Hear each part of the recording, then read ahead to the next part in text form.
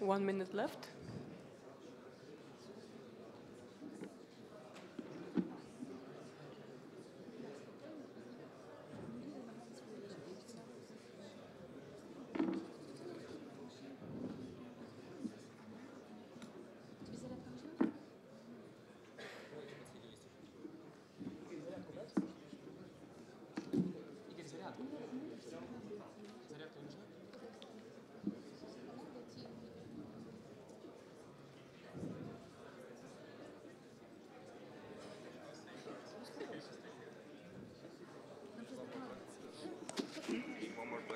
Да, because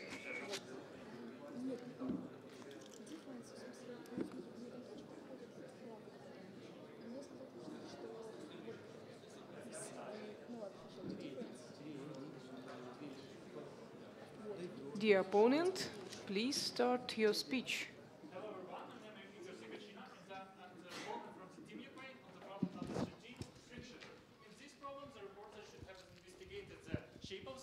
the uh, which is fed uh, into high-speed rotating wheels, and the reporter sh- uh, should have explained the phenomenon why the loop raises up and defies the gravity, as stated in the problem.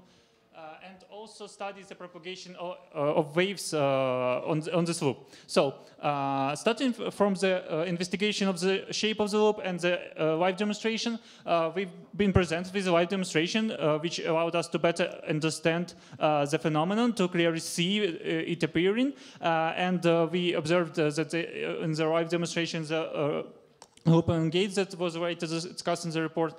so Uh, then the reporter uh, went to the theoretical analysis, uh, where uh, the reporter considers the tension uh, of the rope at different positions uh, and theoretically analyzed the effect without the friction of the air on the gravitational force. And they obtained the solution that there will be only a catenary shape, which they observed in the low pressure experiment, which perfectly explains the phenomenon about the role of friction in this problem. and using the theoretical um, analysis for the shape of the loop, the uh, reporter was able to obtain uh, the theoretical prediction for the shape and compare it with experimental results uh, for different velocities. Uh, so uh, the reporter introduced the dimensionless parameter uh, to describe the overall shape depending on the speed, which compares the friction force and the gravitational force acting on the rope to determine the overall shape. And this parameter was used to describe all the possible shapes. So uh, the problem uh, is that uh, this analysis uh, uh, was uh, performed to be able to numerically obtain the shape of the loop, but unfortunately were, there was no analysis for the uh, parameters of the shape such as uh, length of the overall loop, uh, the width of the loop, and uh, so the solution is only possible for the numerical results, and uh, that was and there was only qualitative comparison of of the shapes obtained in the theory and experiment. Which is a good improvement to be done to determine the length and the width and study how they change in experiment and theoretical prediction because we see slight deviations from the and experiment.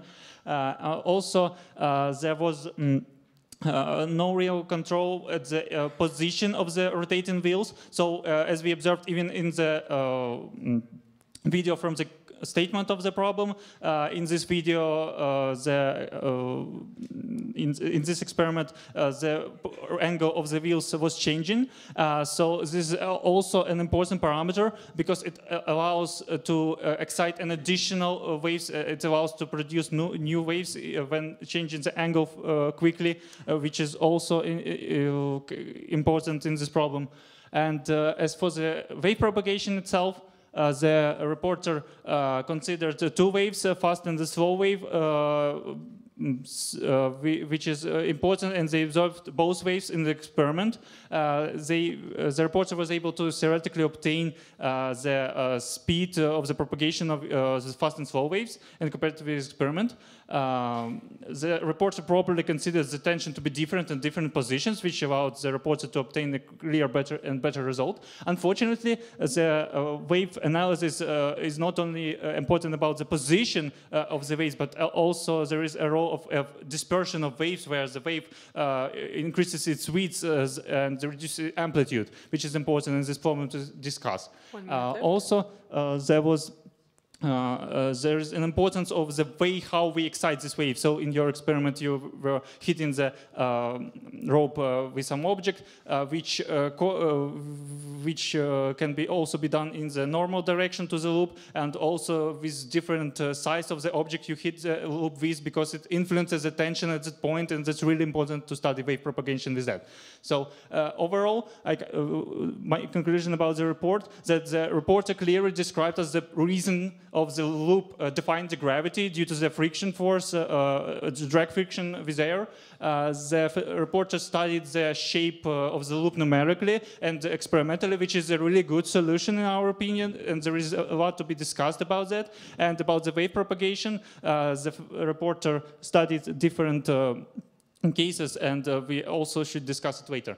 so we come to the discussion. And first I want to discuss with you how the initial angle of the wheels influences the overall shape of the loop. Have you studied this experimentally? Uh, yes. we have studied this. Uh, we didn't show it in the presentation for, for uh, one physical reason is that the physics well, of uh, tilted uh, string shooter is the same as of uh, as a horizontal string shooter. The forces acting are the same, so there is the same competition, the same parameter. Uh, so uh, it's, the, the angle is only a geometrical condition, and from a mathematical point of view, our model, or with our first order equation, we also describe the tilted uh, throw.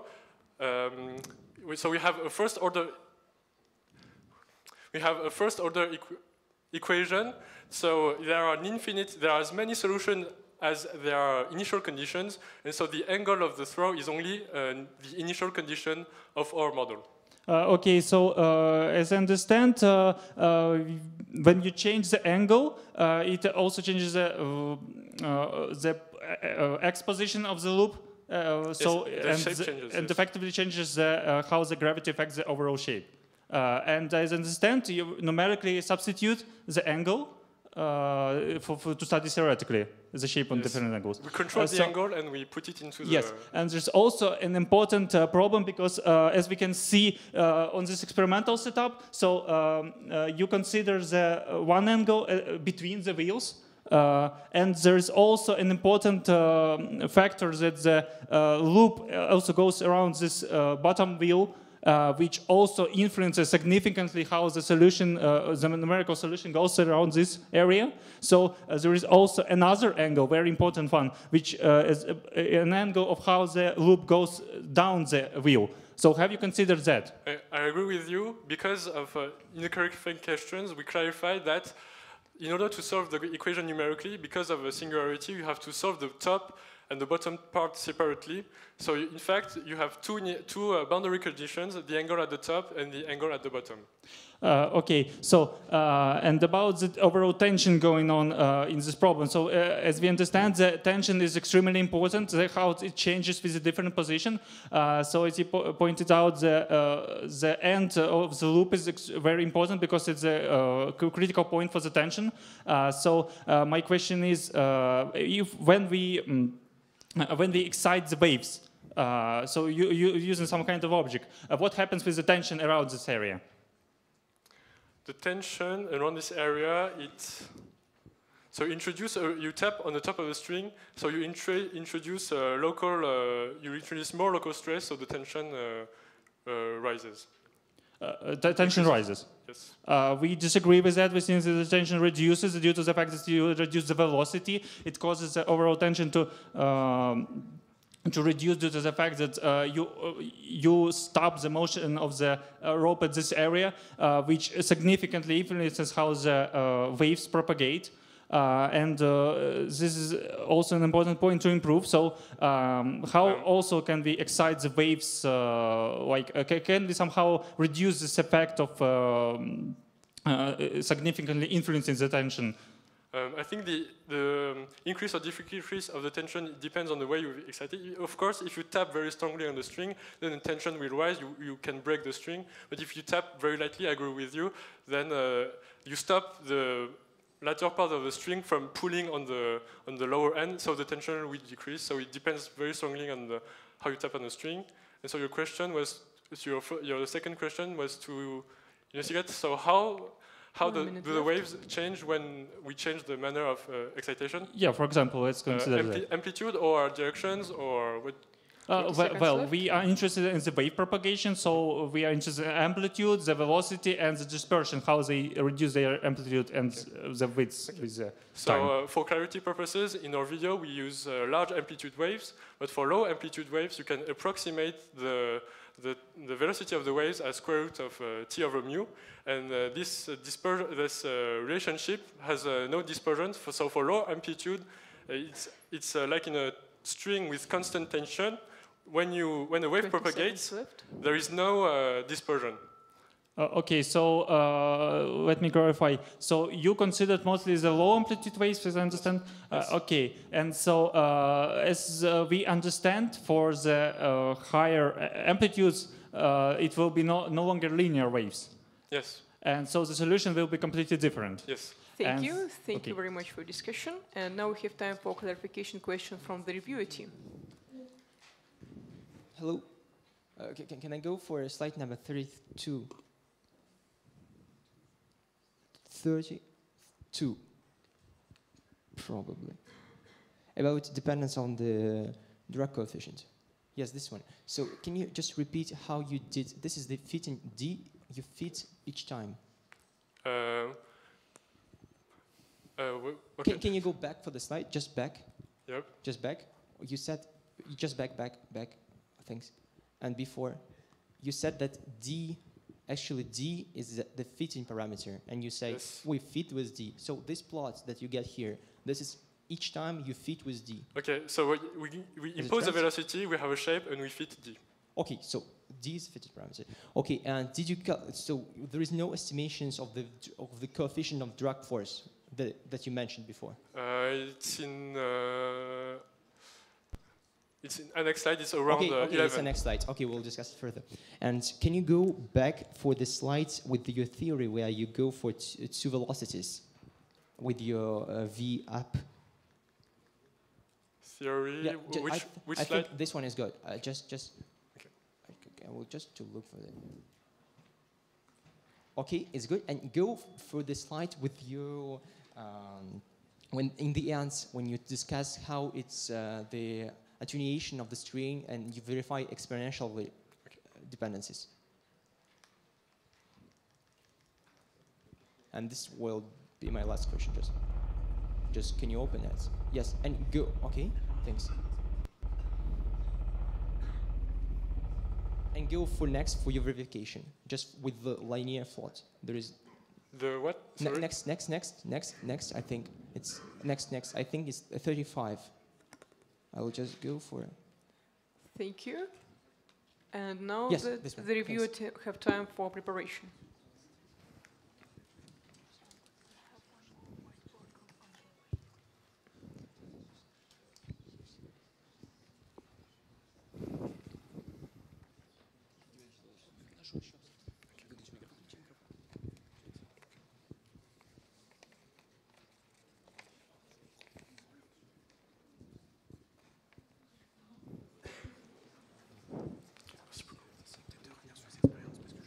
Thirty seconds left.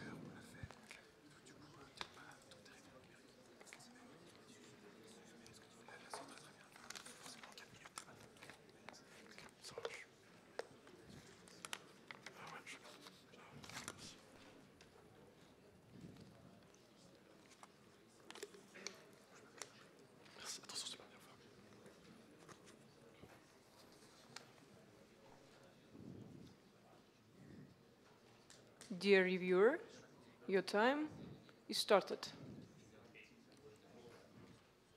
Please start. Okay, so good morning, everyone. Uh, I'm Hanyu from Ecole Polytechnique, and I'll be reviewing the what has been discussed just now. So here's a quick recap of the problem. So we have to we have a string that's shoot between two wheels, and we have to explain what why is the overall shape like this and investigate the propagation of waves on this string. So I'll now go on to the review on the report.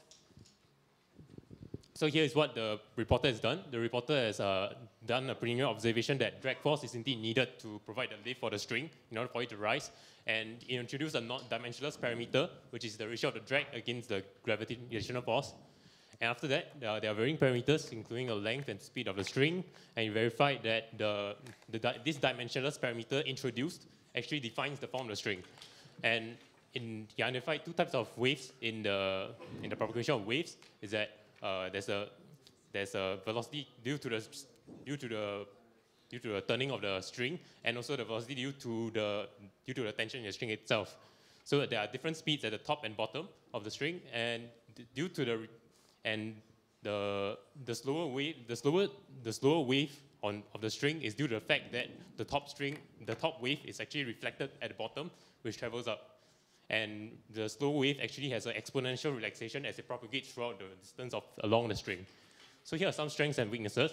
There's a clear qualitative explanation of the phenomenon, and uh, the reporter has also done a very good experiment on the change in pressure for the, for the experiment. And he introduced a dimensionless parameter to uh, describe the phenomenon and define it, and he varied some parameters such as the length and speed. Uh, the weaknesses was that the, there was no explanation of the boundary condition of the initial angle, and the dimensional parameter was actually independent of the boundary condition defined by the string, by the setup. And there's no dispersion relation, how the speed depend on the initial perturbation, and whether there are attenuation for different frequencies. So here are some of the, now I'll review the opposition. So the opposition approves of the experiment done in low pressure and the introduction of the dimensionless parameter, and they agree on the physics of the phenomenon. However, uh, the opponent disapproves of the fact that there's no dependency on the relevant parameters such as the mass and elasticity. And the, he observed that the, the dependence on the initial perturbation of the string was not investigated, so and also the study left. of the angle on the, of the wheels. So in the discussion, they discussed the influence of angle, uh, and the reporter replied that the angle actually does not affect the physics of this phenomenon, and uh, they also discussed uh, how the influence of how we tap the string, whether we tap it hard or soft. And the opponent, the reporter replied that uh, for low amplitudes, there is no distortion.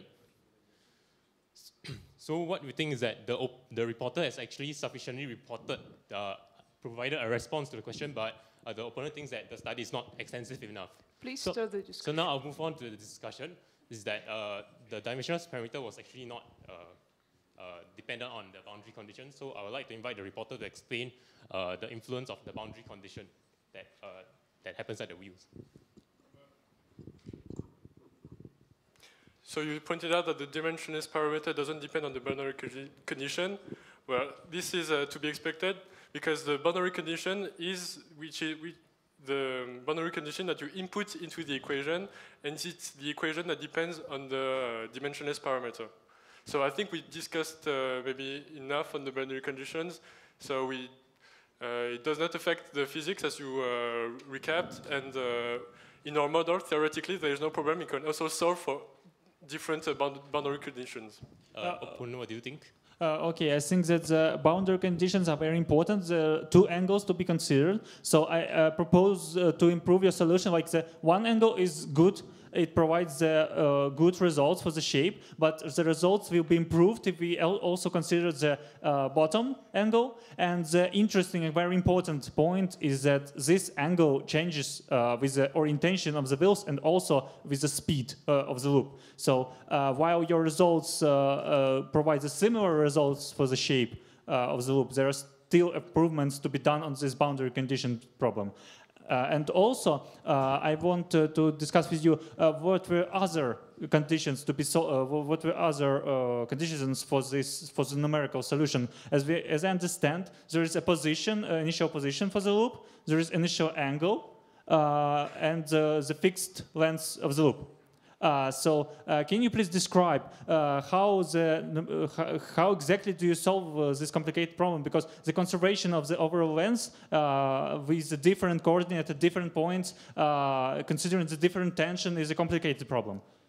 So okay. how do you exactly solve it? Sorry, can you reduce your question to just one line, like uh, the influence of angle on what? Uh, not influence, but what are other conditions to solve this numerical uh, problem? So th- there are two, uh, so there are essentially three parameters. So the dimensionless parameter of the problem and the two angles, so top one, bottom one. So you can't uh, uh, know them theoretically, you just look at your system and look at what the system physically imposes on the string. And so you get your initial conditions just by looking at the shape of the loop. Then D, the, the dimensionless number is given by the drag coefficient that is intrinsic to the, to the, to the loop and the, and the velocity. And so this is imposed by experiment. So by just looking at the two boundary conditions and having the param dimensionless parameter of the problem, then uh, we have everything we need to solve the, the shape and look and check that it indeed the, the, the good shape. Does that answer your question? Uh, yes, this answers my question, and I agree with the uh, answer of the report, reporter. Okay. Uh, the opponent, you pointed out that the angle may influence the type of waves that are propagated. Is that, am I correct? Uh, the angle? Will, will it influence the type of waves that are propagated in the string? Uh, the type of wave, uh, oh, like it's very important problem what uh, what we consider as a type of wave. So uh, if we consider just a wave that uh, propagates along uh, the plane of the overall loop, uh, then uh, it doesn't really change the type uh, of the uh, wave, uh, and there is no not a real way to change the um, with just changing uh, angle to be constant there is no real way to change uh, to produce another waves but what, what i was pointing out is that there is other waves that can be produced with uh, changing of angle over time which was pr- uh, demonstrated in the experimental video from the statement of the problem And Okay, no teams can join to the Reporter, do you agree? In fact, it, you can look at that. Look, there are two points of view. You can uh, put yourself into the reference frame of the, of, the, of the string shooter, and so moving the string shooter is actually equivalent to creating an airflow that perturbates the string. So it's an equivalent point of view to uh, to move the, the setup or to uh, blow on it. Okay, thank you. Uh, we have a question from the floor. Yes, I just have a question that was mentioned by opponents about the initial, about dispersion duration. So am I right that if we have uh, the initial perturbation, it depends on the frequency? So I, I can just push like that, or I can push very slowly. And as for a different oscillation, we have that the speed depends on the frequency. So is it the case here or not? Uh, no, it's, it's not the case, as we have seen in our plot uh, for the exponential relaxation of the speed of the waves. Uh, the video showed a quite a big amplitude wave, but our low, but our low amplitude approximation rep- uh, predicts an ex- this exponential relaxation, which is exactly what we uh, observe. So the small amplitude uh, hypothesis is actually verified in the big waves we have shown you in this video. And for opponents, what did you mention by that?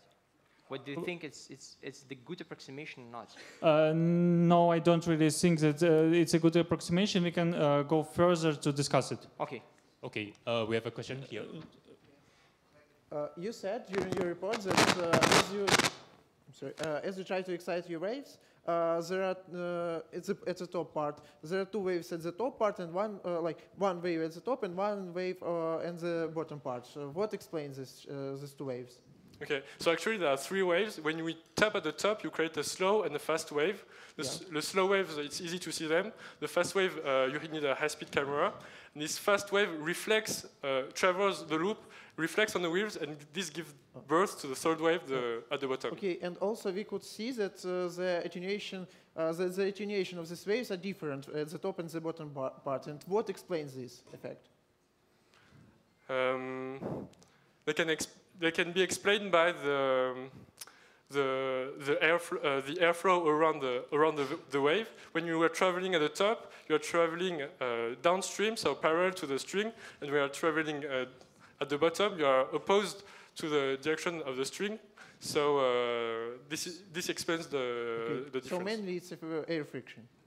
it's what Uh, mainly it's air friction. air friction. yes. Yeah. Okay. Thank you. Okay, opponent, do you agree with the reporters? Uh, yes, I agree. And also, I wanted to discuss uh, the import, uh, other important parameter which uh, hasn't been discussed yet.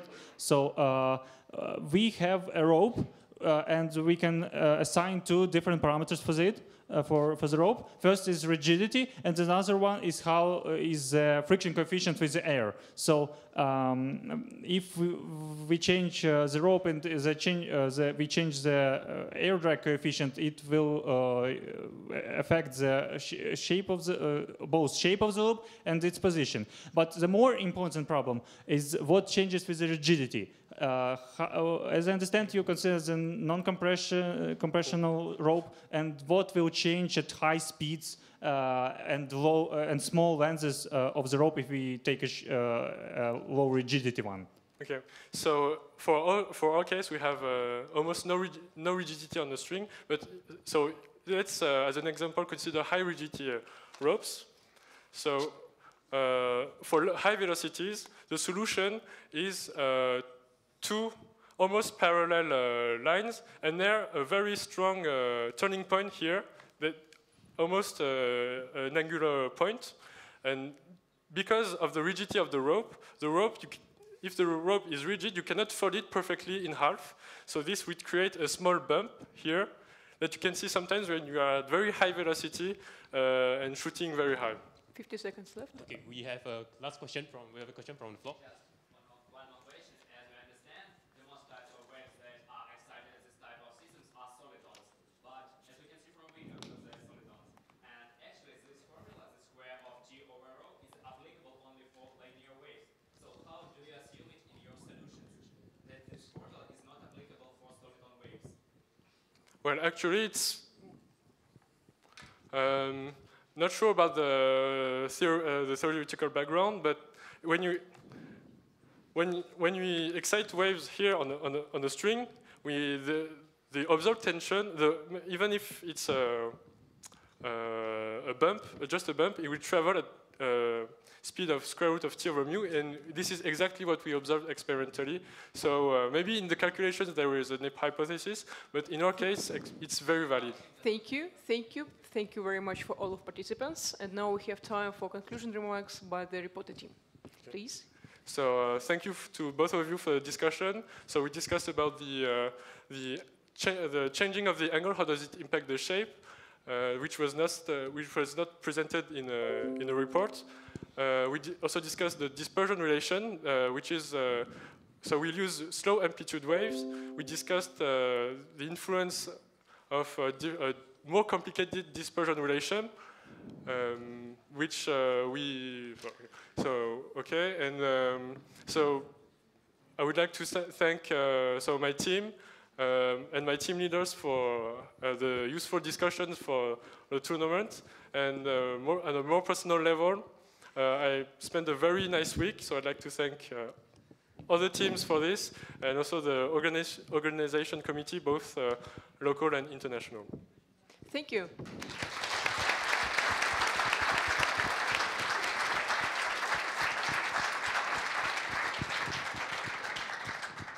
And now we have time for questions from the jury members. I remind you that it's a question, not a comment.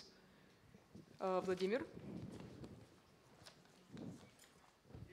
Presentation, uh, could you please shortly explain the physical reason for exponential decay? Are there any formulas leading to this?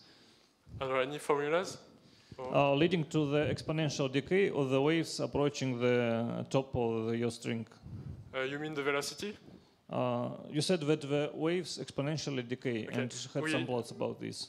Okay, so we uh, derived it analytically by using that the tension profile. So for high velocities,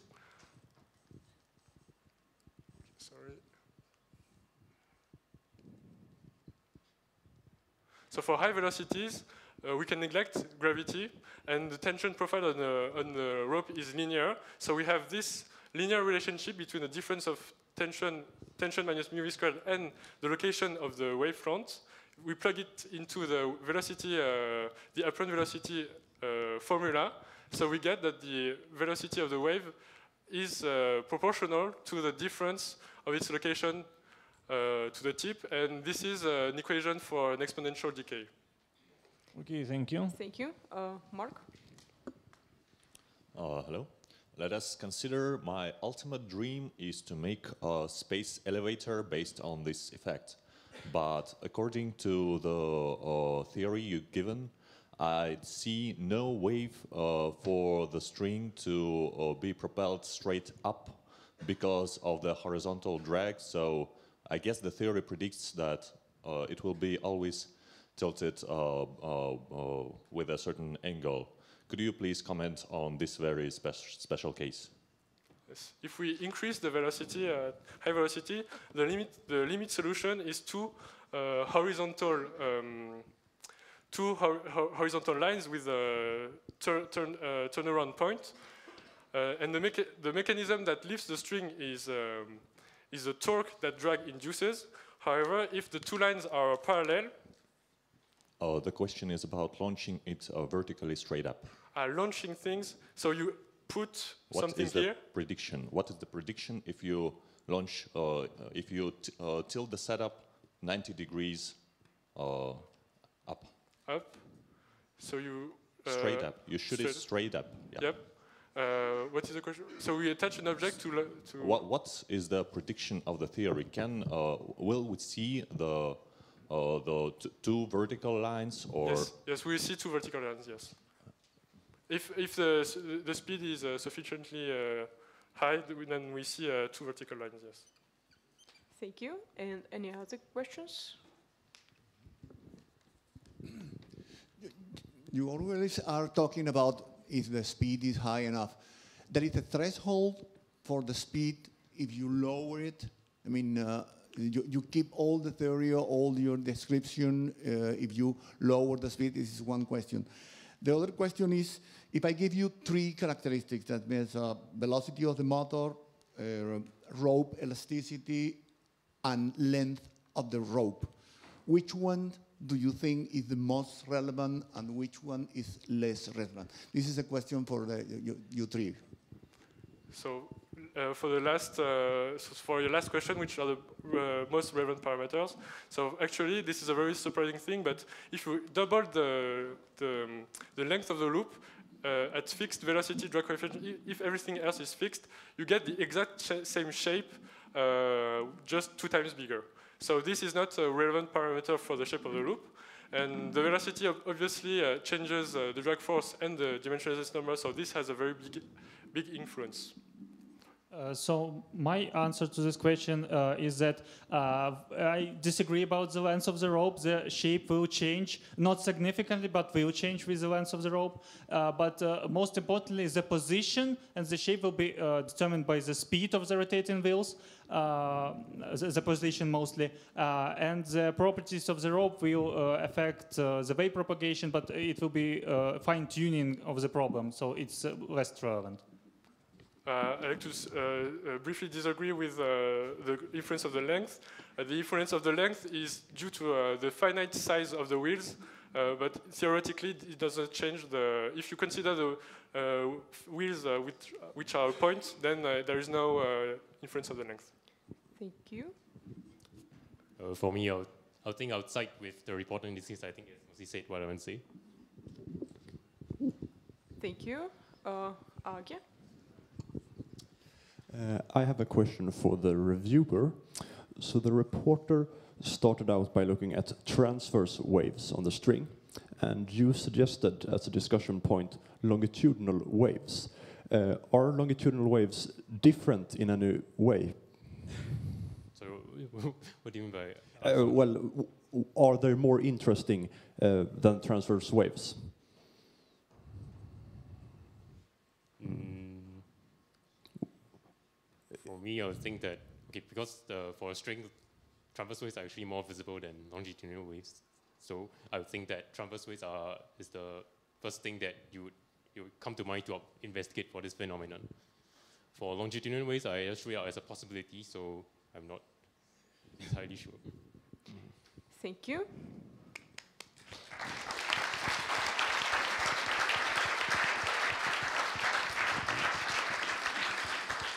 And now we have time for jury members to decide their marks.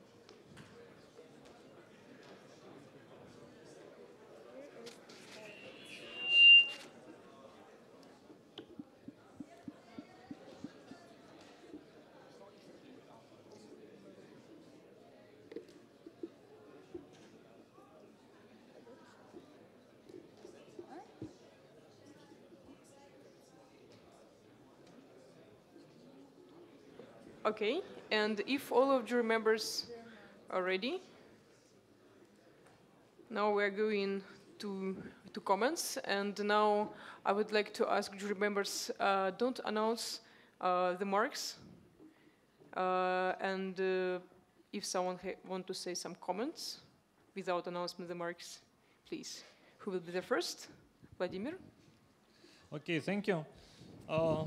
Yeah, I'd like to say that, uh, okay, this uh, round was really good. I think uh, the uh, report was rather interesting and the questions of the problem were answered well. Uh, what I would like to say that uh, probably there is some field of improvement and many of these fields of improvement are, were suggested by the opponent and it's a nice thing. Probably reporter would better, um, okay, uh, point out these fields of improvement by himself, then it would be even better.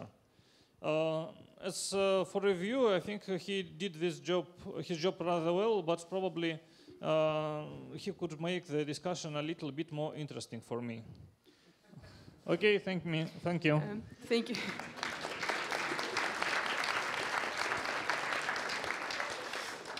Thank you for comments. And uh, uh, anything else? Alake?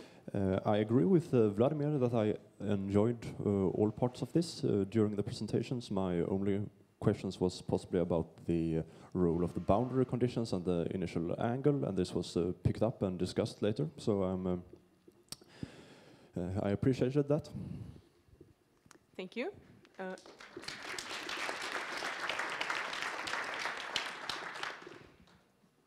Please. So I enjoyed all the presentations. Um, I would have liked to understand a bit more about the historic, what people had found out before about this phenomena. I've seen this phenomena in science museums and science centres all over the world, and I've never seen anyone explain the fact that the air pressure is significant, that the fact that you did that experiment in a vacuum was fascinating. I'd never heard that before. So to, you know, that's something I think to be commended. Um, but I, I think I perhaps would have liked to understand a little bit more about what other people had found about it to see where you started your investigation from. But really enjoyed it. Thank you. Thank you. Okay, Vladimir? Okay, if there is some more time, I can just okay uh, go deeper into physics. I would like to point out also one more inter interesting uh, okay physical phenomenon that could be somehow included or discussed into the discussion uh, during the discussion. It's the interaction uh, between the drag forces because the okay the rope. Uh, isn't just straight line. It's scarlet, and because of that, uh, we have uh, some airflow. Because of some part of the rope, it can act on the other part of the rope, and it would be interesting to observe somehow experimentally this effect for, uh, I don't know, big velocities or low velocities.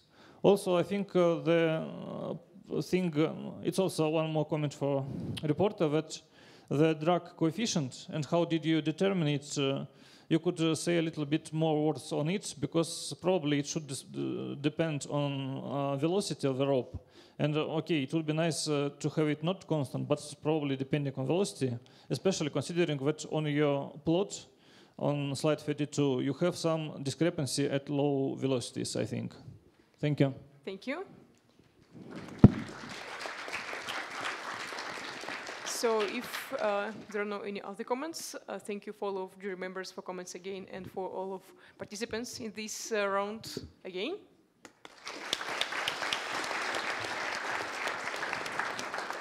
And now we have time for break, coffee break. It will be behind this wall and, and it will take uh, 15 minutes.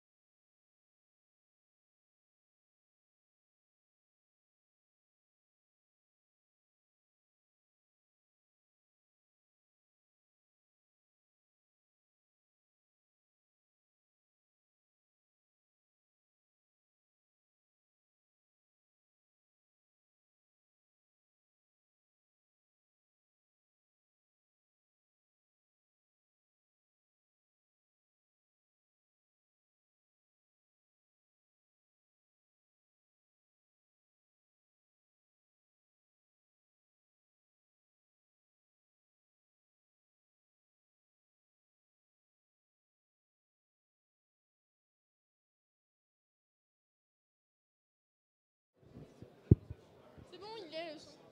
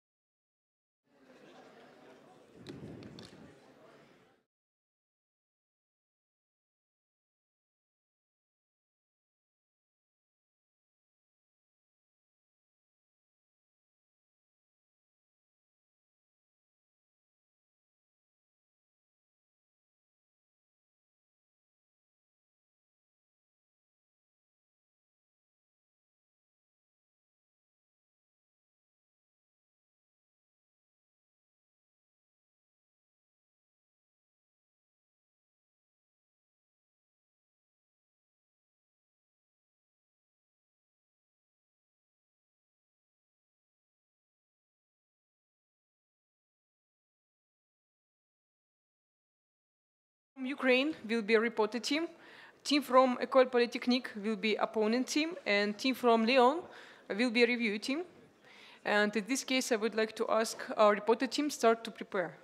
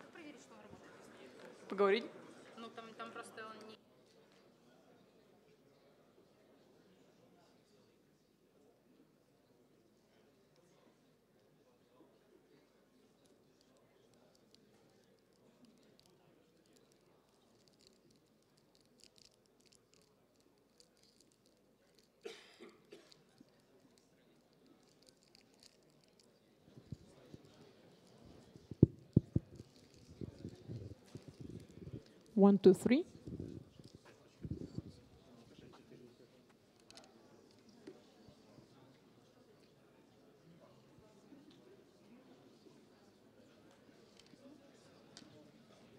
Так, вот это, смотри, есть motion радиус. Кстати, я вообще не знаю разницу. Ну, короче, в общем, это есть. Вот этот новый график, который я эта штука. Хорошо. Это, оно более-менее как-то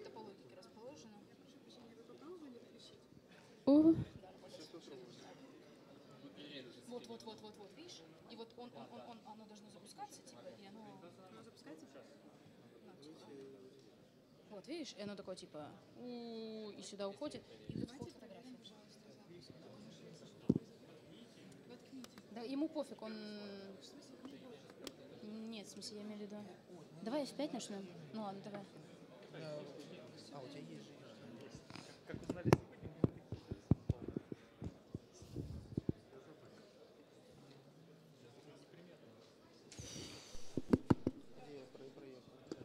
Про, про, про, про, про проектор.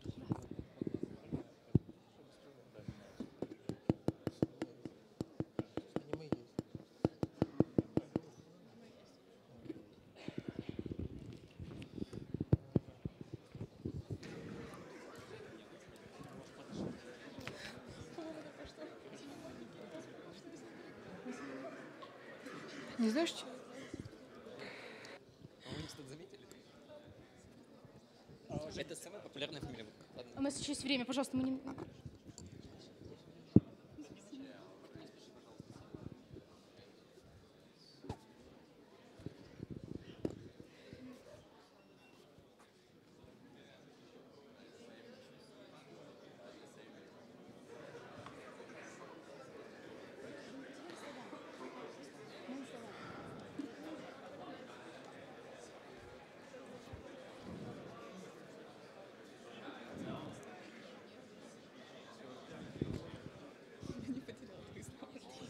Потому что я их потеряю в моей голове. Ладно, так пойдем тогда, может, начнем?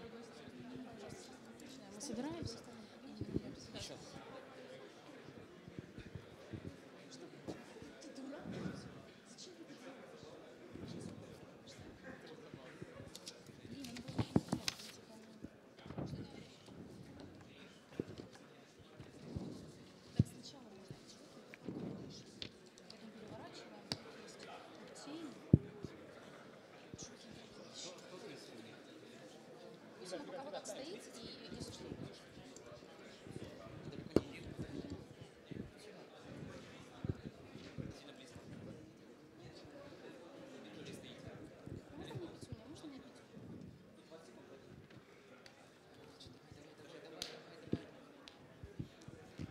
I would like to.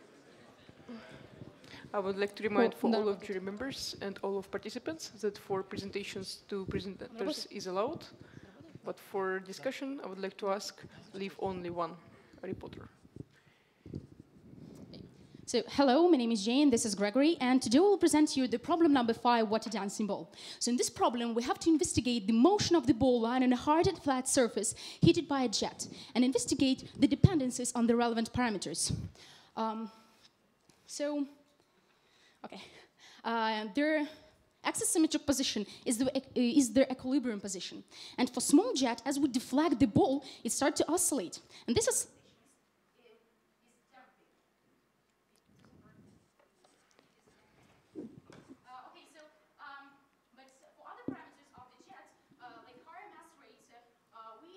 non-damping uh, oscillations.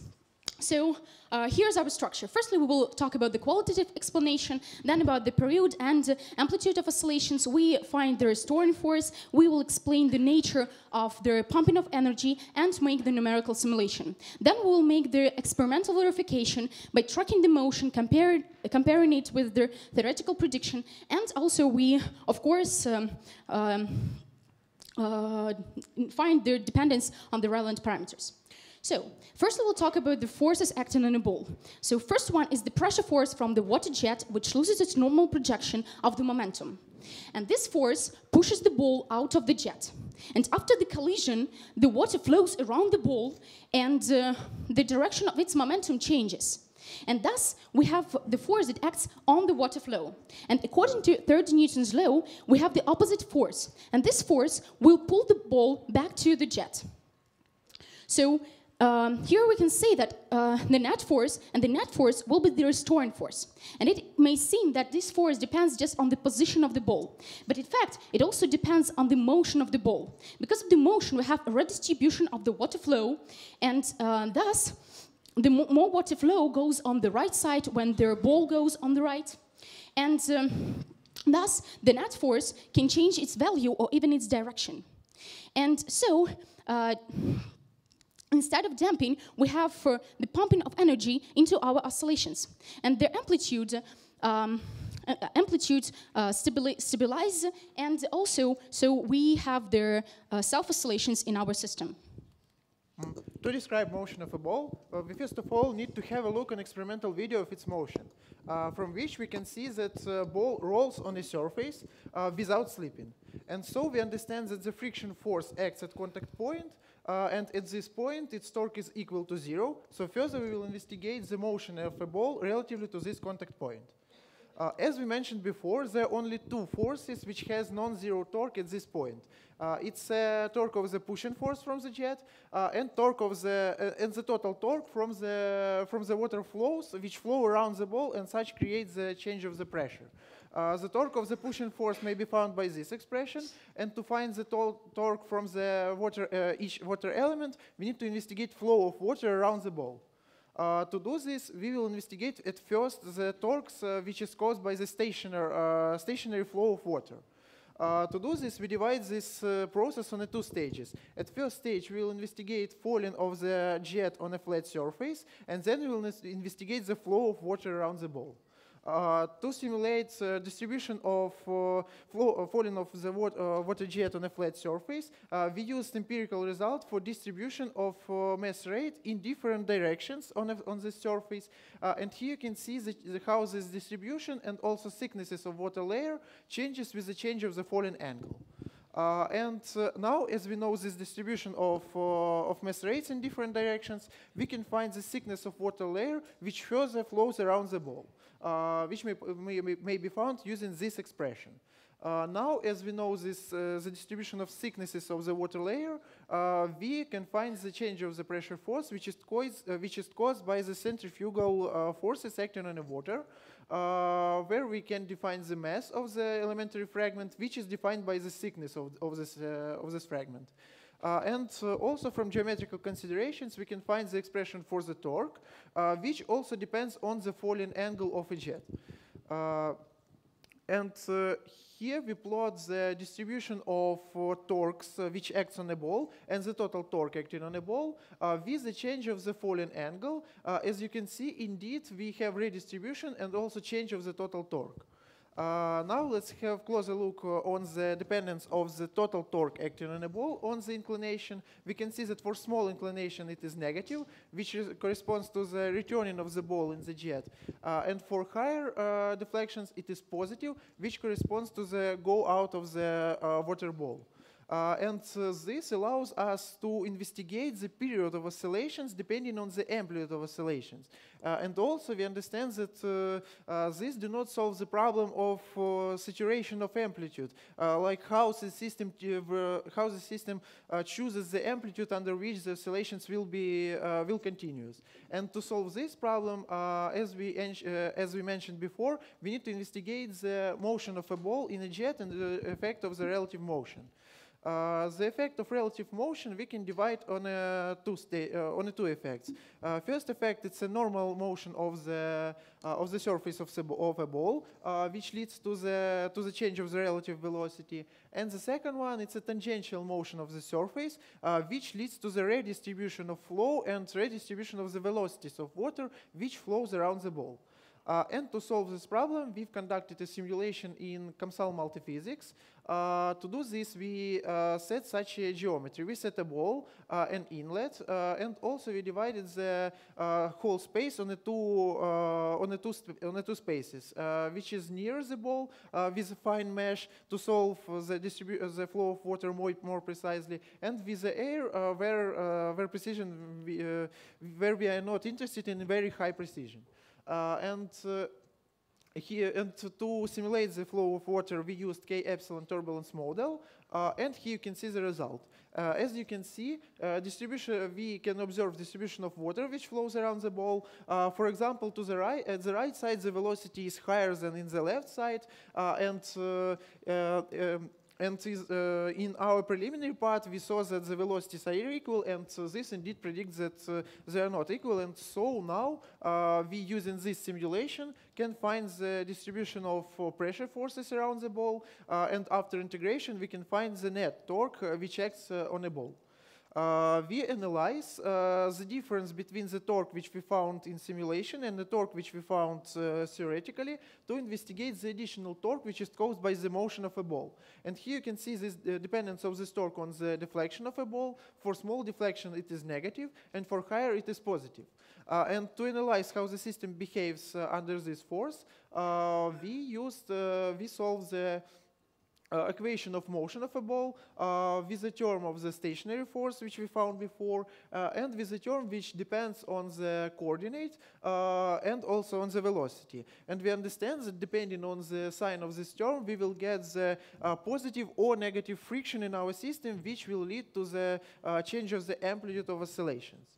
Uh, here you can see uh, here you can see uh, the typical uh, law of motion. Uh, indeed, as you can see, amplitude of oscillations increases and it saturates, and this allows us completely completely predict the motion of a ball, uh, the whole law of motion, and also stabilizing of the amplitude.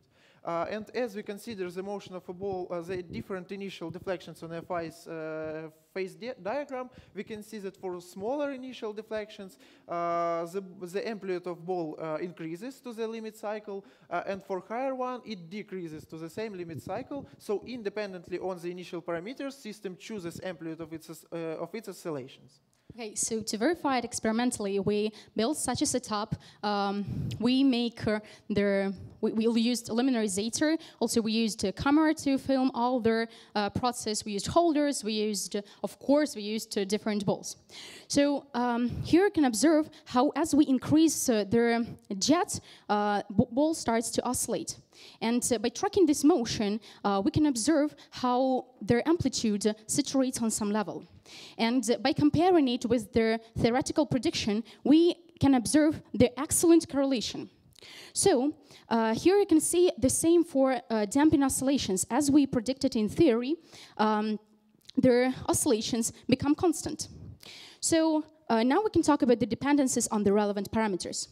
So as we change the velocity of the jet, as we increase this, um, the amplitude uh, saturates on some level, and this saturation level uh, does not grow uh, infinitely, but uh, their frequency become higher and higher. And here you can observe different uh, oscillations with different velocities. And you can observe how their amplitude become constant while the frequency become higher and higher. And now we can, um, now we can um, investigate it experimentally and you can see that exactly the amplitude become constant with the difference of the mass rate while the frequency become higher and higher.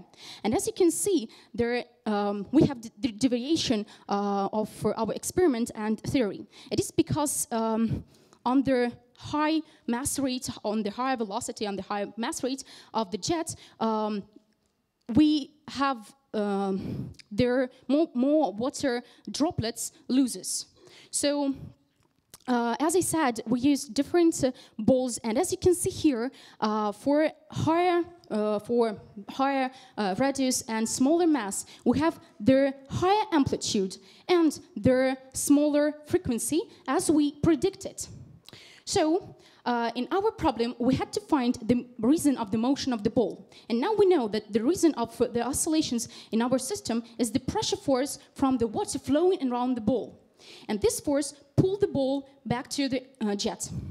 Uh, and because of the motion, we have redistribution of the water flow, and thus uh, we have pumping of energy into our oscillations. And left. we observed self-oscillations in our system. So then, um, from the simulation, we obtain the force um, due to the relative, uh, uh, relative motion of the mole. And um, uh, then we um, experimentally verify the theoretical tool uh, by tracking the motion, comparing it with the theoretical prediction, and we observe the excellent correlation. And then, of course, we um, investigate the dependencies on the relevant parameters, uh, the most relevant parameters in our system, which were uh, mass rate of the jet, uh, mass and radius of the ball. Uh, thank you for your attention. Thank Sorry. you.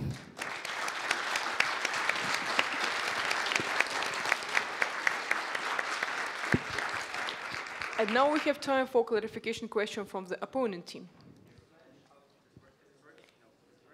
Please use microphone.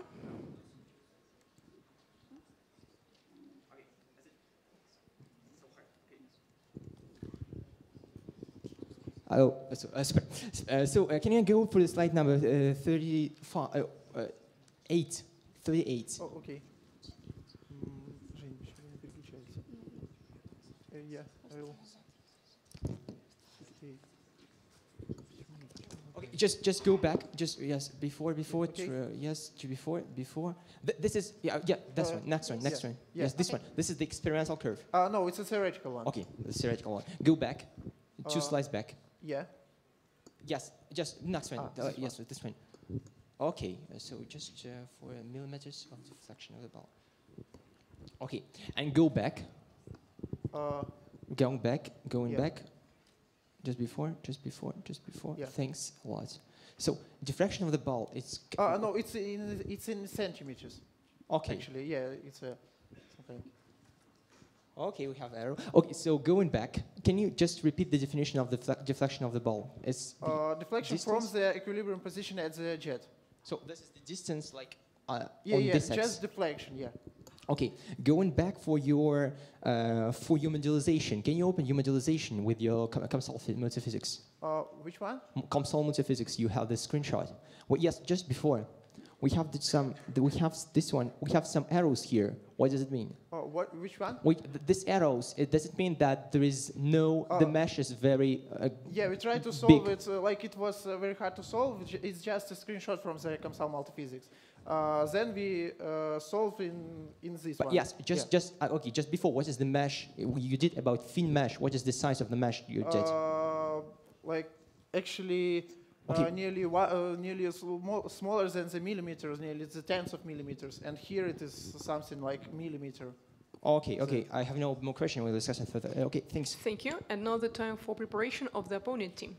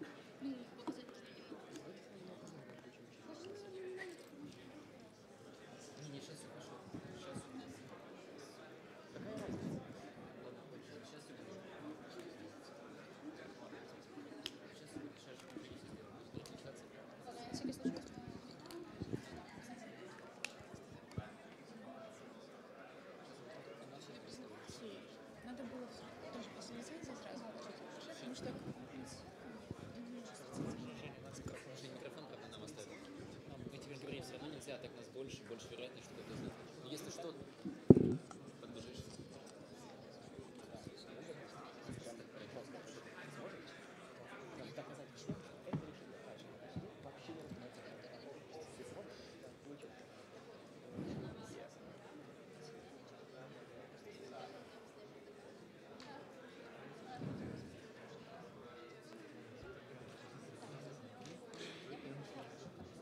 Да, серьезно.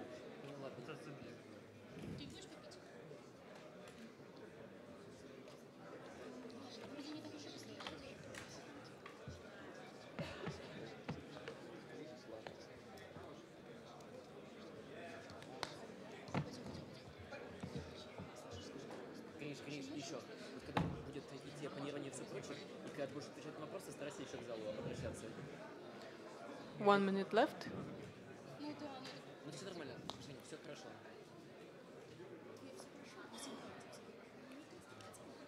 Всегда все хорошо. Просто бывает чуть лучше, чуть хуже. Сейчас ваш Окей. I'll take this one. I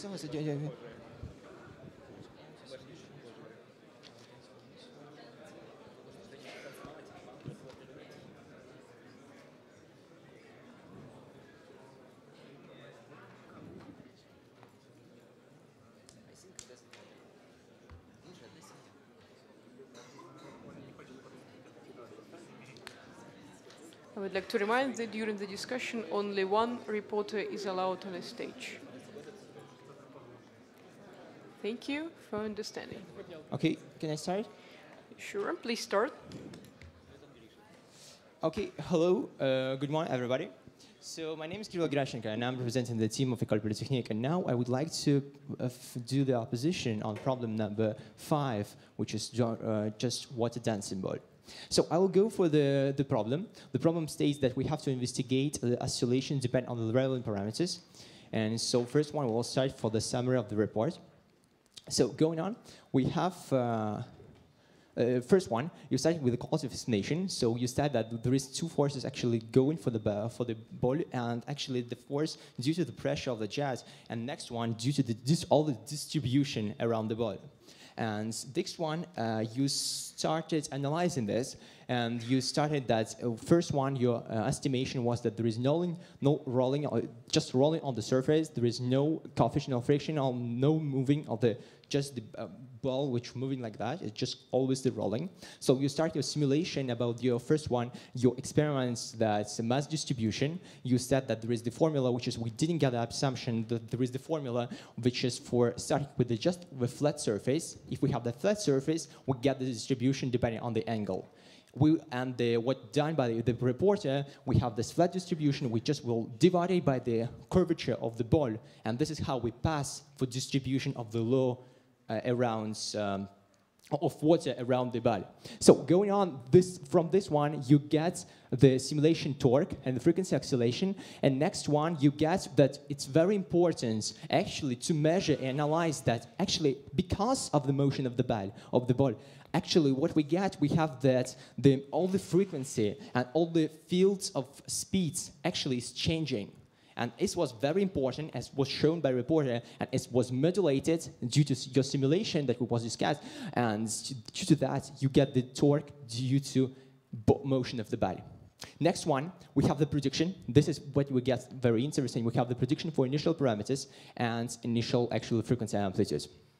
For experimental setup, it was very, uh, very simple. We have uh, the body, which is body, which is just here, and we have the water, which is stomping, which is falling. Excuse me, and we just will track the video, and uh, we will analyze it. So the very parameters was just the flux and radius, and we was dependent on the frequency. But there is some good points. First one was experimental setup. You, uh, vari- uh, you change the flow, you change the frequency and amplitude variation. You analyze why it's going that, and so we just we have the linear dependencies. So we change the flow, it's go to more frequency, and, and there is was uh, a study of the water distribution, and actually was studied that the lower water distribution we have the stability, and we study also two parameters.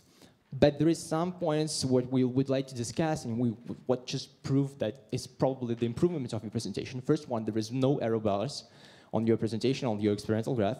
Next one, the surface tension wasn't considered. So we're just wondering if there is uh, any effects of the surface uh, of surface tension, so surface of the of ball, and also surface on the grounds. So if we just put on the grounds, is there any effects on the grounds? For example, for example, waves, or for example, the hydraulic jump. Well, it goes any influence of this. Next one, the lacking of the parameters. You just do with two parameters. And what about mass? What we, we change the momentum of inertia? What we change the temperature, for example? And next one, the same thing. Friction effects on the ground was neglected. You said that we, we have only rolling on the on the grounds. What's happening for bigger flow? Why? Uh, what about stability of the body? What body? What is the gas in unstable, what is the flow, what is critical flow to go for this regime. So go for, uh, just summarize. You didn't study this relation. You explain why we have why we have this acceleration and what is the physics behind this. But the problem is that there is some relevant parameters which was neglected, so it wasn't considered actually the mass surface temperature, for example, and many of them we can discuss in further. And just go for my discussion points.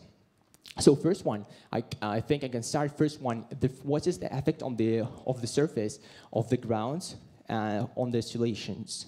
Oscillations. Yeah, Yes. Discussion uh. Maybe you open the uh, our slide. Uh, actually, we investigated the uh, role of different surfaces. Uh, now we will show them. Uh, and uh, we saw that for uh, most of our surfaces that we used, the, the amplitude and the frequency of oscillations of the same ball was nearly the same. But uh, only for, uh, uh, for some surface with a very high rolling uh, friction coefficient, we observed uh, decrease of the amplitude of oscillations. Uh, so yes, indeed, uh, the parameters uh, here, uh, here you can see it, uh, that uh, indeed the amplitude remains nearly the same and frequency also nearly And the same. But just here just going for well, yeah. Can you explain it? Why it's going like that? Is Uh, it because of the rolling friction. so? This is the rolling friction. Why Yeah. you? But you didn't try to just uh, add the rolling friction your theoretical model. Uh, yes, we haven't uh, edited, and I think that for such a, uh, for such surfaces with a higher rolling friction, yes, it may it may strongly change uh, the the whole process. But uh, we all, mostly we use the uh, mostly we use the very uh, very hard surfaces, and I think it will not strongly change the amplitude of oscillations. Okay, am I right that in your video we have something like this with the waters which just falling Yeah. here, and am I right that there is the hydraulic jump just here? Yes, yeah. So what is what is the influence of this water on the on Uh, motion of yes, the body? also this water, uh, this water as it flows, uh, it, uh, it's as, as you mentioned, it uh, falls on the surface and uh, it leads to the redistribution of uh, pressures. Uh, and to, in, to uh, we also observe this effect with the higher uh, velocities of motion of a jet because of what uh, for water it is much easier to leave the, the surface of a ball uh, and to uh, Yes, for example, on this video you can see the, uh, this effect. Uh, that for higher amplitudes we observe the, uh, the flow of water. Yes, it, i- indeed it changes the for full, uh, full force acting on a ball, uh, but uh, these deflections may be observed for uh, very high uh, for very high mass rates of water.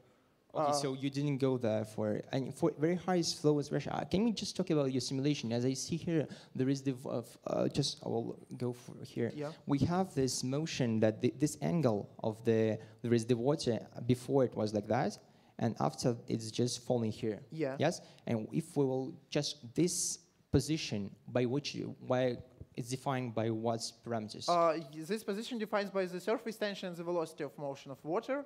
Uh, and uh, indeed, I, can, I think that as we increase the surface tension, uh, we'll observe uh, more uh, uh, that the water will flow around the ball uh, with more higher probability uh, because of the water will not leave the, the ball. And yes, it will lead to increase of the of the pressure force. Can you open your Can you open the slides with any distribution from your simulation? Uh, yeah, we can Uh, Жень. With the distribution of your, I will, you can open it if you want. Uh, yeah, yeah. Or with this one, for example. Distribution. This one is distribution of torque. Uh, of torque, yes, around the ball. So uh, before, c- did you get the distribution of water or not? Of water, yes, it was. Can you open it because I, I'm not very nice. Oh, this no, it's in the А, surface. нет, Жень, намного дальше. Намного дальше. Серьезно, Uh, Женечка, ну, серьезно. Here it is. Okay, okay, this one. So can we can we just go for for this explanation why I have the, the this speed which just goes Uh, back? yes, it's a speed of air. Uh, we need to understand that uh, this speed of air, it's not uh, speed of water. Water ro- uh, flows around the ball in the vicinity of the ball. And we also simulated the both flow of, uh, of, of water and the air, and like we, we simulated the two-phase flow, and so we, uh, we also obtained the result for the velocity of, uh, of air itself. But uh, when you take the uh, the thickness here, thickness of Yeah. water, why you did you determine thickness of water by your model which was before? Uh, because of uh, this thickness may change due to due to the whole process. Like we, seconds we solve the so you solve with the changing of frequency, of changing on, on yes, th- yes, thickness. yes. It's very Okay. important to understand. that. Okay, I got it. And going for uh, my, my question about the rolling and sliding, what is Uh, the limit for this? We, we, when we have the uh, st- what about the stability instability in the jet? What we get Yeah. this one? Uh, about the uh, what uh, you're asking about the instability of the jet no, instability of uh, of a uh, ball, ball. of a surface. Oh no! Uh, when we go, if we uh, is there any possibilities that if we have flow of water and this ball we just move a uh, flow? Uh, yes, like the friction force uh, becomes a sliding force. Uh, yes. And did you yes, estimate it or not? ye- uh, we observed it only for higher uh, velocities of the jet, and indeed we, we observed that uh, ball uh, slides on the surface, and indeed it leads to the change of the frequency. Thank you. Okay, Thank you very much for your And- and- discussion. And now we have time for clarification question from the reviewer team, team from Lyon. Please use microphone. Please, could you go back to your experimental results on the frequency, please? Uh, yeah.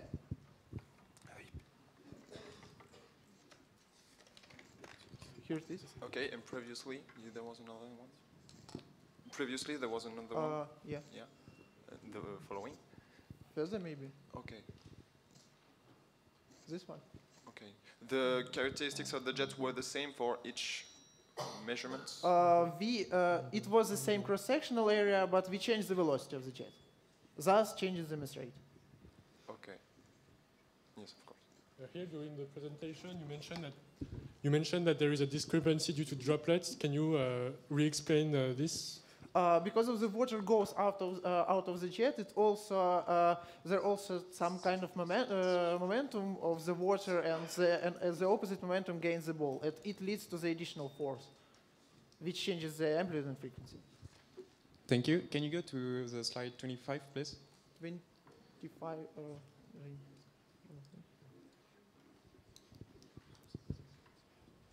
Yes. Well, it's okay. Uh, can you explain what is the contact condition that you use to model it? Uh, which, what? What is the contact condition between the surface and the ball, please? Uh, contact uh, with the surface and the ball? Yes, please. Uh, it was a non-sliding condition between the surface, like the water, uh, the velocity of water is equal to the velocity of the ball at this point. was it a punctual point? Was it punctual uh, contact or? Uh, yes, at contact. Um, you said, uh, am I right that, in s- that you said that you compared your theoretical torque with uh, simulated torque? Uh, we found the difference between them to analyze. The Uh, did you show it on the slides? or yes, Did I miss here. it? Uh, Жень, пожалуйста. Дальше. Thank you for your Uh, questions. Yes, like we show. Uh, Thank you. Thank you very much. And now we have time for preparation of the review team.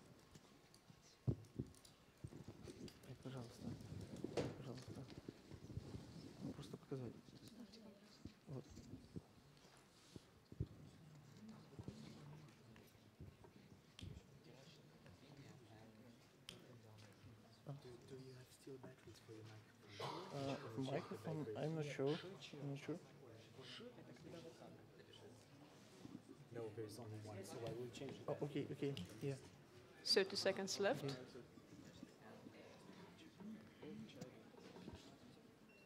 Что? Нет, он сейчас заменит батарейки. Ну, я и так вроде бы как громко говорю, нет? А, сейчас он заменит батарейки. Гриша, Гриша, Гриша, покажи эту диаграмму, которая помнишь? Хорошо, да. Диаграмма стабильности. Диаграмма стабильности и зависимость от массы равен еще покажи. Ва- У тебя же есть зависимость от массы. Ты же... Может, он Гриша написать. Dear reviewer, you can start your speech. Hello everyone, I'm the I'm from uh, Université de Lyon and I will be the reviewer for this fight about water dancing ball, which was about, to remind you the subject, a ball lying on a flat and hard surface hit by a jet of water perpendicularly to, uh, to the surface. It may start to oscillate and they had to investigate how the oscillations depend on the relevant parameters. And in these problems, there were many, many things uh, mentioned by the reporter. They gave a simple explanation at the very beginning, uh, explaining why it oscillates. There is a variation of the momentum around the ball that uh, brings the ball back under the jet. Uh, this uh, for this uh, study, they mentioned that the ball was rolling. Uh, we have seen that it is false in uh, slide, and this has already been addressed in the conversation by the, the two members. A powerful simulation and a powerful theoretical analysis has been conducted on COMSOL, namely this software of finite elements, uh, finite element software, unable to uh, resolve the Navier-Stokes equation and uh, understand how the flow is uh, distributed around the ball. Yet it was quite confusing because we don't know what were put inside COMSOL. so uh, maybe uh, this could have been more detailed. About then, uh, there was uh, then a very good analytical resolution of the flow around the ball that explains why it oscillates, uh, uh, the amplitude of the oscillation, and the frequency. And those results work uh, compared to the experiment. For uh, frequency, there were great, great prediction that has been shortly confronted to uh, the experiment at the end. Uh, maybe we could uh, thought of other experiments on the torque, uh, for instance, uh, but uh, the, this was great uh, nevertheless. And uh, about the, the limit cycle, uh, there was uh, a limit cycle because of One relative motion of the ball compared to the jet. And uh, in the end, this is a solved problem with really neat movies. The opponent uh, clarified very well the problem to make you understand what has been done and uh, uh, mention all the variety of parameters that have been uh, studied in this experiment, even though he mentioned other parameters that could be uh, studied, such as mass or inertia. 30 seconds left. And finally, if they mention lack of precision uh, and surface tension, for instance, uh, friction with the uh, interactions with the plate.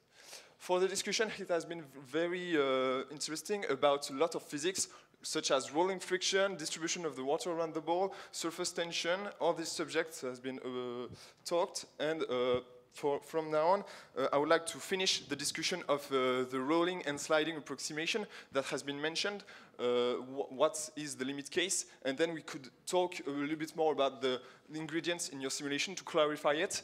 And finally, talk about the effects of the ground and the driven oscillations mentioned by the, the opponent. So Please please, uh, could you continue your uh, discussion about the rolling sliding discussion and maybe mention a limit case uh, when uh, this is true, this is wrong? Um, yeah, okay. Uh, about the about the conditions with limits, uh, the rolling and sliding, uh, it's a friction uh, coefficient of the surface in the ball, uh, and also the force which acts at contact point. Because of, uh, for example, if we have very high amount of water uh, at this, the buoyancy force will lead will lead to grow, uh, to push of the ball up, and so the force will decrease, and it will lead to the uh, increase of the of the roll of friction. Uh, in reality, indeed, as I mentioned, we observed for very high mass rates, for which we observe the very unstable flow of water. For this, we indeed observe the sliding of a ball. Okay, and what do you think about this? It's very clear which what you state by just reporter, and this is the ju- this is the limit. I think uh, if we go for improving your presentation, this is just the case for discovering more and going. I think you have more question. Just we go can go. Can you just go for one question about your your model and you track? Am I just right? You track in this position in one in one position. Yes. Uh, in You one direction? Yeah, in one direction. Uh, sometimes, uh, y- yes, yes, yes. But all the time you have just I didn't get you have the friction, but the, uh, the, the but the ball it just goes around like that.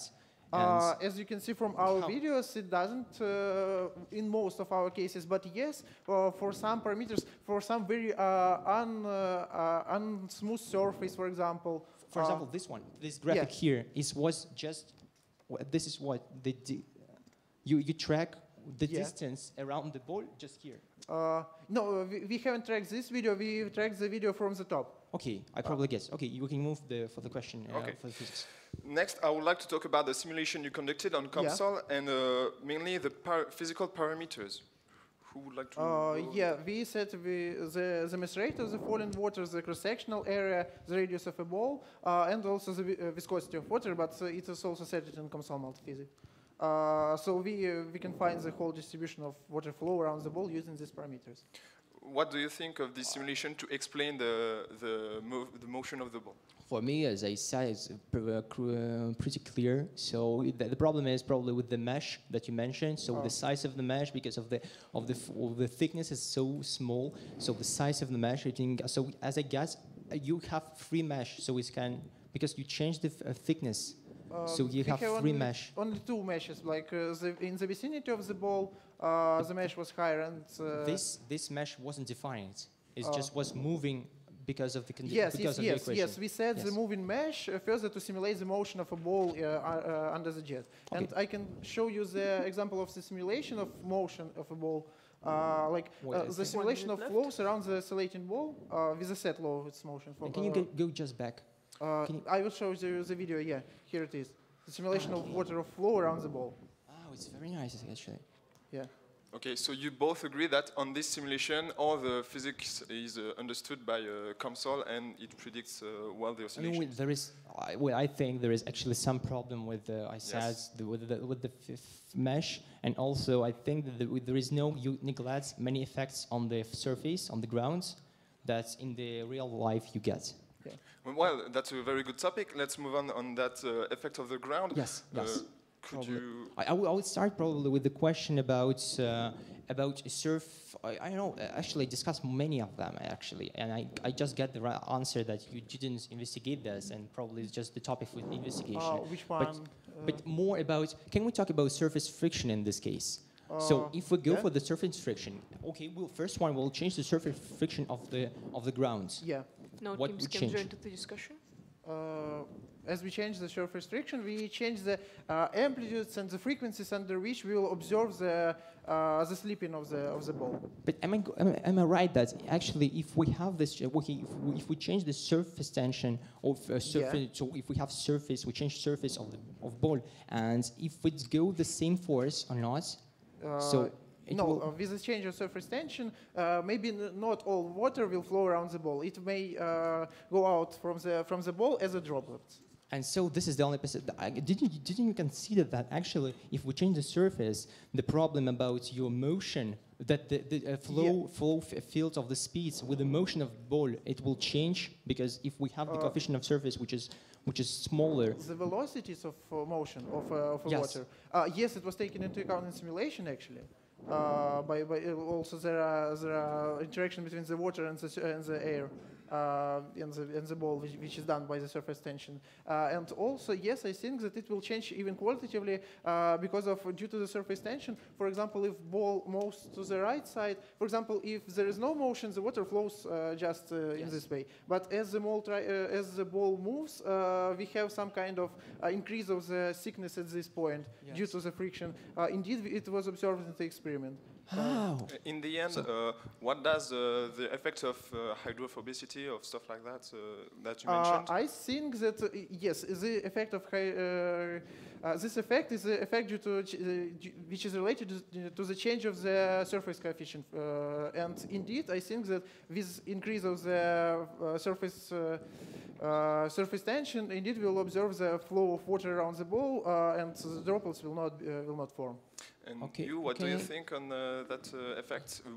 Uh, is there any influence on the characteristics of the oscillation? I think it's very hard actually. Uh, As I said, the report actually we have to think that there is many force which is decreasing enormously. So we have the flow. We as uh, reporter calculated, we have a changing of the flow which is will decrease because we, there is no uh, f- if we this all goes by viscosity and actually the cush we ab- about limits uh, around the boundary limits. And actually, it would change with the if we change surface, and this is very important, I think. And s this is why. And can you go for about about ball? And what about the rigidity of the ball? Uh, rigidity of ball. Yes.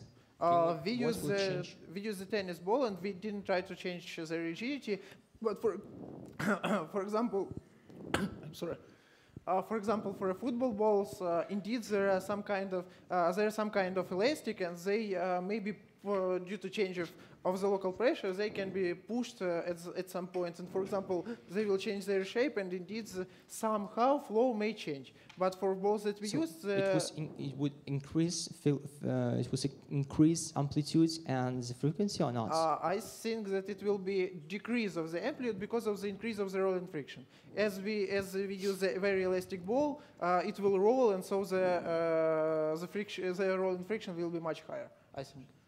Okay. Well, thank thanks. you uh, for speaking about that topic. And finally, I would like to go back on the question mentioned about driven oscillations. Could you precise, please, a little bit Yeah, what oh, it's, it's very interesting. And for me, uh, driven oscillations, So can you explain actually what is the force which is goes, which is you said in the at the beginning you said that this uh, the stable position actually in the in the middle.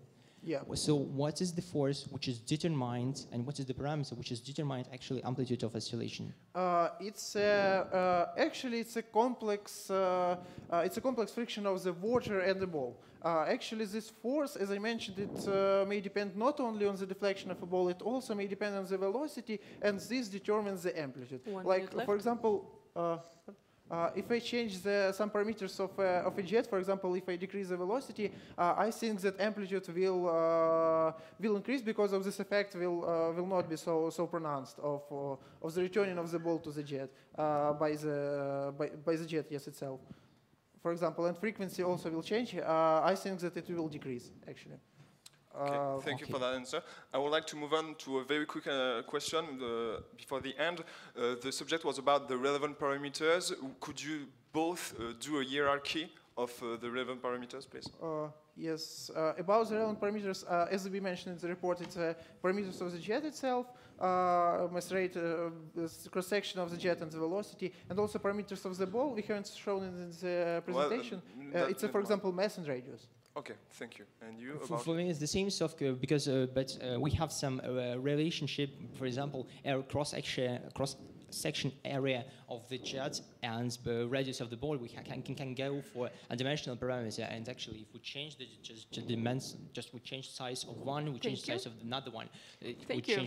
Thank you. manner. Thank you. Thank you so much question. for your discussion. And now we have time for conclusion remarks by the reporter team. Uh, I want to say uh, thank you to the opponent team and the reviewer teams because we discussed a lot of uh, interesting things about the, uh, the problem. For example, we discussed the role of surface, and also uh, opponent mentioned about the different parameters of the setup. For example, the temperature. Uh, we uh, did uh, without uh, due to the lack of time, we haven't shown it in presentation. We investigated dependence of amplitude on temperature. We see a very slow increase of the amplitude of the amplitude because of the change of the viscosity. We think, but the error bars do not allow us to to judge about the strongly dependence on, on the temperature. Also, we investigated the dependence on the mass, as was shown. Uh, uh, the dependence on the mass of the ball, uh, and uh, we we verify we verified it using the, we added the mass uh, inside the ball, and we investigated this dependence. As you can see, uh, indeed amplitude and frequency of oscillations decreases in this case. Uh, and so, thank you for for your time. Thank you.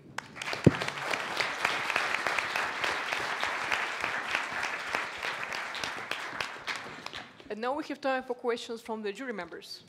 Is it any questions? Vladimir? Thank you. Uh, so I have a small question to the reporter, and probably then I will have a second one.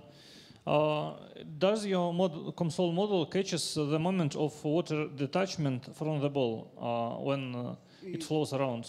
Yes, uh, actually, uh, there are for example, yes, there are there are some points at which the the contact the water flow. Uh, It's about your COMSOL model. Is uh, the surface tension of the water inside it? Yeah. yeah, yeah.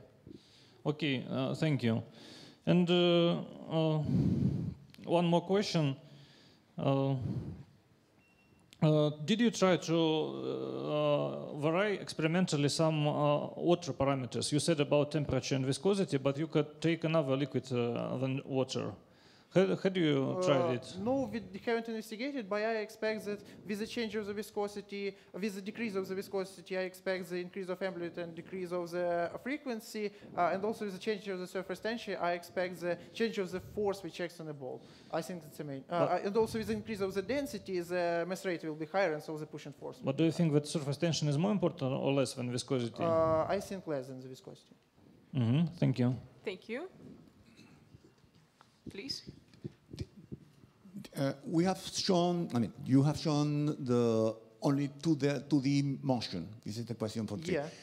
Is there any set of parameter or uh, configuration that you can find a 3D motion of the of the ball? Yes, in experiment we observe such an effect. Uh, for example, uh, if we try to initiate the, uh, ra- uh, the motion around the circle, uh, it started to move uh, to move around it, and uh, after some time, the oscillations become in some plane. Uh, which is uh, defined by the, I don't know, the, for example, for the roughnesses on the surface. Uh, the surface may be not ideal, and this defines the, the direction of oscillations, actually. And indeed, it may be observed, uh, можешь показать потенциал? Uh, for example, uh, if we, we in theory investigated the potential of the force, uh, uh, returning force, so you can see it uh, just just small time. Yeah, uh, and uh, this potential allows motion of a ball around the circle.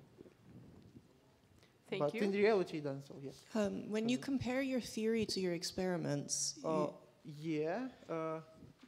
Uh, in, the, that, in that slide, you see that the frequency is, is slightly different uh, in your experiments to your Yes, theory. yes. Uh, Um, do you think, have you tried reproducing this experiment? Uh, the reason of uh, deviation is that uh, the diameter of a jet becomes higher, uh, and so uh, we in our theory uh, consider uh, only small uh, jets, and also the uh, the random process of flow of uh, droplets uh, leaving the ball. Uh, also, uh, as I think, uh, it's a, it's a one of the reasons why the experimental result deviates from the theory. Thank you. A question to three of you. Uh, can you imagine a usefulness of this phenomenon? Usefulness. Yeah, probably this question is not really uh, related to the work. I, I, I- I can go. Probably we can discuss it in a coffee break and about any future possible collaborations, but probably not the question from the technical part. Mm. Aki, please. Uh, I would like to see the slide at the end of the reporter's presentation where you showed a graph whether this oscillations happens or not. Uh, yeah, yeah. Cou- yes, could you elaborate? Why does this happen? Uh, because of for very small velocities of the jet, uh, we uh, we do not like the pushing force and the also restoring force is very small, and so the friction is very high. If we try to deflect the ball, it returns to the equilibrium position. But for higher, yes, indeed, we observe. And these points. Uh, uh, and these points without oscillations, uh, they are due to the very high, very random processes of turbulence uh, flow, like which we observed in experiment. Okay, and what are these red points in the green region? Yeah, it corresponds to the very uh, uh, with, uh, to the jet with a very high mass rate. Like it falls, it uh, mm, it uh, divides on a droplets, and uh, so it's very unstable jet. S- So stable oscillation doesn't occur. Uh, yes, so, so oscillations doesn't occur. It, it, they are very rare. I understand. Thank you. Thank you. Uh, and I have a question to the reviewer and opponent. Uh, originally, I wanted to ask the same question that Susanna addressed, but do you agree with the explanation of the reporter? Why does the frequency of oscillation decrease uh, with the rise of the, the, the mass flow, and, and, and it deviates from the theory? If not, uh, what is your explanation? So uh, I could um, try to answer to that questions. We, uh, we uh, witnessed the same things. For very uh, high massive uh, flows, uh, it kind of uh, remains under the jet. There is no oscillation. The thing, uh, the thing we concluded is that the cross section is very big and there is flow all around, separation of the water before uh, the No, ground. I, so I, I mean that the frequency is lower, not uh, that Okay, frequency lower? Lo- lower than the theory prediction. I can, can I go? The, the, I, I, I just I didn't get. But this is the explanation, and with this is why we have the actually the frequency is lower, just because if we go for the if go the calculation of the if we go for calculation of arrow uh, of uh, flow around the of the speeds speed fields around the bu- ball, what we get in the end that if we increase velocity, if we increase jet flow, what we get that if the all water which is around the ball, which will decrease, but the but the pressure which is causing by jets will will increasing. Because why, what's happening here, which what decreasing the, all the Bernoulli effect will decreasing. Why it's happening? Because what we get with splitting of the water, it's very important. And what we get, there is no actually oscillation. It's not it's not self uh, self oscillation system. So we need some, and this is why we have the frequency, which is was decreasing. If we just go, go for the calculation of it, it, this is the reason. Okay, thank you. Thanks. Thank you.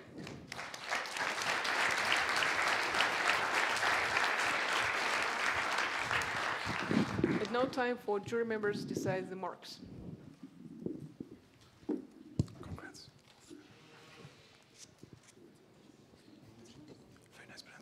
Thank you.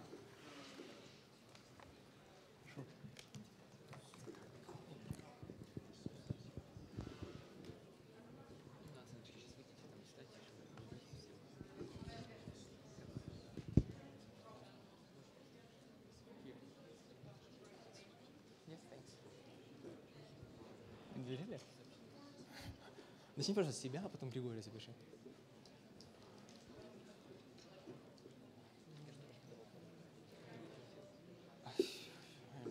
For you. It's for you. All you will take it, thanks.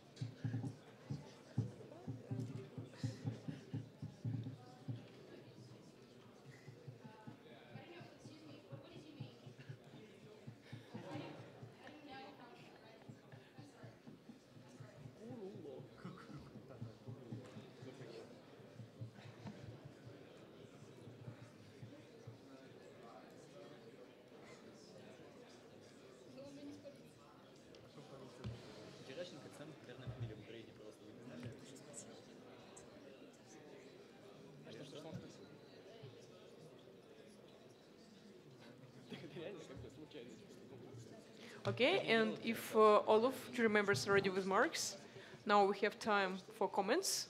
And please, uh, as the same as the previous round, there is no any announcement of marks, but please only comments. Who will be the first? Susanna? Please, please use microphone. Thank you. Thank you. I thought it was a very, uh, for the reporting team, I thought it was a very good uh, solution to this problem, and it covered a lot of things. Um, and all the physics that have been carried out, both simulations and so on, is very impressive. Um, there was the presentation goes very fast, and it is a difficult problem. And the opponent helped really clarify a lot of the things that were missed during the presentation. it just went over too fast. Um, and I also, the, the reviewer brought in some good points as well. And I, I just can only say that it was a good discussion, really. So congratulations to all teams. Thank you.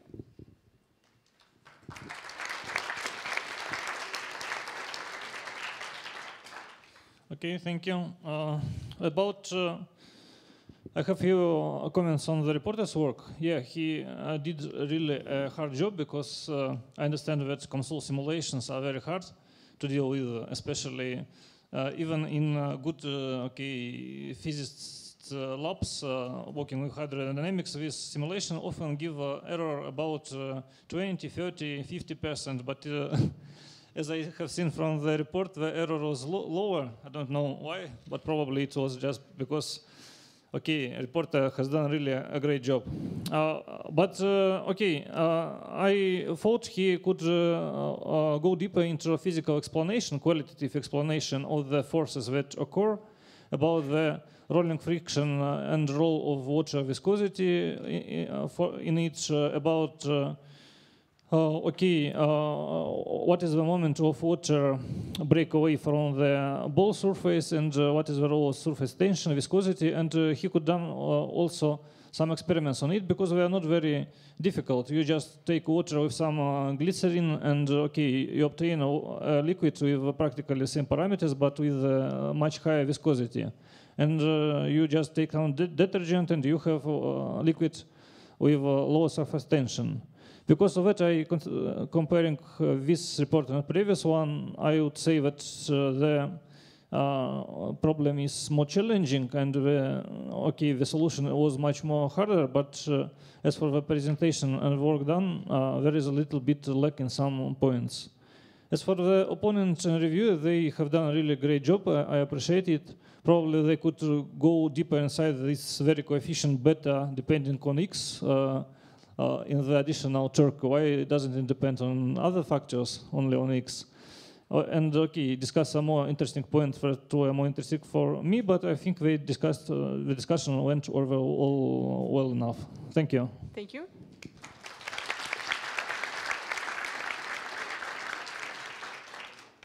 Uh, thank you for the report. Uh, I would like to uh, just uh, mention a couple things, uh, like uh, more of a traditions or stuff like that. Uh, that uh, you have, although you have done uh, a lot of uh, stuff, for a lot of measurements, a lot of uh, simulation, uh, it is not always that we have seen uh, your measurements uh, presented in a, let's say, expected way. Like sometimes you have showed us the measurement that is one number, and one should clearly understand that in physics a measurement is two numbers, that is the value and the error. So uh, it was a bit frustrating uh, defining what uh, what actually is meant by that. Not always, but there's been parts. And actually, one would definitely expect the hydrodynamical problem to be approached uh, in a, let's say, again, one more traditional way, like uh, one should state clearly what are the limitations, first of all, what are the applications. If I am an alien and uh, I have come from a different planet, I want to know if I can move my, uh, let's say, shuttle planet uh, with a solar uh, wind uh, using this very effect to a different orbit, or I may not, or can I manipulate uh, uh, C60 uh, uh, molecules uh, with, a, a water jet of H2O uh, on nanoscale? Uh, and uh, using the dimensionless numbers will definitely uh, suffice uh, and improve the presentation. Uh, about the opponent, uh, the comment, uh, a very nice, uh, cl- uh, clean report, and uh, uh, uh, uh, expected a bit uh, more action in the discussion might be better. Thank you. Thank you.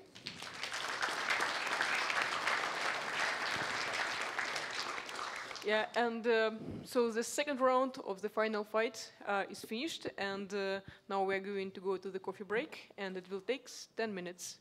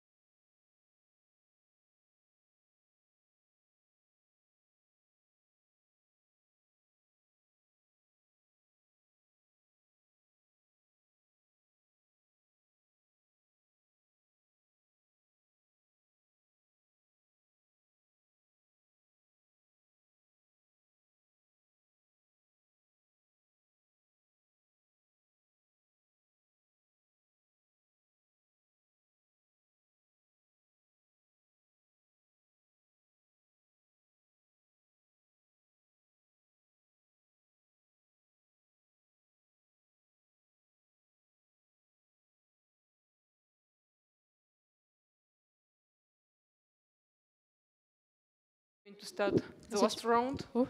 of the this final physics fight.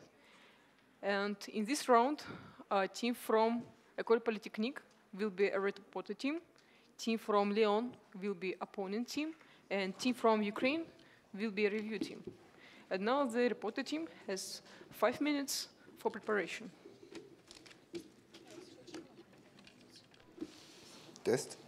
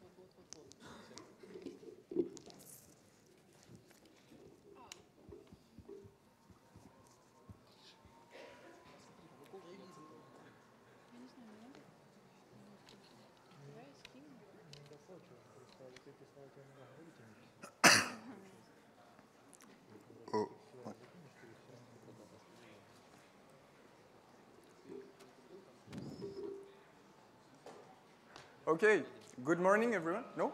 Okay, so, I'm sorry.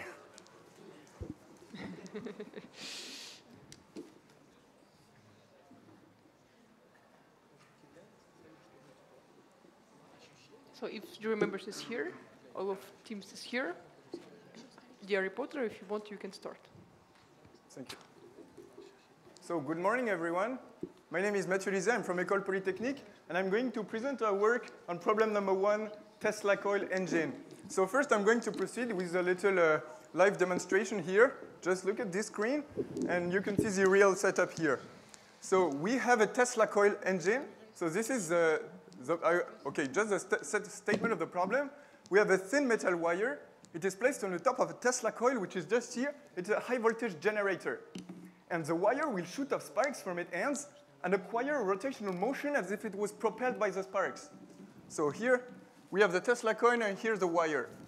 And uh, the problem, we need to explain the phenomenon and to optimize both the electrical and mechanical part of the setup to obtain the maximal rotational speed. Then we investigate the efficiency of such an engine. So now I'm going to proceed with trying to make the setup work.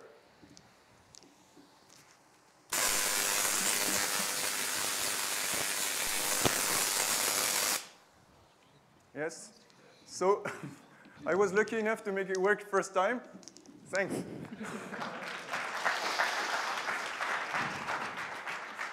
So now uh, let's get down to, to the problem. So first thing, our Tesla coil is entirely homemade from the secondary uh, big coil to uh, all the other parts. So, uh, so just consider this. So here uh, we see that indeed uh, we see there are some sparks and they seem to propel to propel the mobile just like this.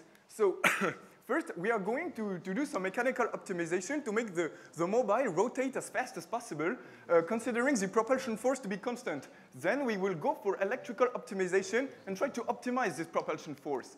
So first, mechanical optimization. So we are going to, we film the engine speed, we film the engine, and then we can plot the theta angle against time, and we see that there is in fact uh, some equilibrium speed, some limit speed. So simple uh, movement equation will give us this, uh, this equilibrium speed that will depend on dissipation force, on the torque uh, applied by the propulsion, and on the momentum of inertia.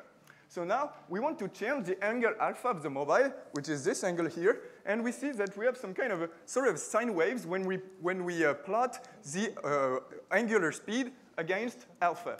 And so how can we uh, understand this uh, easily? So in fact, what is alpha? So alpha is this angle, and we, if we have a force which is directed in the direction of the sparks, uh, only the, the part which is, which is proportional to sine of alpha will give some torque. So in fact, we will expect the, the, uh, the omega to be proportional to sine of alpha. And if we plot omega against sine of alpha, we, we verify this linear dependency. So now we verify this, this hypothesis. The force comes from the end of the mobile, and it is in the direction of the sparks. So now we will, we will want to know how shall we scale our mobiles. So the influence of the radius. So we make two simple experiments. We take two mobiles with different radius, and we try to see the influence uh, on the, on the uh, movement.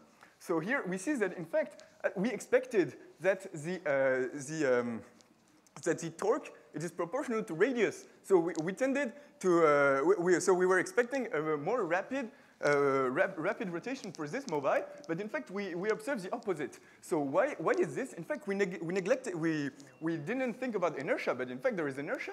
So, uh, so the, the, uh, the equilibrium speed shall scale as one on r squared.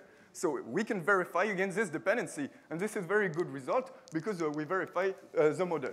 So now, uh, the, me the, the mechanical parameters optimization, we need to make the mobiles as small as possible, as we have seen. And in fact, more precisely, we need to optimize uh, to maximize R divided by the momentum of inertia. And then uh, the propulsion, the, now we will try to, to maximize the propulsion force.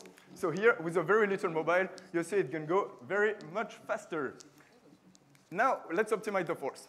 So we have one given mobile with the forces at the end, and we try to maximize this force. So this is electrical optimization, the second question of the, of the subject. So what is a Tesla coil really? So this is why we have the setup here. We have a primary oscillator. It is two resonant LC oscillators, which, which we can see here. So we have the primary oscillator, which will oscillate at its, at its proper frequency. So here, you, will see, you, you can see the primary coil, just this one. This is primary coil. And it is, uh, the inductance will make a coupling with the secondary coil, which is the large one here. So this, this, this, this circuit, we will have a voltage around 400 kilovolts, and we will study the dependency of the two frequencies, the two proper frequencies of the two circuits. And in fact, in our setup, uh, to study these dependencies, we will vary the primary coil and the secondary capacitance. So this is our experimental parameter. So to understand what is pushing the mobile, in fact, we use a fast camera, and we film with 1 million frames per second, so an exposure time of 1 microsecond. So here, this is, it is a, a needle, and we are going to see the corona discharge. In fact, the, the, the sparks are called corona discharge that, get, that come out. So here, I'm, I'm going frame by frame, and we will see what we get. So in fact, this is very, very uh, um, striking that we have uh, alternatively very bright and very dark images in this, uh, in this ionized canal here, in this corona discharge. So in fact, uh, we are trying to understand what this is and if this could be the cause of the propulsion. So what we see is light is produced by a microsecond long process and then we investigate, is it possible that it propels the, the mobile? So in fact, this is cause, this is a very well-known phenomenon and in fact, if we could film, so here's literature, if we could film with much higher speed, we would get this. So this is a bright ball that advances from the anode to the cathode at the speed of one millimeter per nanosecond and with a, a, length to around 10 centimeters. So this is called a streamer, very well known in plasma physics. And in fact, the structure is the following. We have here the, uh, the, the, picture, the, the experimental data. Here, this is the, the charges, and here's the electric field. And the structure will give us that we have first one, the tail of the streamer. So it is a conductive ionized canal, which is neutral. Then it will produce no output force. So it cannot be the cause of the propulsion. Now we have the head of the streamer, which is the ball which is propagating. And there is a high electric field, very high charge. So the Lorentz force can be high. And in fact, this will be uh, the, the, cause of the propulsion. So just overall, um, we have Uh, we have the ions in the, in, in the environment, and in fact, as the electrons are much lighter than the ions, they get out. Now we have the tail of the streamer and the head of the streamer. The, the force on the tail, as, I, as we have said, is zero, but the force of the, the Lorentz force is very high at the, at the tip of the streamer because of high charge and a high, high field. And so this will give us, by the third law of Newton, the, the propulsion force. So now uh, we can calculate this force, in fact, and th this gives us this expression. With this depends on Tesla coil frequency. This will depend on the spark gap. This will depend on the voltage that we apply, and all this on gas and pressure, which is environment. Now we can use literature to go for an uh, order of magnitude of this force that we verify experimentally. So this, this gives a lot of credibility to our interpretation. So here we see, we, we are trying still to optimize the electrical and mechanical part, here electrical. So we see that, in fact, here our force is proportional to the proper frequency of the Tesla coil. And uh, on, the, on, this, on this part, in fact, we see that the, the electric field will be proportional to the voltage, and the charge will, be, uh, will scale as divergence of the electric field, so also proportional to voltage. So we tend to expect a quadratic dependency over the voltage. So now we are trying to check this experimentally. So uh, here, to, so first to, to, be able to do this, we need to, to know the Tesla coil response. So it responds in terms of against the frequency. So here we vary the primary coil just like this. We vary the primary coil, which is the, this part, just remind this part here. We vary the length, and we see uh, this kind of, uh, of graph. So there is a resonance when the two circuits oscillate at the same frequency. So now, now that we have this, we can film the mobile, change the, the, uh, the primary coil, just uh, as I've done before, and then try to verify our dependencies. So we measure the, the frequency, we measure the voltage, and uh, we, we film to get the, uh, the rotational speed. And we manage to verify uh, the dependency over the voltage squared and the uh, linear dependency towards the frequency. So I must say here that this is the climax of the presentation because it makes the links, the link between our force, which we measure integrated force over one minute, um, or, at the order of magnitude, with, uh, with a uh, phenomenon which scales as 10 nanosecond. So this is really very, very impressive results, I, I believe, for myself. So, uh, so now uh, that we have these dependencies, we optimize our system. So uh, very clearly, so here we have voltage squared multiplied by frequency, and we want to optimize the speed. So in fact, we clear very clearly we need to be at the resonant frequency. So uh, when the secondary capacitor is fixed, the primary coil is fixed because it needs to be at frequency. So now uh, we want to optimize on the secondary capacitance. So we vary the secondary capacitance just like this, and we have this experimental point. And what we're interested in is to, to see that the, the, the best point is when we remove the, the, secondary capacitance, so very low secondary capacitance.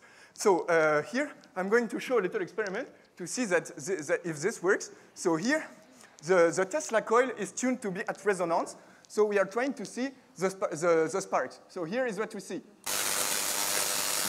lots of sparks. Now I'm going to detune the Tesla coil to see if, this, if, we, if we validate our prediction. So here, so indeed it's much less efficient, and so our interpretation seems to be very correct. So now, using these parameters, we can optimize the rotational speed, and we get something like 500 rotations per minute uh, with this little video here. This is long time exposure pictures, and I kind of like them because they're pretty. So just uh, to make you uh, share this. So, so now uh, we can do some power measurements. So here we measure mechanical power, electrical power, uh, and we can uh, find the efficiency of our system, and we find an, an, efficiency of 10 to the power minus 6, which is uh, extraordinarily ridiculous compared to uh, usual industrial engines. So clearly, we are not, it's not tomorrow that we see trains that run with Tesla coil engines. Um, just one thing to, it, it might still be an interesting setup because it has the properties of uh, making chemical reactions with the air. So on very small scales, for example, it can, uh, it can take away the, the uh, nitrogen monoxide, and then this can be uh, interesting for, uh, for low-scale applications. So uh, now here's some bibliography and some literature and acknowledgements. and now the, as a conclusion. So first, uh, we have managed to make some mechanical uh, optimization. So we found that we shall make uh, the, the mobiles as, as low, as, as small as possible, and, the, and we can increase the, uh, the velocity as much as we want. Now, secondly, we have made the electrical optimization. So we, uh, we, we found a, a, very, very interesting model of the streamer, and we, eh, by integrating this over time, we show that the Lorentz force will be propulsing with these dependencies. Thank you very much.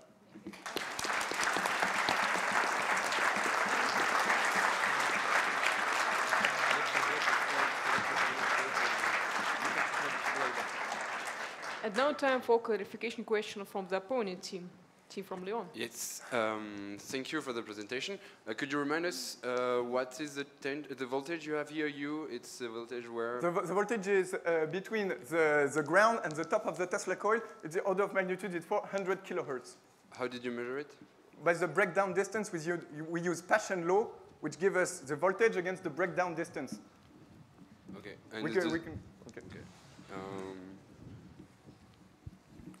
so uh, just to, on that, uh, are you sure that the, uh, at this, this you measure it not while it's turning, only when you're? Oh, no, only yes, of course, we measure what, it, what it's rotating. We film. Thank you. Uh, can you go back to slide 15, please? Yes. Uh, what is a typical? Uh, can you go further so that we can see the spark, please? Please use microphone. Sorry? Can you go to? Can you um, make us see the, the sparks, please? Yes, sorry, yes. Yeah, what is typical scale? Uh, The space scale here, okay, just go, go to the beginning. We can see the, the needle, it's around, here is one centimeter, uh, about one centimeter. Okay, thank you. Uh, could you go back to slide 19, please? Slide 19, yes.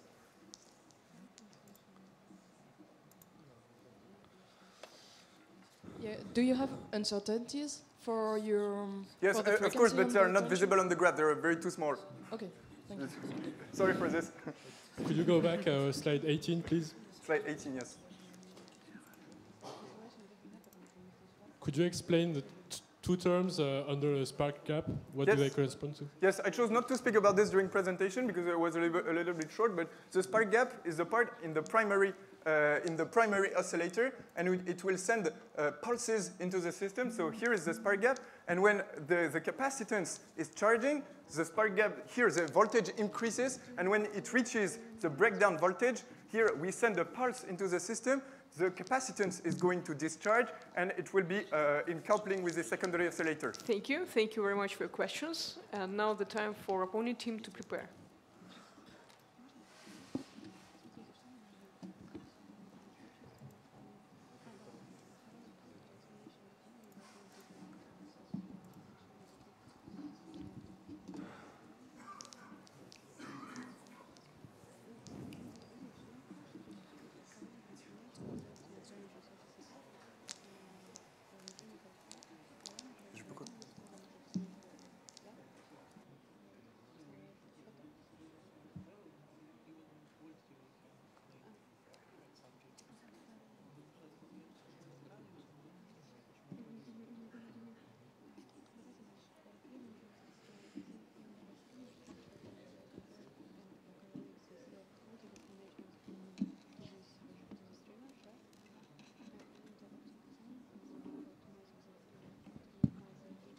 Ask for timeout, please. Timeout. One minute more.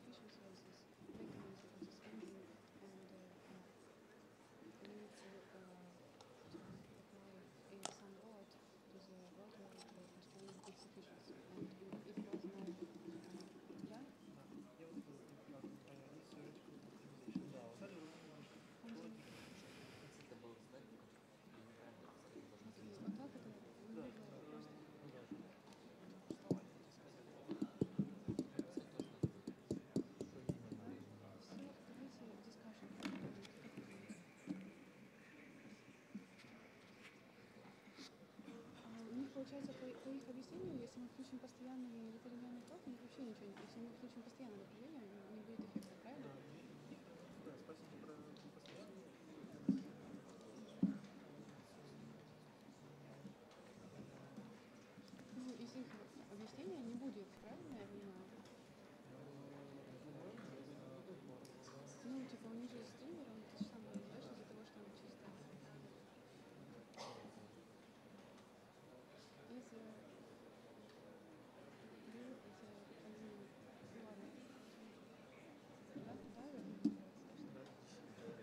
Test, test.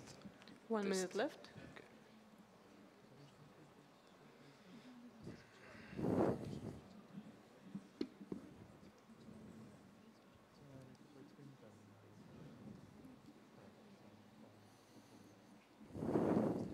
I think it's okay. Okay, please start. Hello, everyone. Uh, my name is Remy, and I'd like to thank uh, the reporter for his presentation uh, on about the Tesla coil engine. Uh, to remind all of us, uh, the phenomenon is that on a spinner on a Tesla coil occur- occurs motion. Uh, we had to understand the phenomenon, optimize it for its maximal rotational speed. So first, this was a, a very good, presentation uh, with a live demonstration, which is not so easy uh, when you have a Tesla coil. Uh, we have this homemade Tesla that helped for the that was used, very impressive. Uh, we could use it uh, first for experiments, but also for the, the seeing the discharges, the corona effect. Um, it was uh, very useful for the presentation. So during his presentation, the reporter uh, uh, explained why what he was uh, seeing with the trying with an explanation of the force with the, the streamer, depending on the relevant parameter, which were the frequency of the system, the and the tension he applied. He also uh, used them to uh, to make the, the rotational speed as high as maximal uh, with his with the using sorry on the mechanical part first with the radius of the of the um, the radius of the spinner. Um, and uh, on the electrical part, uh, by using a system that you could tune, changing uh, the, the components, there was a, a real uh, try to optimize the electrical part, uh, changing the components, changing the frequency. So uh, these were relevant points that were clearly done to have a high, the maximal rotational speed. To, to improve this and maybe understand more uh, what's happening and uh, try to go further in the subject, uh, maybe as we have an alternative voltage engine, uh, the, al- the alternative uh, voltage may be uh, not clearly explained on the way we have an, a resonance circuit, but uh, what were the components to make, uh, to make it start at the good frequency, what was the source of oscillation, uh, maybe to understand why is making uh, the, what is happening when we have frequency, what components are changing this. Um, maybe there were different important parameters for the high voltage. The, we imagine that the primary coil is smaller than the secondary coil. So what are the problem of the flux of the magnetic uh, field? Um, that could be that could help us understand what the Tesla coil is, how why why are the components important.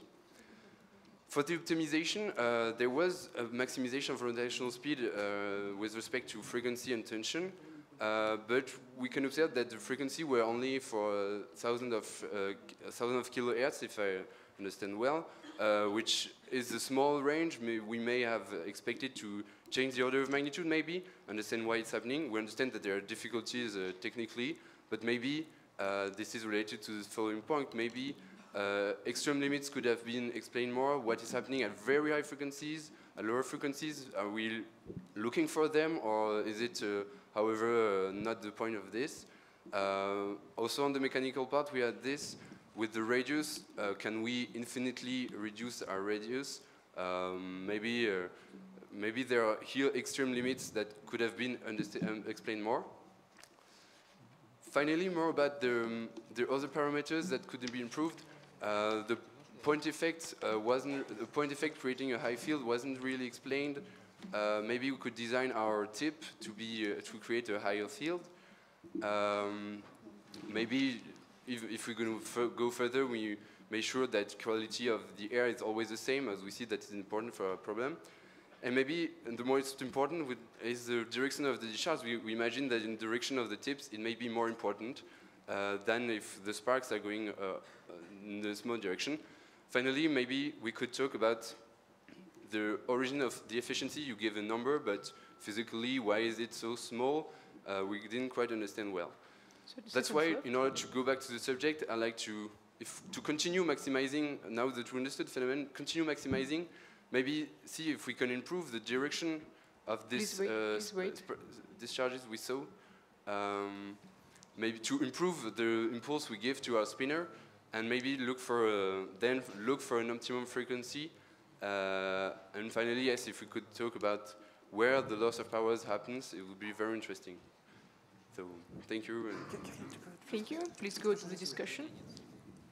Okay, so uh, I thank the opponent for his uh, comment for his comments and presentation, and I just uh, changing the Yeah, screens. okay. So. Um, so first, I w- uh, yes, I just wanted to go back on some uh, points you mentioned, like uh, that we did not explain the uh, the effect of alternative voltage. Do you mind if we? Maybe it's not the most important. Okay. If we if we could improve the, I think the most important is to improve the direction of the yes. sparks we see because uh, we saw on all your videos that they were going uh, Upwards? up, Yes, upwards. upwards. It's not maybe the le premier, le slide the best way of doing this. oui.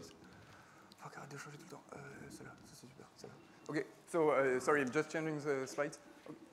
Uh, so here, you're, I, I think that you were talking about this phenomenon, just like the, the sparks are For going example, upwards. yes. So uh, in fact, um, why is this first? Uh, in fact, the, the, the sparks are going to, to the to the voltage, where, where, to where the, the, the voltage is minimum. So in fact, they're going up to the ground, which is in the air, and go away from uh, this capacitance, which has uh, high, uh, high potential.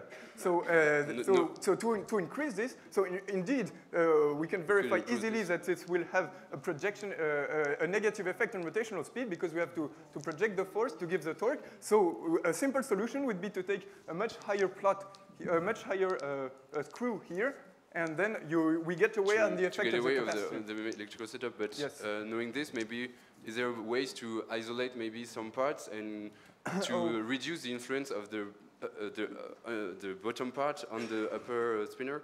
Maybe Yes, have I've- you tried uh, some? I don't know. Yeah. No, we, we did not really uh, try to change uh, to change this, but I'm proposing I, I'm proposing the, the, the just Just to just okay. get, get this higher. But in fact, it's it's uh, very difficult. You don't want to put any uh, uh, eh, too, much uh, too much things here because very high voltage, and you don't want any arcs uh, like break down to other parts of the setup. I, so I understand this, but if we if we keep our setup, maybe um, can we just uh, maybe adding a, a layer of varnish or maybe no, I, I don't think it would be interesting. No. Would, wouldn't be interesting to isolate the part and No. make the sparks to go in directly? You don't think it's possible? No, I think really it's uh, much better to get it more to go better. higher. And you have you tried it? No, Uh, no. But, uh, but we can very, we can see that the, they are going less uh, in this with this angle, but we did not Okay, optimize okay. in this. Maybe it would, re- would be a try. Um, I, I wondered, uh, even with, the, with this spark, this direction, do you think that we didn't see really the, quite the, the really shape of the end? Do you think it's important in the Yes. force we apply? And Uh, have you okay, tu vas les- tried different shapes, Uh, maybe? Uh, yes, uh, no, not, uh, ok, en fait, c'est pas mal. Uh, super. Uh, uh, okay, in fact, uh, uh, we, we, we thought about this because it's, it's very obvious in the analysis that, that we have shown that you need to decrease the radius of the wire because it will uh, optimize mechanically what it's shown here in second, that the, the rotational speed is on 1 on r wire squared, and it will also influence the propulsion because the local field, because of point effect, is on, uh, will scale as, as uh, 1 on r.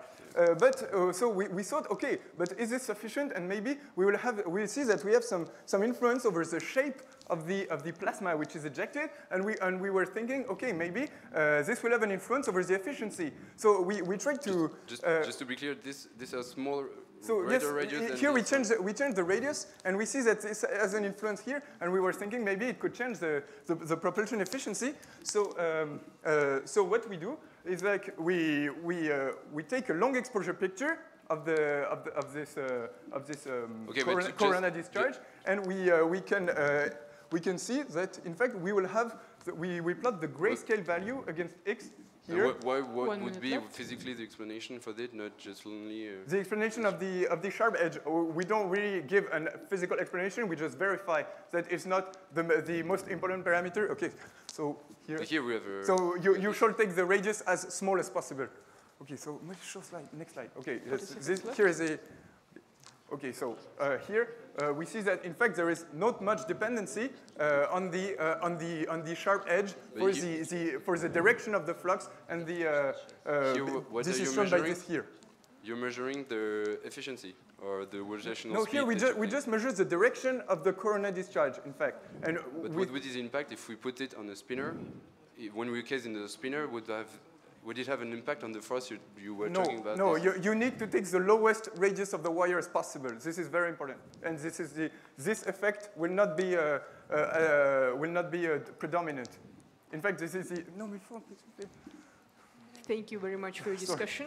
And now we have time for clarification question No, from the pas ça. review team. Non, c'est pas ça, non, c'est pas ça. Team from Ukraine. Sorry. Please use microphone. Okay.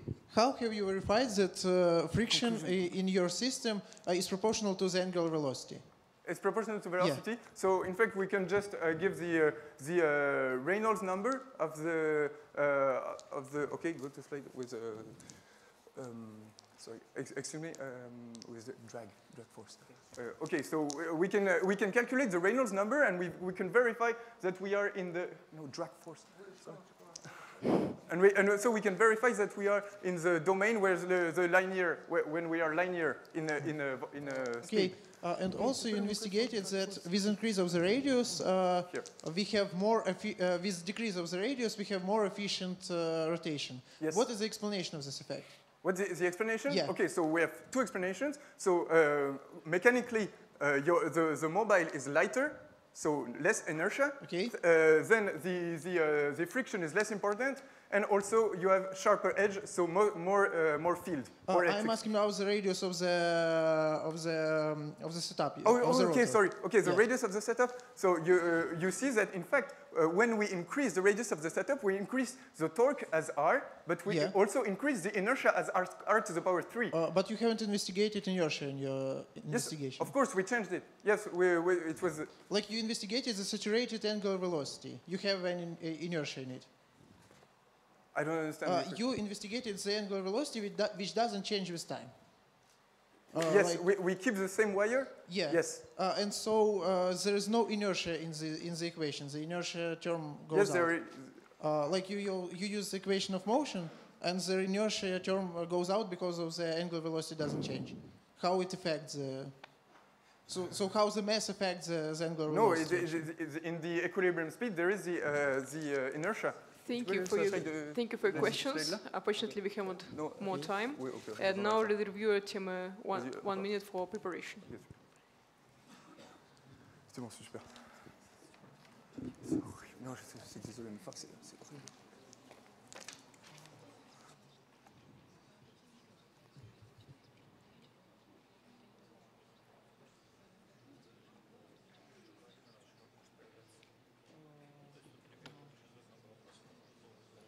c'est horrible. Uh, it-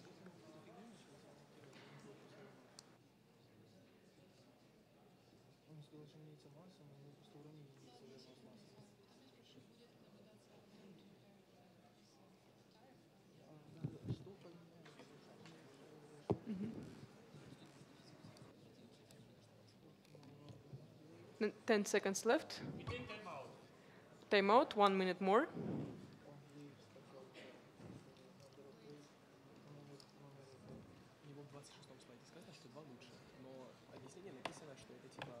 I would like to remind that team can go into stage only at once.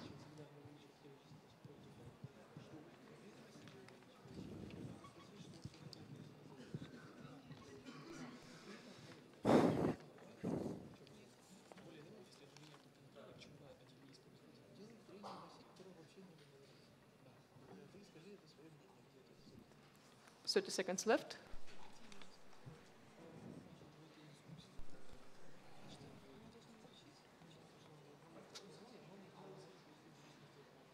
Oh, sorry. can close this.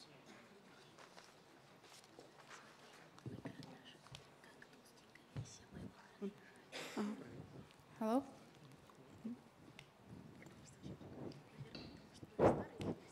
Dear reviewer, you can start your speech. Thank you. Hello, everyone. My name is Olga. I am from Team Ukraine, and today I'm going to review the problem number one, Tesla coil engine. In this problem, we were asked to explain the phenomenon of rotation and optimize the electrical and mechanical part of the setup to, to obtain the maximal rotational speed and find out what is the efficiency of such setup. Uh, starting with the strong points of the report, the reporter showed us impressive live demonstration. It was very good. Uh, however, uh, I need to say that it was lack of qualitative explanation of the phenomenon. Uh, so the key parameters were not explained, and reporters started with the experimental uh, study of the dependencies of the jet and angle uh, of, of, the angle of the jet and its radius, and it was very good that the, opponent, uh, the, the, reporter uh, studied these parameters. He optimized it experimentally. However, we, uh, it would be better also to hear the nature of the optimal parameters of this setup. Uh, then the reporter, the reporter showed us how he filmed the streamer structure and compared uh, and uh, correlates the qualitative explanation of the effect to these uh, streamers and uh, uh, conduct an optimization over electrical parameter.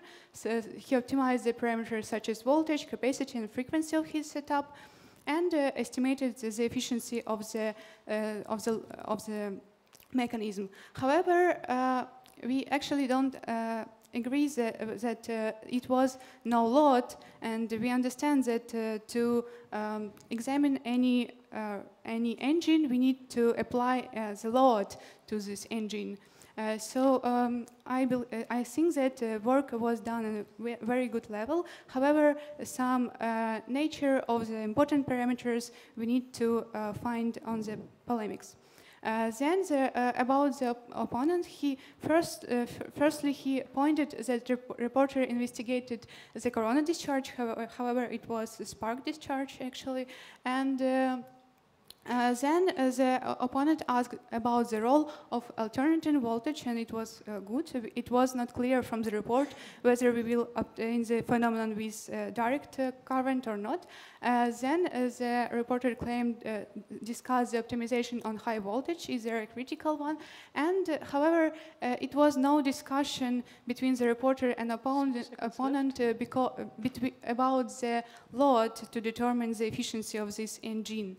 Uh, about the discussion, uh, they firstly discussed the direction of the spark and how it may influence the velocity. Then uh, the, uh, the opponent uh, uh, proposed to add the insulation of the wire to increase the velocity.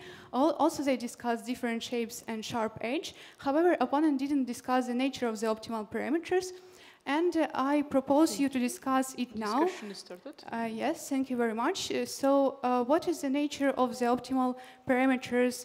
Uh, you said that uh, it we make the optimization over the angle of the jet and its radius. And why exactly such parameters are better to use in our setup? Could you please explain it qualitatively? Please use your microphone. Yes, okay. Uh, so thank you for this question. So uh, we tried to investigate uh, on what, what should be the, the uh, angle uh, of the, of the discharge and the radius of the, of, the, of the mobile. We also shown with the opponent that we should decrease also the radius of the wire. Okay, but what is the nature of these optimal parameters? So you the nature, okay, so uh, angle alpha, we need to optimize the sine, the, the sign of alpha. So we need to take alpha again 90 degrees. And Why do you have to do so? What is the mechanical reason for this? Okay, this is just the force which uh, is useful to create torque is okay, the projection okay. on the uh, uh, on the sign. Okay. Okay. And, and for the yeah. And for the radius of, uh, for the radius of the mobile, we just we saw that there is a, a linear dependency, a, a, dependency over one on r squared. So in yes. fact, we just need to take it as low as possible, make as small as possible. Yes, mobiles. I, I understand. Uh, you studied yes. it experimentally, but what is the nature of the smaller small radius, and uh, what do you think about this? Uh, I think that uh, here that we have the competition for the angle. It's where we apply the force and how how the force from the uh, how the force creates the torque. And here, for the radius, the important force is drag, is air drag, I think, is the main importance, and that we have friction with the, the more we have a spinner, the more we have uh, friction during the movement. That's mainly the, the reason why it determines the, high, the limit velocity, uh, the angular velocity. Okay, thank you very much. Uh, the, que- the next question is, would we observe the phenomenon for direct current or not? Yes, yes, we would certainly. Uh,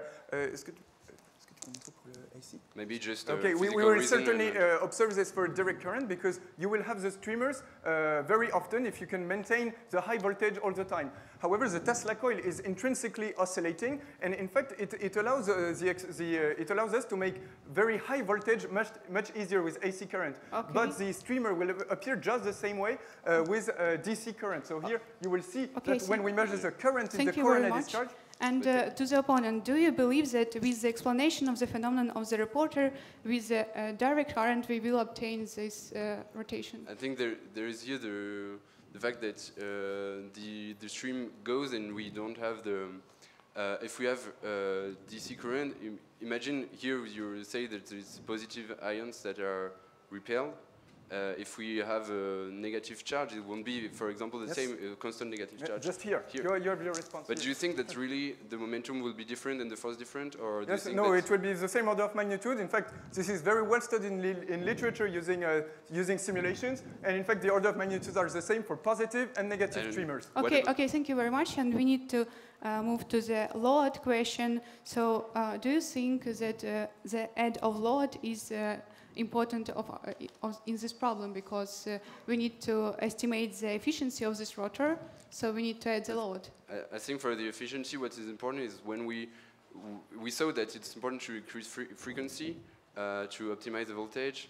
Uh, but if we uh, if we have a, a a um, an electric system that creates this oscillation, we may have a lot of losses if this frequency is high. So mm, the efficiency is the the electric power in we put. No, we have verified experimentally that the dependency is linear in frequency. For a small region of frequency, Yeah, but, but, uh, if do you you- think there will be a, a threshold? after, yes, uh, probably you will, you will have a saturation when you get to very, very fast, like because the order of magnitude. Okay, thank you very much. I need to claim that there is uh, a team polemics, and the team also can uh, add some points. Uh, okay. Okay, also about, uh, you mentioned that as we increase the number of blades, uh, the, the angular velocity decreases. Uh, as I understand it, it's due to increase of the friction. Yeah? Definitely, number of- Uh, yes, uh, in fact, uh, you, you should here take care that this is not about the friction with the air, because this will not change. You will Okay. just increase friction uh, and propulsion the same, but this will be, uh, uh, so here we verify when we increase, just for everyone, just when we increase the number of arms, in fact, we decrease our efficiency because the friction, the solid friction will decrease. Well, will the solid friction at contact point with, uh, with Yes, the tails. yes, because Uh, you have higher mass, so you have higher solid friction. Okay, and as I understand, you haven't taken to, it into account uh, in your theory.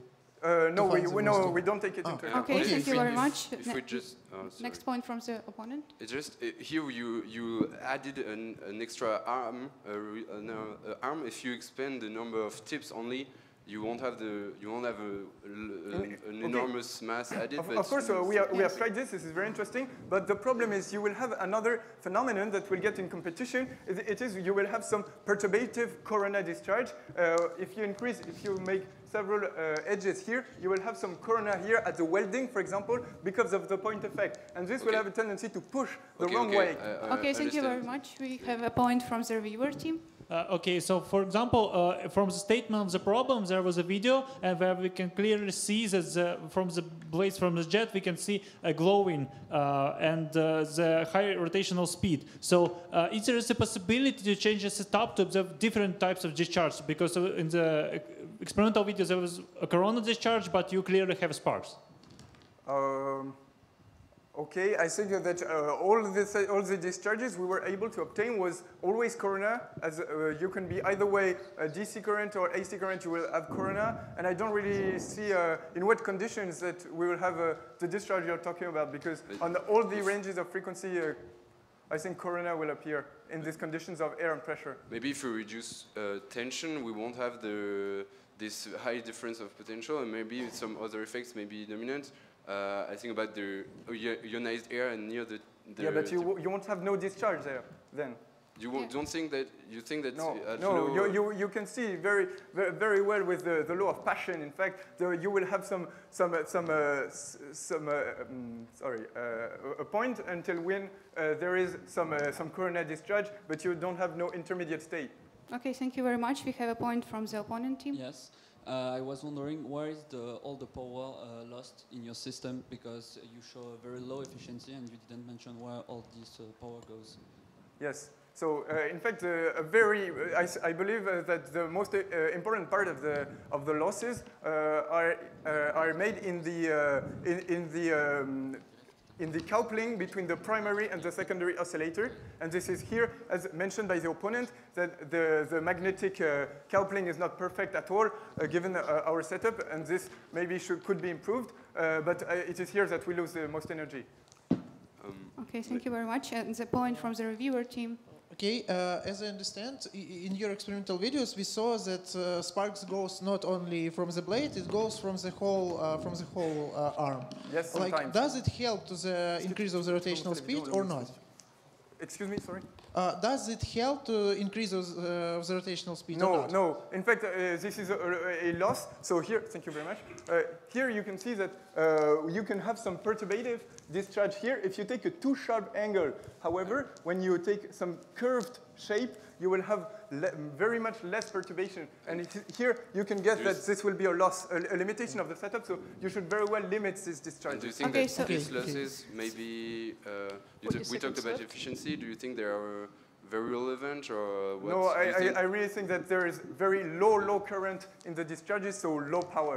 Okay, and if you would um, uh, add the insulator uh, here to eliminate these sparks, would it Yes, better? in, in fact, we, there is some isolation here. It is okay. isolated. Okay, uh, I understand. yeah. I understand. And uh, I propose to the opponent to, to um, make the conclusion uh, of the polemic, what we will improve in this solution. Okay, I, I think that it could be improved um, uh, by isolating a lot of more things and maybe uh, checking the, the, the, the f- for if we talk about efficiency, checking how to improve the, the way we oscillate and uh, reduce the charges that we have in the high, high oscillating uh, part of the electric circuit.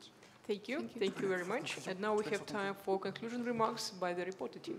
Okay, Dear so uh, first, thank you for the, uh, the opponent and, rev- and uh, reviewer for this discussion. Uh, so, in our uh, investigation of this problem, Tesla coil engine, we have shown that to optimize the speed, the rotational speed of this setup, we can perform mechanical optimization, and that uh, we have studied all the, the important parameters. We can show this, and uh, and the uh, we, we see that we should make very small uh, mobiles. For the electrical optimization part, we have also optimized all the parameters that we could, and uh, we we have been able to show the coherence with the streamer model for the propulsion, and with verifying these dependencies over frequency and voltage. Uh, in the discussion, we have uh, tried to go for some um, uh, ways of improving the system, and maybe uh, some of them should be uh, looked uh, more into details. So thank you very much for the discussion. Thank you.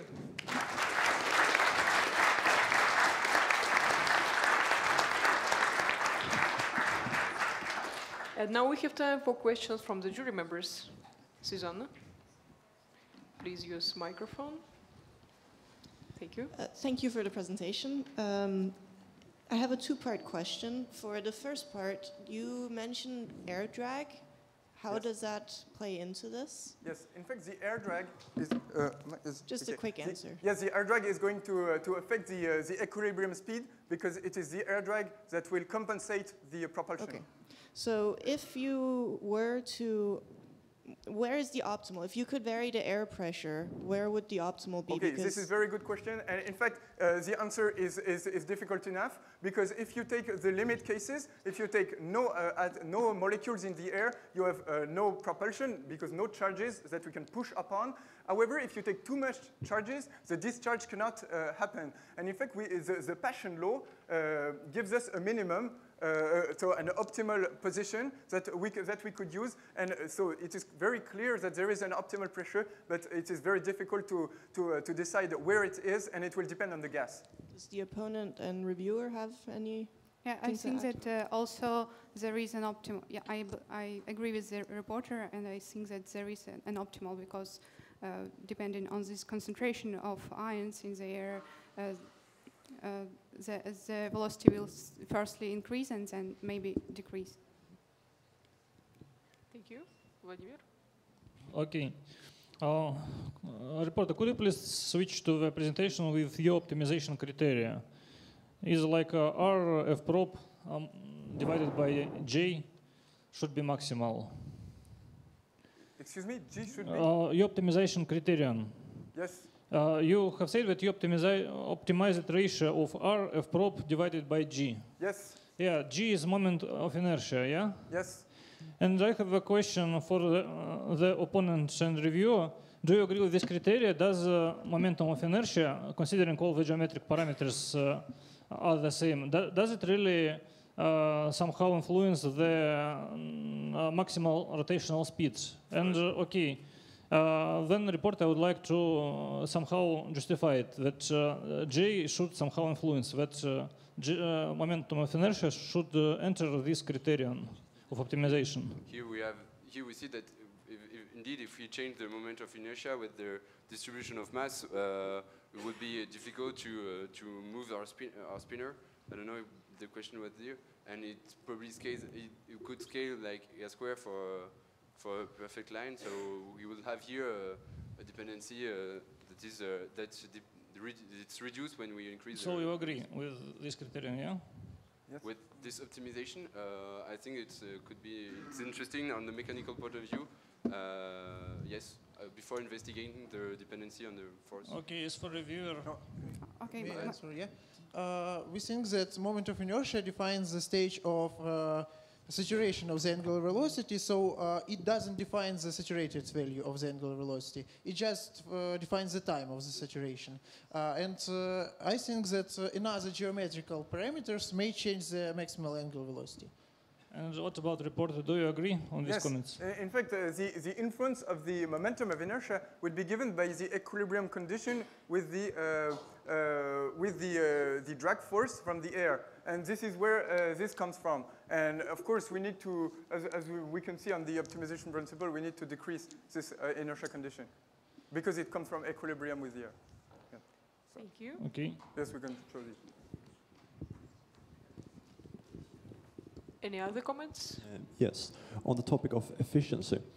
Reporter, you said that you had the main losses between the two coils, is that correct?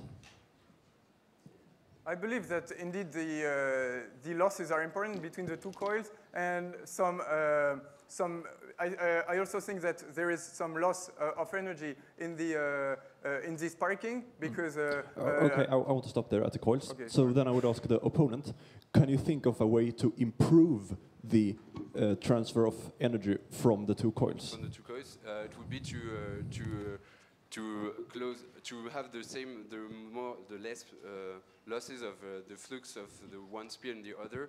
Uh, so we would have maybe several um, less spears to have a better improvement, but uh, when in a large uh, I say we will have to keep the, um, the line of, of the flux of, of uh, the magnetic field as straight as possible to keep all the ways it's straight inside the inside the other coil.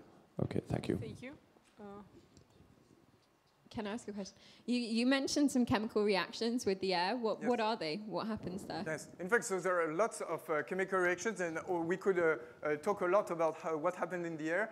Uh, in fact, there are some, uh, some very, this, this is very reactive because there are some ions and radicals that are created by impact ionization, and it is, uh, it has been, uh, it is very widely used in chemical, uh, in chemical engineering uh, to use coronal discharge to perform cleaning air, for example, or producing ozone. Uh, and so uh, uh, I mentioned very rapidly, uh, like uh, removing uh, p- pollution from the air, and in particular nitrogen monoxide. Uh, it has been proven in literature. thank you. And the comments? Mark? Please use microphone. Thank you. Uh, okay, so uh, here's the formula. Uh, omega EQ uh, is proportional to this and that. So is it correct that making uh, uh, R big uh, uh, the the, the uh, say uh, one millimeter uh, the uh, the radius uh, of the thing and R wire to be say a thousandth of a millimeter will uh, actually do good for the setup. Uh, you, uh, okay, so in fact, the equation I show here is, to, is with uh, R wire kept uh, constant. So uh, you, want, you want to change both uh, R wire and uh, the, the radius of the wire and the radius of the, uh, of the uh, mobile. Am I Yes, I see the, the direct uh, improvement that uh, that this uh, equation leads to. So you make the uh, the diameter one millimeter and make the wire one thousandth of a millimeter. It is doable with a certain lab One, one thousandth? Like you mean you, you keep it very, very. Yes, Okay, okay, thank. Uh, yes, in fact, uh, this will be very efficient, I'm sure. Uh, but uh, a limiting condition to make very rapid mobiles is the stability, because as soon as the center of gravity is not exactly at the, at the point of rotation, uh, it rotates so fast that it, it is very often ejected from the Tesla coil, and then we can't make very little mobiles. So we were, we were limited into a, a, a few uh, uh, centimeters uh, mobiles. Thank you. Thank you. And probably very short question. Okay, very short question. Uh, is uh, the phase difference? You, s- you said about the Lo- Lorentz force on the streamer. It's very. Uh, you said that it's the main force, uh, driving force. Yes. Uh, so is uh, it important the phase difference between the magnetic field uh, causing this Lorentz force and the okay uh, the currents flowing in the air? And did you investigate it somehow? Uh, in fact, uh, the, the, uh, the, the, the phenomenon is so rapid that uh, you will have no, uh, no phase difference because the, uh, uh, I, I think that the electric field will be acting uh, immediately on the, on the charges and you will have no phase opposition. Does opponent agree? Uh, I, I'm not sure. Uh, talking, comparing the field created by the charges. Uh, Thank in- you. I think we have no more time. Yes, uh, thank you for your comments.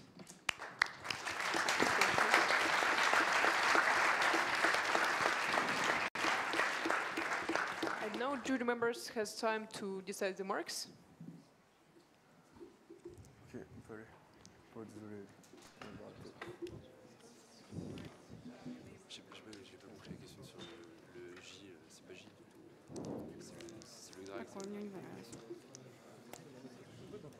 Нет, это Кирилла. Ой, блин. Он сам стоял, гномился. Поэтому как... Ну, Такое не очень.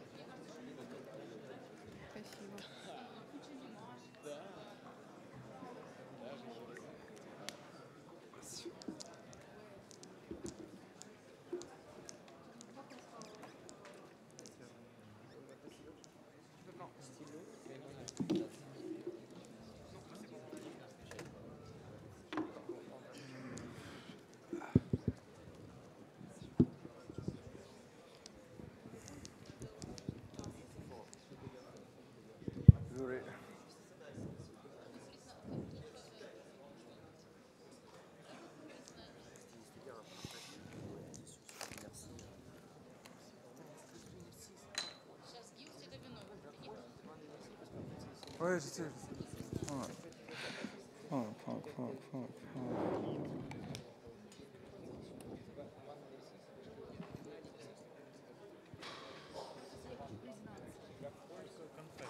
Мне вообще не понравилась рецензия, фигня какая-то была. Вы Знаете, как я написала ВНК Разенхард?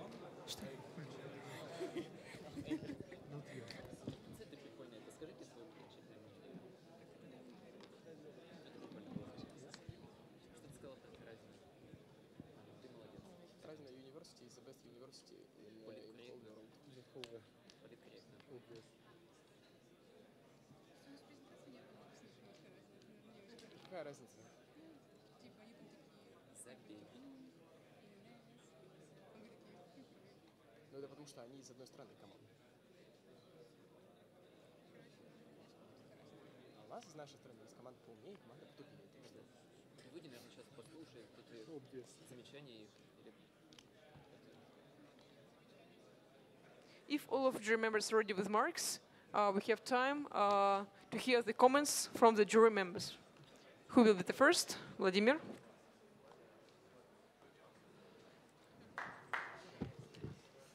Uh, is it any jury members which want to make some comments? Susanna? Uh, first, thank you for the great presentation. Um, it it's not an easy problem, so I really want to commend you guys for solving it well. Um, I thought the discussion between the reporter and the opponent was really, really good. You brought up all a lot of points that weren't fully covered, um, and but but lastly, I actually I think that the absolute best one was the reviewer, who almost was a perfect show of what the reviewer role is supposed to do, and that's very rare to see in this comp- uh, competition. So really, congratulations on that. Um, the discussion was very good for for this entire problem. So yeah, congratulations to all of you. Thank you.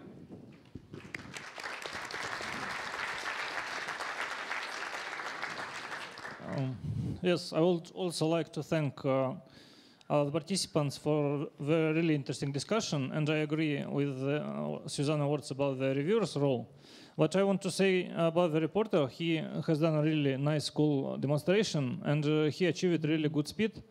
Uh, what I disliked a little bit in the presentation that uh, okay, uh, there were a lot of good experiments and uh, live demonstrations, but uh, probably uh, the, his uh, theoretical assumptions uh, about were not justified. I agree with review, uh, review team words about uh, the momentum of inertia that. Uh, the criterion uh, written up by reporter is just criterion for maximal angular acceleration, but not for the maximal velocity that can be achieved. And because of that, I think uh, there were some flaws in the overall optimization flow. Another flaw is that uh, probably Reynolds number at very big rotational velocity will be uh, somehow bigger than 100, I think, and probably it won't be really laminar uh, viscosity force. And third flaw, I think uh, it could be that, uh, okay, probably if you have alternating current, alternating with very high frequency, and you have uh, alternating magnetic field, the force isn't just um, the proportionality. There should be also phase factor, and uh, okay, you if you consider it to be small enough and negligible, you should somehow demonstrate it. So uh, I uh, thank the reporter for great experimental work, but I think there are some flaws in the solution, and because the opponent did, didn't see some of the flaws which I probably have seen, I'm not, I'm, I don't know if I'm really right, but probably. The, uh, that's why I think uh, opponent wasn't so good, but he was good, I think. Thank you. Thank you.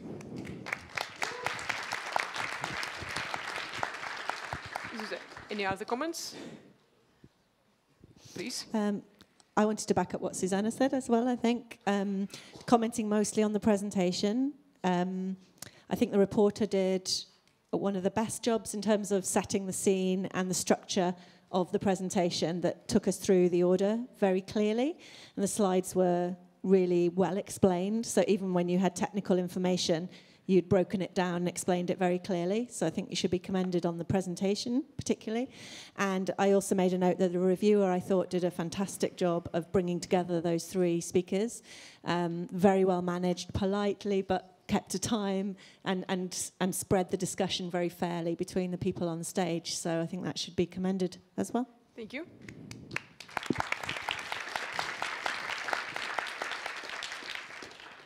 Yeah, actually, uh, I will start from the congratulations to the reviewer. It was really best review I've seen uh, in this tournament. And uh, now I wanted to comment on Vladimir's comment to the. to If the, it's short possible. yes, it is short. So uh, the condition was actually correct, but the uh, with, the moment of inertia, because the infinitesimal contribution to the torque from the drag force is exactly the same as the contribution to the moment of inertia. But uh, the reporter didn't explain it. Uh, maybe he didn't str stress it, and this introduced a little bit of a conf confusion. But the condition was actually correct. Okay, thank you. Thank you.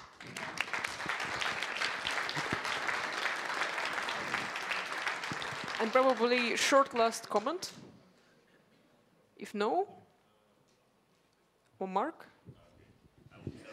Please, short comment.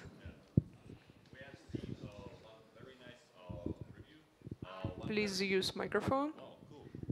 Uh, no, the opponent uh, was uh, straight to the point uh, in his presentation, yet I guess uh, the accents might have been shifted a bit to, uh, towards the asking the different questions. Uh, as for the report, that's one very nice report, yet we have witnessed once again the curse of the optimization pro problem, the one that has no end and can be uh, modified uh, more and more and more and more. And the, the more people look at it from different angles, the more it, uh, it reveals the, the beauty of it. So it, it never ends. So, thank you. Thank you. Thank you.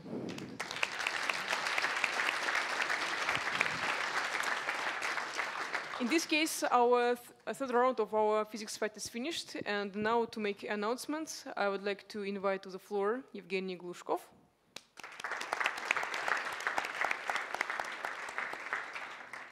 Okay, um, I hope you enjoyed these wonderful four hours, but uh, I guess you're a bit tired sitting. So there is lunch waiting for you uh, at the usual place, at the Van C restaurant, and I've heard it's pretty good.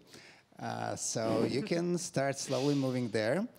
Uh, for the afternoon, we planned uh, also some exciting uh, program for you. We'll have uh, three speakers um, coming from uh, various places who want to share with you the science communication um, and uh, their experience of science communication because what you've been doing today is, has also a lot to do with that. And then there will be an invited speaker from EPFL uh, who is heading the um, summer internships program. And uh, if you're interested, he will tell you a little bit about it and how you can participate. And then we'll have the award ceremony, of course. We have a lot of prizes for you guys. So I encourage you to look forward to it.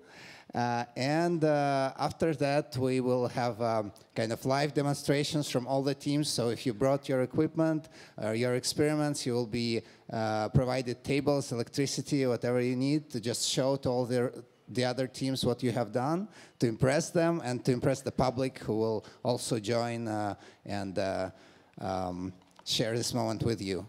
And of course, we'll have a very nice farewell apero with uh, live music and a lot of uh, interaction. So enjoy. Thank you.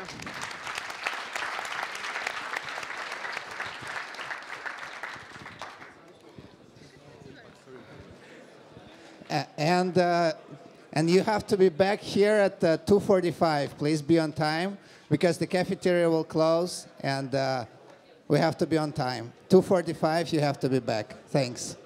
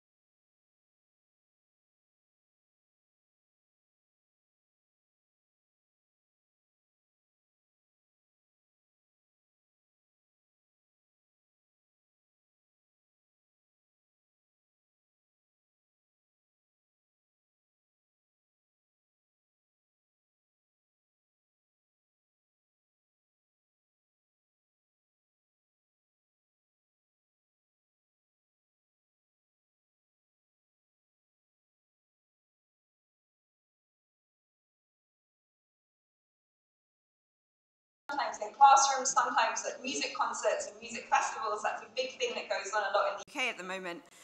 But also online. So there's a huge movement, and you've probably seen it if you engage with social media at all, but to start talking about science a lot more in these different spaces where scientists don't usually hang out.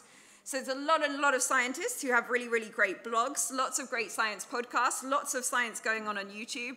I personally edit Wikipedia a lot, and I'll talk to you a bit about that, but also on Instagram and Twitter.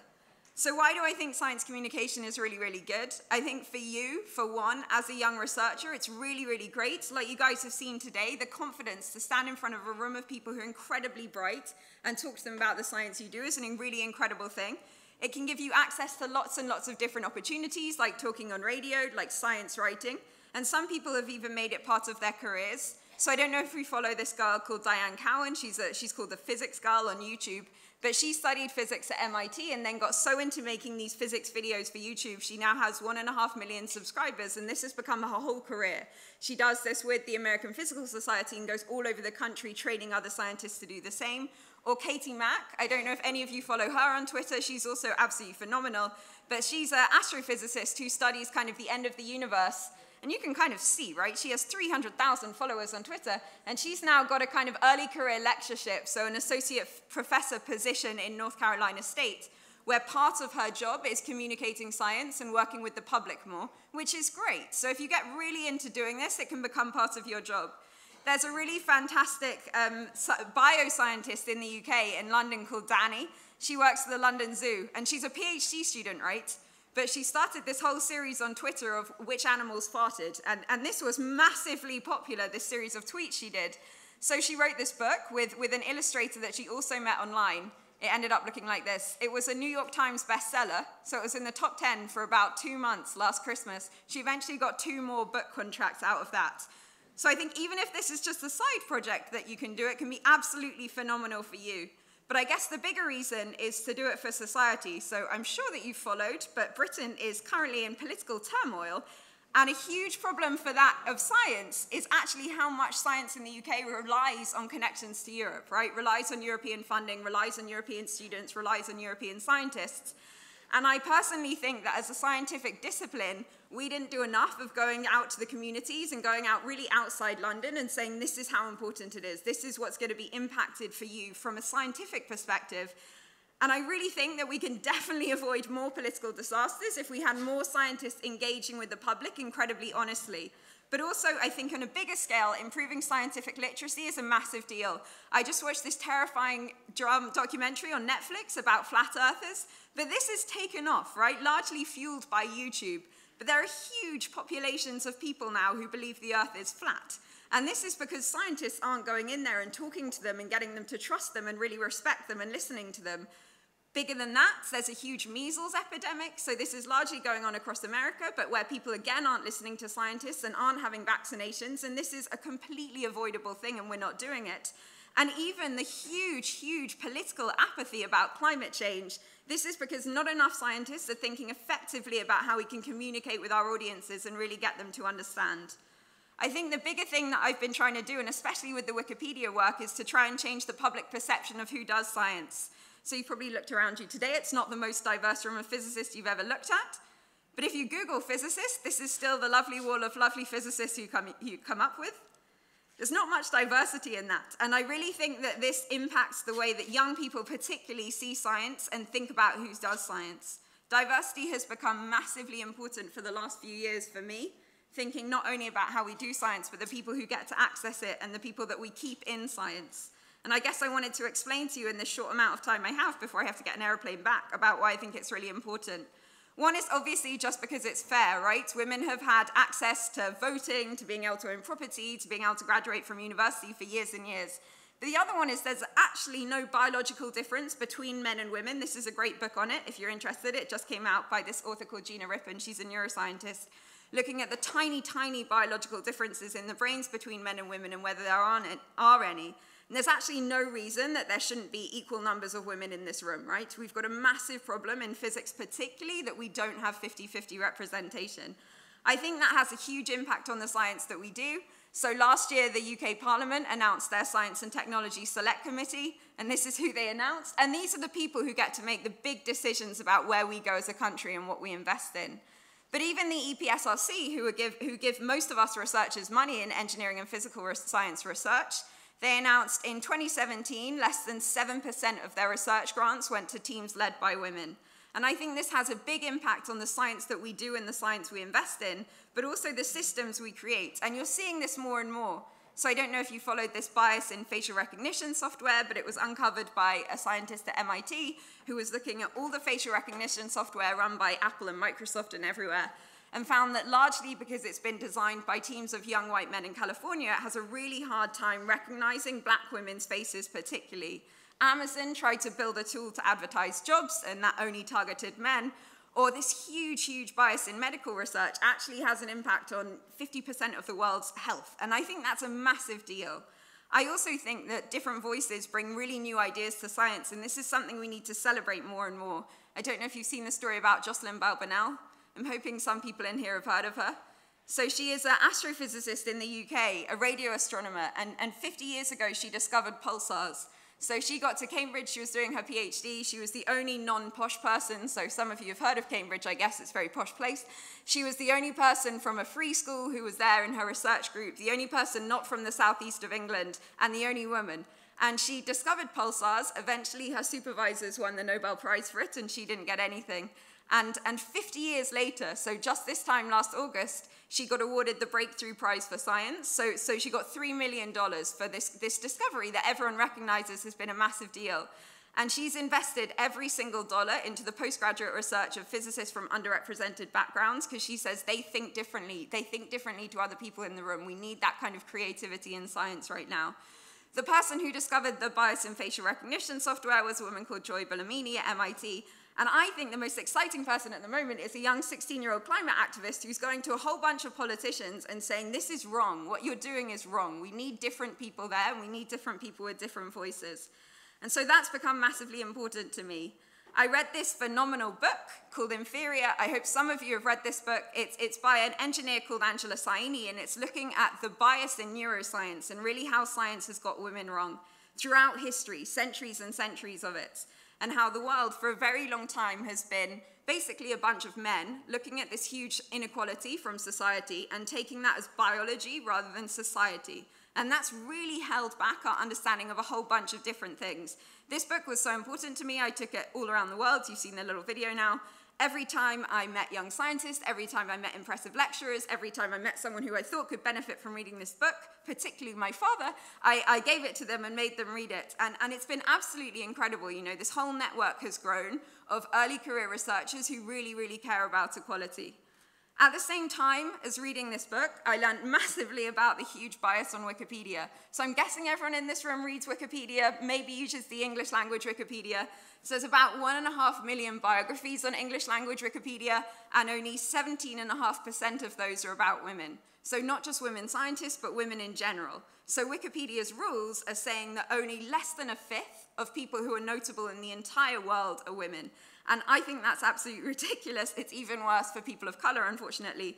So since the beginning of 2018, I've been making these Wikipedia biographies every single day about impressive women and people of color scientists and engineers. I've made about 590, so about 590. I've made 590, I checked yesterday. My favorite one is this great woman called um, Gladys West, who's a uh, African American mathematician who was born in the 1930s, and she was doing the early maths for GPS. So when I was writing this page, I felt like I was writing Hidden Figures. It was so exciting. I couldn't find any information really. I found records from her church and all of these kind of redacted government documents. Anyway, since I made her Wikipedia page last February, it gets viewed about a thousand times a day, if you want to know the reach of, of editing Wikipedia.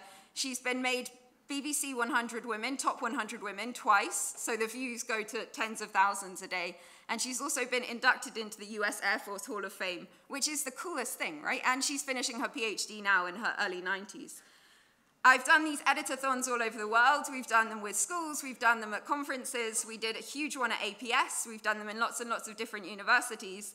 And the impact is massive. So me and my friend Mariam ran one, one in New York last year, where we made 69 articles, edited 407, but within a week, there was about 2.1 thousand edits made. Within a week, we had three and a half million views of these articles. So, so the impact can be absolutely massive.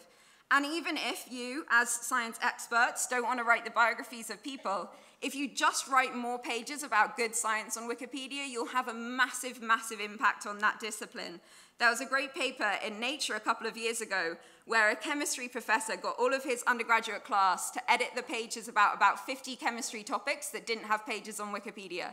So they all wrote these pages incredibly in detail and accessible, and then for six years after, tracked how many times these different areas of research came up in scientific literature, and they found that one in 300 words from a science paper had originated in Wikipedia. So one in 300 words in a science journal, a proper journal, had come from them improving Wikipedia with all of this content.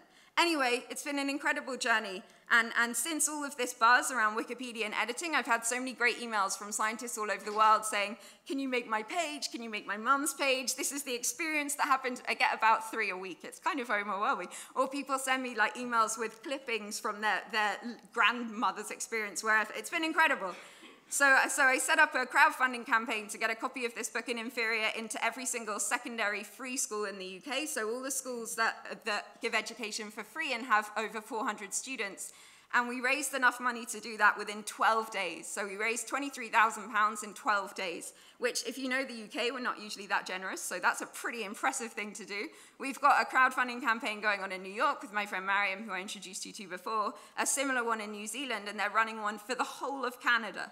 So I think this is a pretty impressive campaign, and it's really about giving young people the choice to make their own decision about what they can do when they're older and not be, not be stifled by the stereotypes that have held back our generation. I think a great place to start if you want to get involved with science communication is Wikipedia because you can do it from your, your bedroom at night, you can do it from your lab when an experiment is really, really long, you can track the, track the impact that you've made really, really quickly. You see page views incredibly fast. But otherwise, Twitter, Instagram, great places. There's a great thing called Skype a Scientist where you can Skype in from your lab again. I'm trying to make you not have to leave the lab here, but, but Skype in from your lab into other classrooms all over the world. There are other scientific discussion places, which I know Switzerland has a lot of as well. But really, I think, think more effectively how we as a community want to communicate who does science and what kind of science we do is super important. I have to run now, but these books have been really impressive and important for me. This one is called A Lab of One's Own. It's about science and the suffragette movement, so women scientists in the beginning of the First World War in the UK, which is super exciting. Inferior, like I told you, is Angela Saini's looking at the horrible gender inequality in science and how that's impacted society. But her next one is called Superior, and this is about the return of racism in science. And I saw her speaking about this the other day, and it was so incredibly powerful. And, and I recommend you read all three. But really, this one, if, if, if, if you want something terrifying and also exciting at the same time. But feel free to email me if you want any advice on Wikipedia or anything. We're doing a, um, if any of you come to the Optical Society meeting in America in DC in, in October, we're doing a big editathon there. We did a huge one at APS last February. So this is a really great way to engage scientists and the public with the research that you do. Thank you so much and congratulations to everyone who's competed.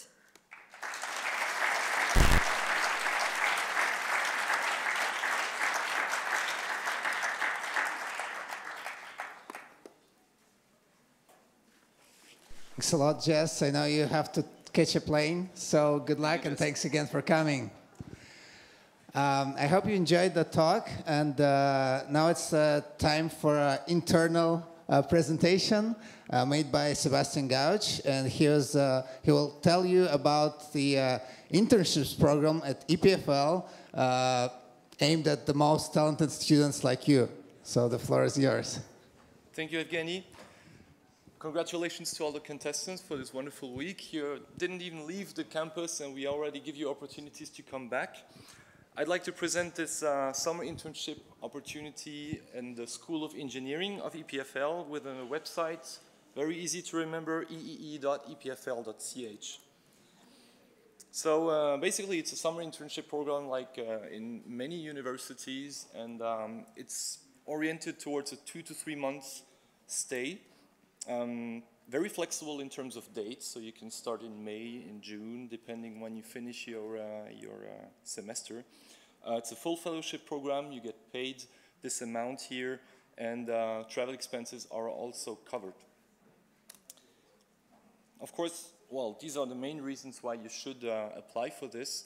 You've proven already that you have uh, some good basics in, in physics and mathematics, and uh, now you should um, maybe also look into uh, applied um, yeah, science or applied projects where you can engage your knowledge. We look at very different backgrounds. Every research project at a School of Engineering is very transdisciplinary, and uh, your background can be in any of these fields, in particular mathematics and physics. And um, yeah, this is why we, we address this to you today. The eligibility for this program, we aim at uh, screening future PhD students and students who are particularly interested in, a, in an academic uh, career. So uh, depending on which system you're in, we aim at the, the final bachelor years or first master years, and um, which is obviously the case for most of you right now. Huh? So what are the application documents? Very easy, your uh, CV, your statement of purpose, and I'll come back to that, that is really important for us, and uh, the GP grades, GPA grades that you have um, at the current situation of your graduation. In addition to that, we like to specify three lab choices and three research interests to really screen which student can be matched with which uh, laboratory. And this should also be uh, really explained in the statement of purpose, which lab you actually chose and why you chose it. It's the same as for applying for a job. Once you have shown that you have the right skills, it's all about motivation to get the job and to show that you have this motivation. We really uh, would like you to do this uh, screening of the right labs for your, uh, for your research. Application deadline, you have a lot of time to do that because it's in next February. And um, to help you with this identification of labs and which arc activities are in which labs, we came up with this search tool which uh, you can uh, access on the website. Also, the research interests are quite broad here. We have 56 uh, different key, key, keywords that you can uh, choose from. You can uh, specify three keywords out of them. I'd like to share some results of the 2019 campaign, which uh, just finished in March, and we had over 2,000 applicants for a first year. We we're very happy with the number of uh, students that applied from 82 countries, and these are the research themes and the keywords that they specified as first, second, and third choice. And this, this graph goes on with a tail uh, up to the 56th uh, keynote uh, keyword numbers. So we're very happy that we had so many applicants. Of course, since it's a full scholarship program, it's very selective also. So we selected 36 students out of those 2,000 and definitely you being part of this physicist tournament and being already here at EPFL for one week puts a big plus in the CV and puts you on top of the list of, uh, of potential candidates. Um, you had some time to, to look at the campus during this week, but it's, we're certainly very short for you. And uh, we hope to be able to welcome you next summer for a summer internship. Uh, I won't be able to stay here either because I also have a train to catch. Uh, if you have any questions, you can go on the website, ee.epfl.ch, and I also put up some flyers back there. And if it's not interesting for you, maybe it's interesting for some colleagues from your universities, so take some flyers back and uh, spread the word about it. We would be very grateful for that. Thank you for your attention, and uh, enjoy the rest of your studies, and hopefully we'll see you next year at EPFL.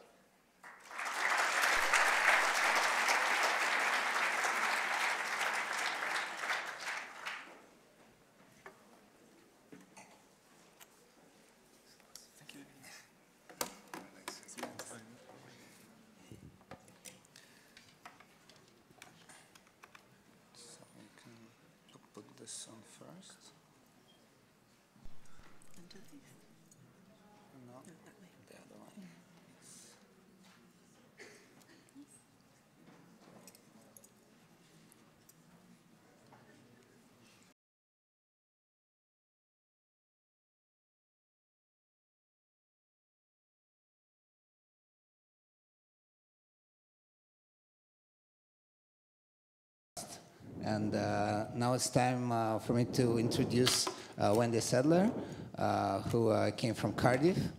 And her talk will be just a little bit longer because she doesn't have to catch a plane or a train. And moreover, she will be available to uh, talk after um, the awards ceremony. Um, so let's learn more about her project called Science Made Simple. The floor is yours, Wendy. Okay, thank you. Is that on? Yep, great. Good afternoon. Thank you. You're still awake. Thank you for the fantastic presentations um, earlier on and for the opportunity to be here and see them.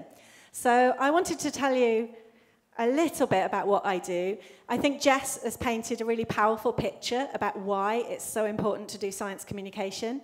So hopefully this will follow on quite nicely because I want to talk about some tips on how you do really good science communication.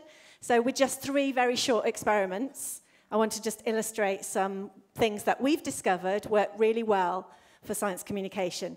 So I am a physics graduate. I did physics and music as a joint honours degree at Cardiff University. So I guess I've always been interested in that partnership of um, physics and logical thinking and music and creative thinking. And I think science communication is a really good way to bring those two interests together. However, I didn't do research physics, level physics. I've done a master's in science communication, which is becoming more and more common if people want to become science communicators. Um, and I guess I've become a bit obsessed with how we explain physics and engineering to really broad audiences. So I was thinking, as I watched your presentations earlier, what I do day to day is almost the opposite of what you had to do uh, this afternoon in that we have to explain those kinds of things like the Tesla coil and the water jet and the ping pong ball, but we have to do it without using mathematical proofs and without using technical language because the audiences I'm trying to reach are not you in the room. They're the audiences out there who have not yet maybe made their minds up about physics. Or, they, as Jess said, they might have a very negative uh, view of what physics is. This is the best bit of my job. that if you get it right and you go into a school, for example, and you show them physics in the right way, you get this massive emotional kind of connection with the audience. And that is really powerful. We speak to audiences, we've reached over a million people since we began. And you can see all of the excitement and joy and terror in that room as you're about to do an experiment. And that's what we want to kind of sum up is how people react emotionally to science. So my first tip um, in how you do that is you want to actually make your experiment somehow personal to the audience. And the ultimate way you can do this is actually getting your audience to do the experiment with you in some way. So that can be a very simple thing. So for example, we want you to get personal. What I'd like you all to do is to take your thumb and your finger and make a circle out of it. Okay, just make a circle with your thumb and your finger. Okay, now wherever you are, you should be able to just about sort of center up that circle on the screen. Use both eyes, so don't close an eye, just keep both eyes open and center up the circle in that hole. Okay? Once you've done that, what I'd like you to do is to close one eye and then open it, and then close the other eye and open it. Okay? Did anything happen? Can anyone explain what happened? Did anything happen for anyone over here? Come on, you're all expert physicists. What, what happened? Can you explain? Yeah. Which eye was it for you? Just out of interest. Okay. So it doesn't work for absolutely everybody. But what you should have noticed is that when you closed one of your eyes, the circle disappeared or jumped outside the circle. Okay? Now, when we're looking at the world with two eyes, you're always seeing two slightly different pictures of the world. If you have equal vision, even if you have 20/20 vision, one of your eyes tends to be dominant over the other eye. So when you're lining it up, even though you're using both eyes to look at the image, even though the distance is slightly different from each eye, you tend to still have one dominant eye. So for me, if I close my left eye, the circle jumped. So that, that means that I am left eye dominant. Try it again if you can't remember which eye it was. and find out if you are left or right eye dominant.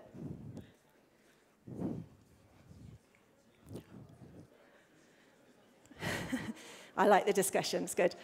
Okay. So, why do I like that kind of thing? Lots of reasons. It's personal in lots of ways. You've done the experiment, so we've made it personal because you've physically engaged in it. And if you can get your audience to join in in something, then you're going to really engage them because you're not just talking at them. Secondly, it's personal because you've learned something new about yourself. You might not have known before whether you were left or right eye dominant. You might not have even known there was such a thing. So there is theories about left eye dominance and right brain dominance and right eye dominance and left brain dominance. It's quite controversial, but you've now got something you can go and explore about yourself. And human beings are quite egocentric, not always in a bad way, but we like to learn things about ourselves. So if your science can be made personal and people can learn something about themselves, then they're more likely to remember it and they're more likely to change what they think of science. And the third reason I like that is because you can go and tell someone about that. So when you're down the pub or in the bar, you can go and show someone that experiment very easily and tell them the physics or the science that you've learnt in that case. And, and you can spread it on.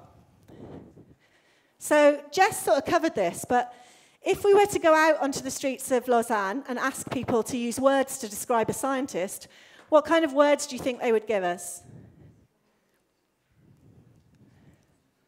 What do you think?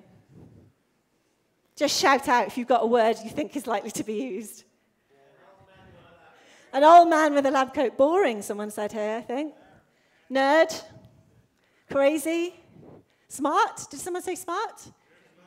Wears glasses. Okay. Yeah, there, oh, so, sorry, there was another one at the back? yeah, you're right. So certainly, I think it's worldwide, this is pretty much the same. I don't know that there's any country has cracked this yet. But certainly, these are some of the answers I heard. Uh, generally, old male, eccentric hair, uh, wears a lab coat. It's really clever. You said smart. That's a positive thing, right? Slightly sad and geeky, nerd, blows things up, has no friends. But I don't believe that's true. We've seen it today from the people who've presented. Not that. Scientists are all ages. Obviously, some of them are very young, some of them are very old. They're not all one type. Sometimes they're even female. I think Jess has covered that pretty well. They are just ordinary looking. There's a whole range of looks, right? So the danger sometimes is, is you take the stereotype that children draw, and if you do a role model campaign for schools, you go to the extreme opposite and you showcase supermodels who look amazing, who are snowboarding and on roller skates. And you then actually scare people off science as well, because you say, not only do you have to be really clever, you've now got to be super beautiful and talented as well. So the danger is we set up another stereotype that also puts people off. So you have to be really careful, I think. They don't know everything. We saw that we had opposing, uh, opposition opinions earlier. That's really important to know. They get things wrong sometimes. They're sociable. I hear there's been a lot of socializing this week. So I think physicists, I know a lot of physicists, they're very sociable. And they work in teams and are very creative. I think Jess had a similar point, really. But if you do a Google image search for scientist, these are the top links you get. They're actually, they've changed quite a lot over the 20 years that I've been doing this. So they have become a bit more diverse. But the problem is, as Jess pointed out, if you put physicist, it's quite different, right? I didn't get quite the same pictures, but you've only got to squint your eyes and see how black and white it becomes when you go from one to the other. However, let's be positive. There is some females, there is some ethnic diversity there. So perhaps we are going in the right direction. But we really want to try and break that stereotype. If you get to about number 39 in the search for physicists, you get this guy. I don't know who he is. he's quite nice. Gosh, I never had a round of applause for him before, but thank you.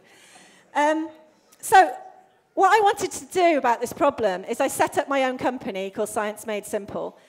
And lots of academic scientists don't like that name because they think that science is complex and beautiful and difficult. And it is, at a high level, complex and beautiful and difficult. However, you should always be able to make it simple. And that does not mean dumbing it down and getting it wrong. It means taking out some of the detail that your audience doesn't need at that point.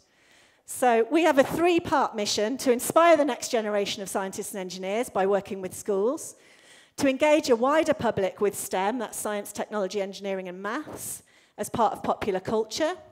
And we do that by going to music festivals, shopping centres, wherever people are, and we try and put physics in front of them in a fun way so that they can actually engage with it. And we want to help researchers translate what they do. We've been quite successful. We've reached over a million people since we began.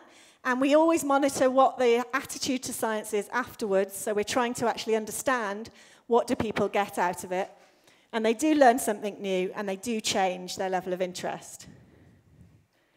We focus as well on trying to break the stereotype and we do presentations which feature female scientists, uh, like some of the people Jess uh, talked about. And we want to try and get girls to think that science is something they can do. And then you get lovely quotes like this. Engineering, I thought, was to do with machines. I thought it would be boring, but now I think I might be one. And it's that feeling of confidence that someone could actually take that job that is really important. Uh, we also train a lot of researchers. We've worked in lots of countries, including Switzerland. I think we've been to Zurich University about five times to work with researchers there. We are trainers on the FameLab competition. I don't know if you've heard of FameLab. That is the three minute science communication competition where you have to communicate your work in three minutes to a general audience. So what would be really interesting, I think, is for this competition is at the end of the actual physics fight, is could the team then do three minutes to a general audience on what they found? And if they could do that, they could take it out to the streets of Lausanne and do it there. So I think that would be quite exciting. Okay, second tip. Be surprising. Now, I am mindful this room is maybe not going to be that surprised by this. But what are the chances, it's a maths question, I suppose, that two people in this room share a birthday? Now, because you're sociable people, you might have found this out already over a few drinks and a fondue. But let's just think. So I'm going to give you two options just to make it simple. Right, I'm going to ask everybody to vote, and I'm pretty sure, I'm pretty confident you'll get this one right. But let's just try. So, hands up if you think the chance is more than 50% two people will share a birthday. yeah, I thought that would be it. And hands up if you think 50% or less. Be brave. Oh, good, good. There's a couple of people. Yeah, so you've probably seen, maybe seen this experiment before, but I always like to try and prove it's right. And the reason this kind of technique is important is because there's a difference between scientific thinking and mathematical thinking that you all have and common sense, in, in inverted commas, common sense thinking that the general public have. And they tend to make uh, judgments based on common sense, which isn't necessarily mathematically correct. And some of the problems to do with understanding climate change and complex things is to do with this mistake. So we have to try and surprise people to make them realize that sometimes they their gut instinct is not enough. You need to do more than that. So let's just try and prove it. So I'd like, what I'd like is everyone to stand up if their birthday is in April. If your birthday is in April, can you stand up for me? Just stand up. We're just going to have a game of birthday bingo, okay? So when I point at you, I just want you to shout nice and loud the number of your birthday in the month, okay? Third, 15, 8, 8, Third. Who said third? Did you say, uh, did anyone say third? Third. You said third, and yours is the third. Bingo! Okay, give them a round of applause. You can sit down. Thank you. okay, so the first person who stood up had a match. That's not that, that is surprising to the public. It's probably not that surprising to you mathematically. If you do the maths, how many people are here today? We must have more than 100. Um, once you get over 60 people in a room, you've got a 99% chance of finding a match. And that, is, that goes against what people think as a gut instinct. Because when you ask this question, People think, what's the chance of someone sharing my birthday? Must be one in 365. That's quite unlikely. But obviously, as you know, because you're all clever physicists, you have to do that pairing where you look at all the different options and all the different pairs. But it's quite a good way to surprise people and make them challenge what they think. Right, we also do a lot of trying to reach different audiences. I've talked about science busking. We do things with um, after dinner science, where you go to conferences and talk after the event, but you do science, not just talking about corporate things. And we do theatre tours as well. And what I thought was interesting is it's not pictured there, but one of the problems that you had that we didn't see in the final, but the Droste effect, is that how you pronounce it? Where you have a camera feeding back the live uh, thing. That is something that we used as the basis for this theatre show, along with lots of other. Oh, yeah, there it is. That's, that's it happening there. You get these beautiful fractal shapes. So we tried to do a physics performance using no words at all. So it was a bit of an experiment to see can we get across the beauty of physics, the patterns in physics, and can we get audiences to go away with a sense of that wonder that makes them want to find out more? And so we've toured this show to about 30 countries now, and taken physics to completely different audiences, um, including the Edinburgh Festival. Uh, doing experiments which I guess might have come up in some of your past problems, the Rubens tube where you show the pressure wave of a sound, um, but we try and do it in a performance way set to music as well. And the key thing is, you don't just show people these beautiful wow theatre effects, because they think they might just be stage effects.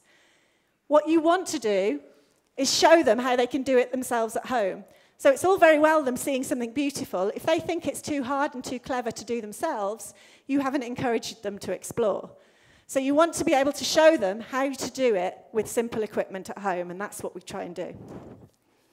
Right, my final experiment before I finish, and you all get to find out the results, is to get people talking. Now, actually, it's been hard to stop you talking sometimes because you've been comparing answers and things like that, which is great. That's always good talking. So, as this is a music sort of experiment, I want to show you one of my favorite physics experiments. And again, I've got a pretty bright audience here, so I'm not sure I'm going to catch you out here, but you probably know that you can play a, play a wine glass, yeah, using friction. So if I dip my finger in and I rub it around the glass, hopefully, I haven't tried it. I've never tried it with this glass before. That's the scary thing. If I get this, the frequency of movement, if I get the speed just right. Okay, can you all hear that? La, get a note like that, okay? So the friction of my finger is sticking and slipping against the glass, and that is setting up a resonant frequency that we then hear in the room.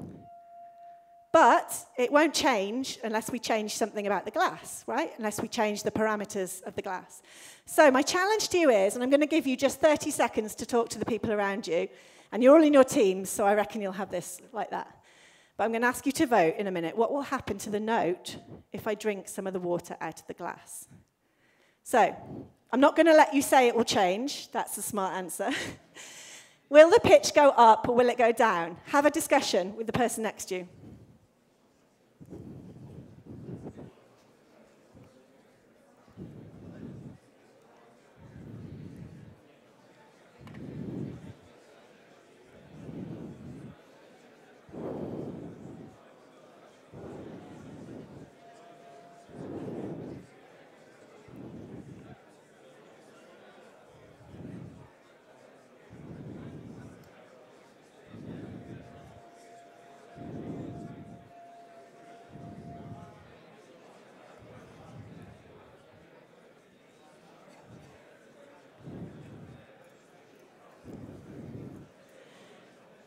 Okay, I'm going to stop you there.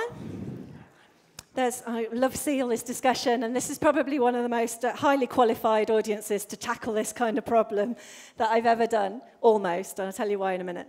So, okay, I'm going to force you to make a, a vote. None of this vote goes against you in the competition, right? Nobody's taking score. But just go with what you think, with having talked to the people around you. Do you think, so who thinks the note is going to get higher pitched?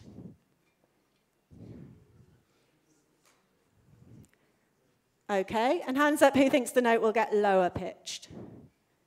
Okay, definite majority. I would estimate about 75% to 80% said lower and about 20% to 25% said higher. Okay? So we're all good physicists, right? We try something, we predict, we do it, and we see what happens. So here we go. Ah, remember that note.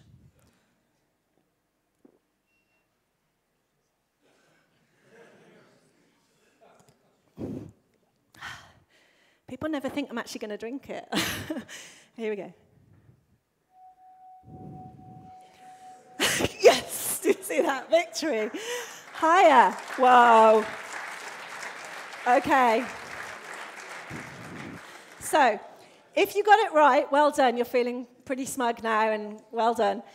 Um, if you got it wrong, don't feel too bad. I was going to say you were almost the most highly qualified audience I've done this to.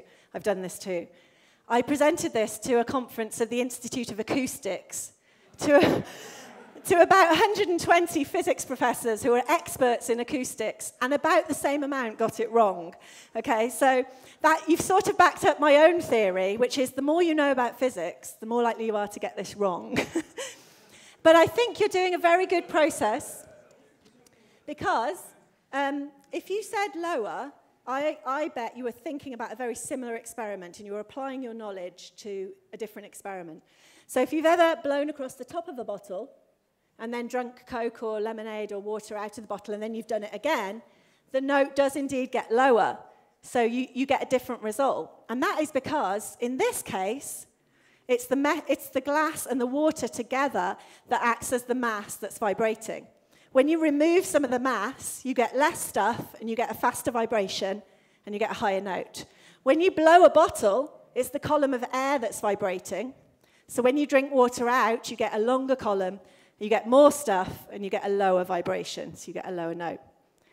Now, just because I know you might try this in the bar later, somebody in Germany once showed me this, and I was absolutely blown away. So that explanation is fine, it makes sense. But in that case, if I don't change the amount of water, here's, a, here's our note. La. What do you think should happen if I don't change the amount of water, but I just tip the glass? Hmm. This threw me completely. So I'm not going to ask you to vote. Let's just see what happens, okay? And you can try and explain it in next year's competition, right? Because it's pretty hard physics. Okay. La. Here we go. Can you hear? It's gone down a little bit. Whoa. Okay. That's one for you to talk about over wine and beer later. But I love the fact that if you get people talking, they are more likely to kind of remember what you've shown them. So, if you're really stuck and you want to know why, I will try and explain it to you afterwards. I'm not rushing off. If anyone wants to kind of find out more about what we do, our website has a YouTube channel, all the usual stuff, with ideas for simple physics experiments that you can do for the public. So thank you for inviting me to be part of this event. I'm very excited to see who's going to win. And um, thank you for giving me a chance to come to Switzerland. Thank you very much.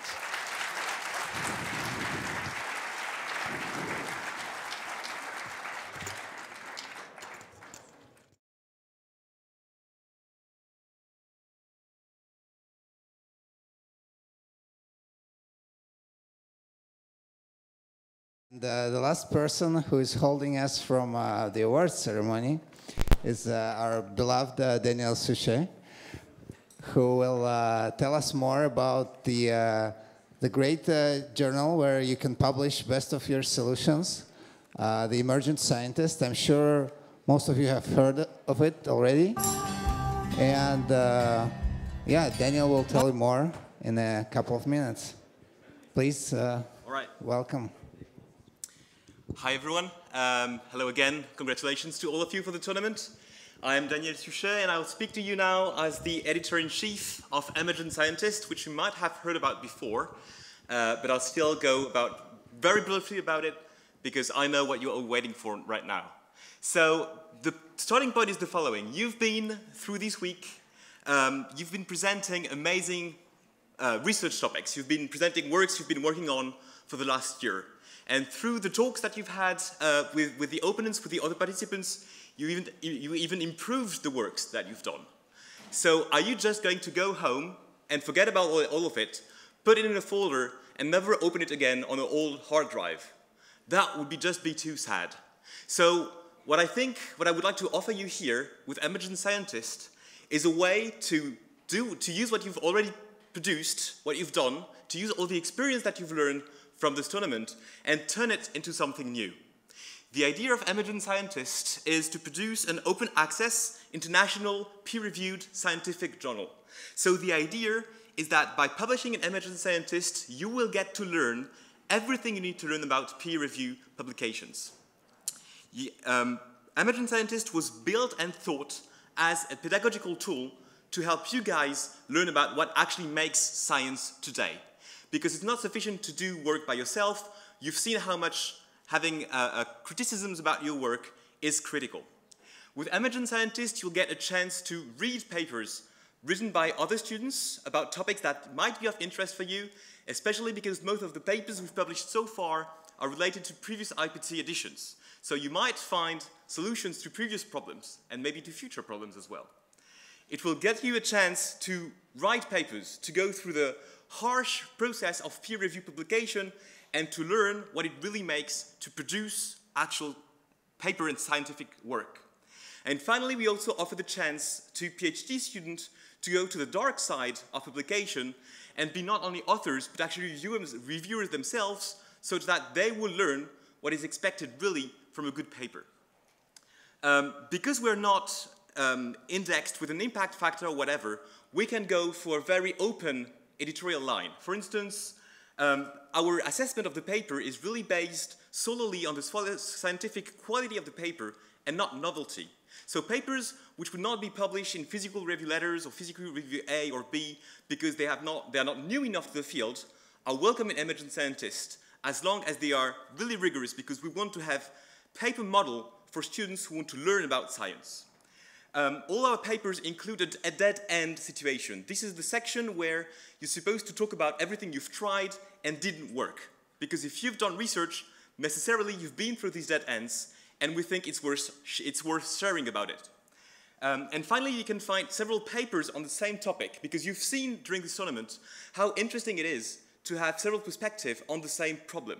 Now with MC, because we're not struggling to have the first team ever doing something, you can find that. And you can find several approaches on the very same question. Um, how does this work? Well, you go on MC and you submit your paper. You've got guidelines which will explain you the editorial expectation. The paper that you submitted will be sent to the editor-in-chief. That would be me. Uh, who would have a look at the paper and make sure that you follow the, the main guidelines of the journal. If it fulfills the guideline, the paper will be sent to an editor who will select referees that will perform a review of the paper. Based on the review, the paper will be sent to you for revision and we will iterate the process until the paper has been scientifically validated. From there on, what we add, uh, which is a little bit different from usual journals, is that we add a writing assistance. If we need a little bit more iteration to have a, a correct introduction, a nice conclusion, the editor will help you through this process. And at the end of the day, you got published online and you've got your first paper with your name on it that will be available in open access to everybody.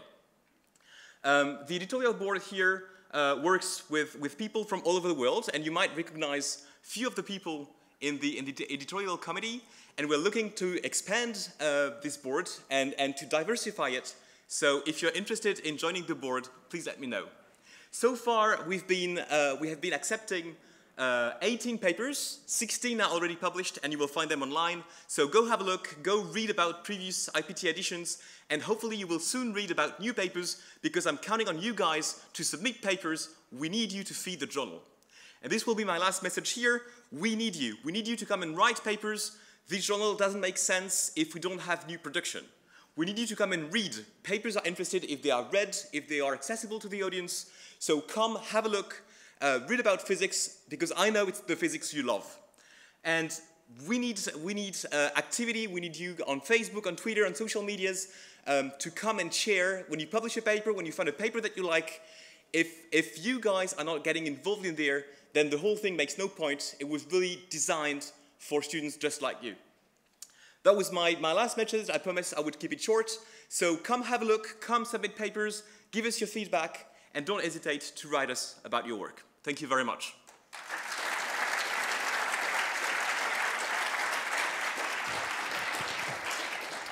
Thanks a lot, Daniel. Um,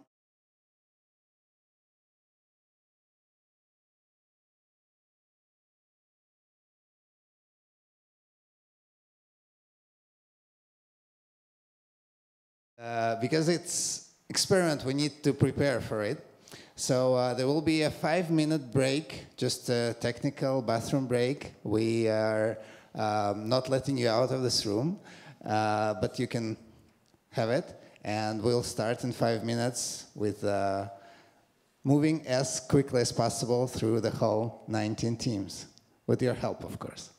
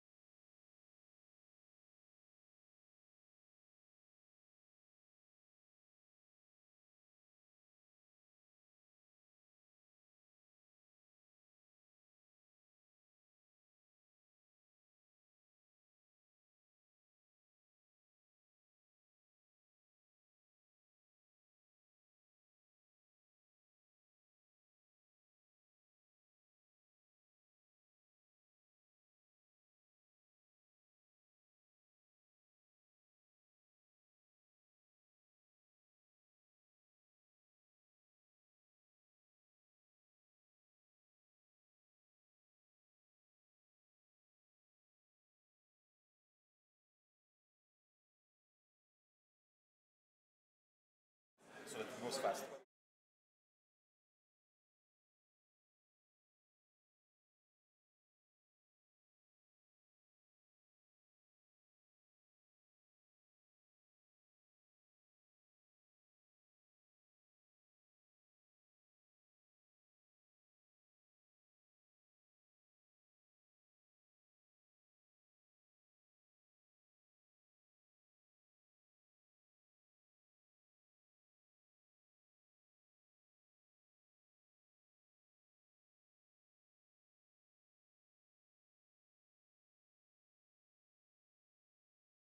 So, let's see how our little experiment works. I mean, it depends a lot of, on you guys. I hope you're well seated on the designated uh, rows. Uh, and uh, you'll have to move, move quick if you want it to be quick. We'll do everything needed from our side as well. Well, if everyone interested is here, let us start the award ceremony for the uh, International Physicist Tournament 2019. Yeah!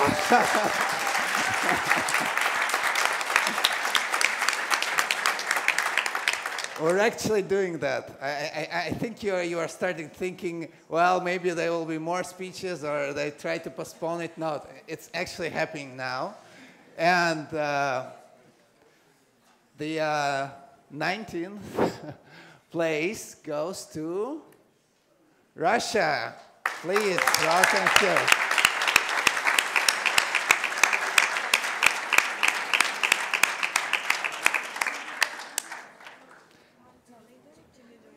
And you move further there. okay. Yes. The idea is you, you go all together, not like that. yes, now you move there. You'll have another photo booth. So you you'll all have amazing team photos, we promise. Uh, next team, please. 18th place goes to Australia.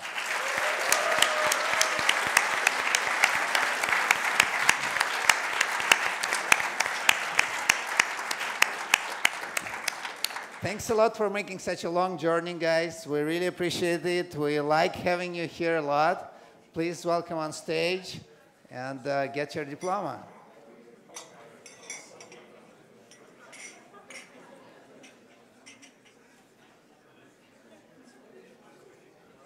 Yes, it's happening. Do you hear me well? Is it fine? Back rows. Yeah, good. So, 17th place, Greece.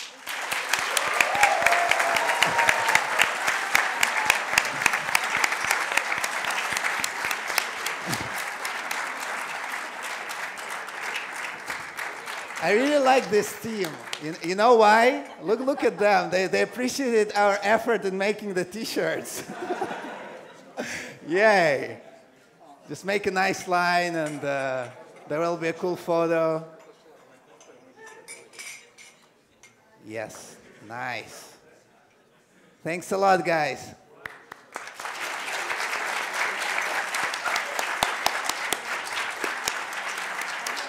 16th place, USA. Woo!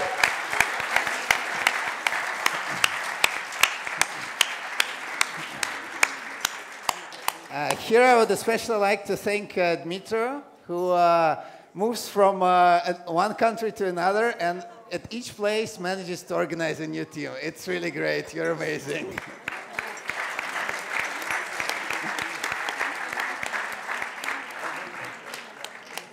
Okay, thanks a lot, guys.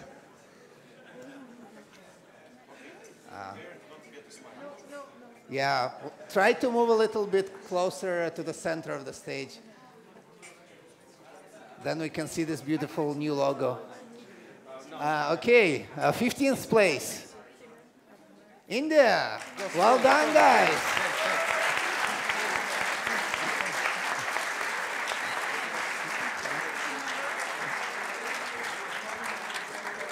Yeah, just try to move a little closer to the center. Yes, thank you. So I, I, was, I was really worried about this team because two weeks before the tournament, I was sending them visa invitations. And one week before the tournament, I was asked by the uh, consulate if I really did it. So I had to confirm one week before the tournament if they can have the visa or not. But they are here, and that's amazing.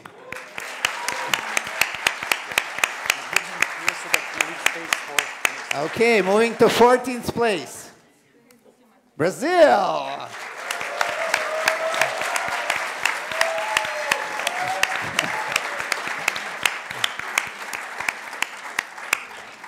Please take your diplomas here.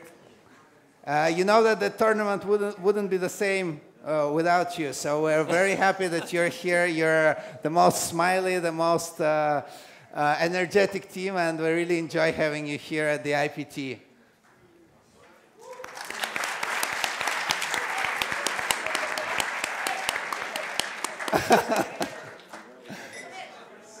okay, attempt number two, quick.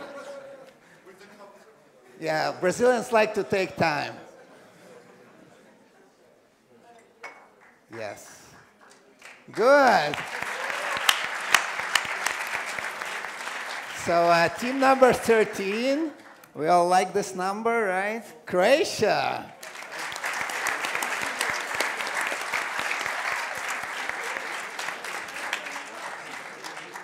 Please come get your diplomas. Yeah. At least one guy here appreciates our t-shirt.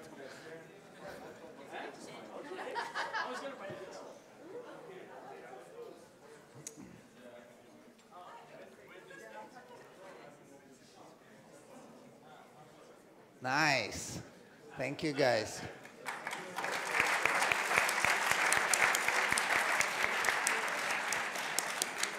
So uh, moving further, 12th, 12th place is Poland.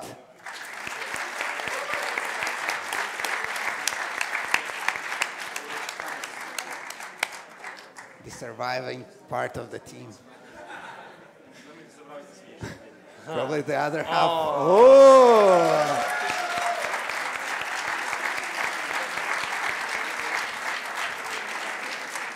This should be a tradition. So for, for next year, think of bringing your flag. It looks nice. Uh, 11th place, Italy.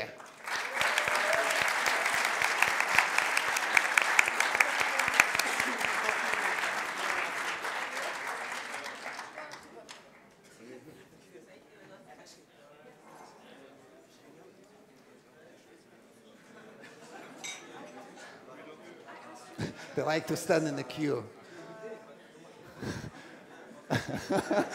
Come on, guys, it's just a line.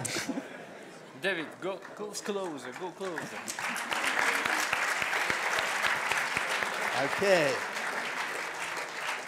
And we're moving in the top 10, and the 10th place go to Denmark.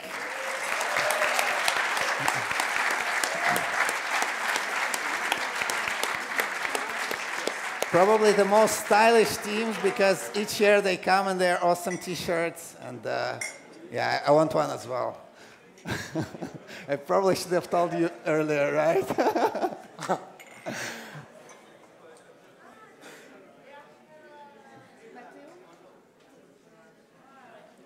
cool, thanks a lot.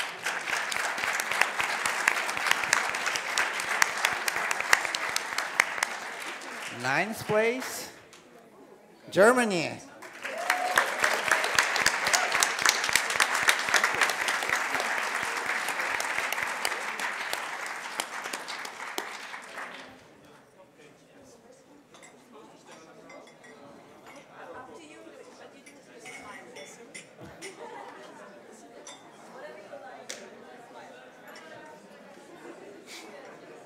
You see how our little experiment is working. We're actually supposed to feel that, that part of the hole.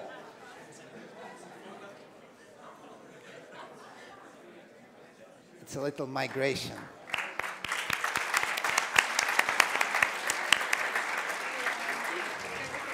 Okay, uh, eighth place. Ukraine, Kiev.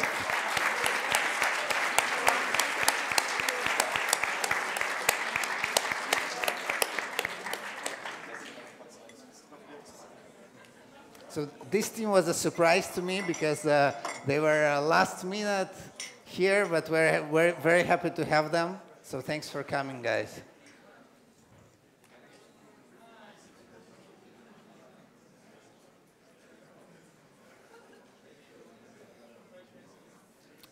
Thank you.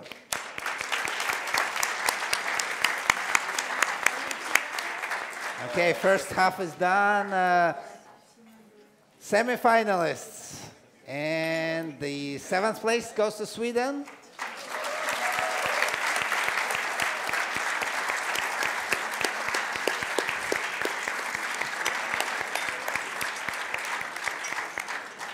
Well done, well done.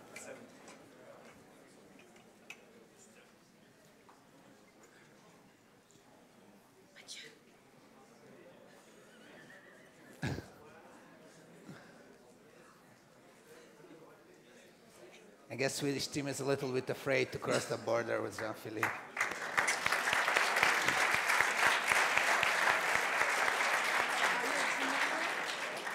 Sixth, sixth place is Colombia.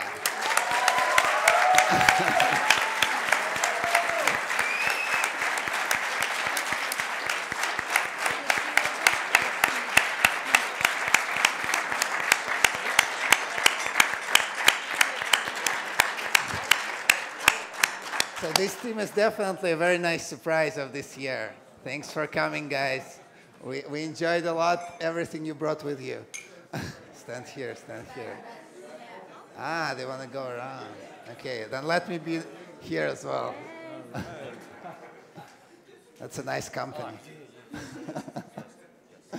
Thanks. Thank you. Fifth place goes to Switzerland. Yeah.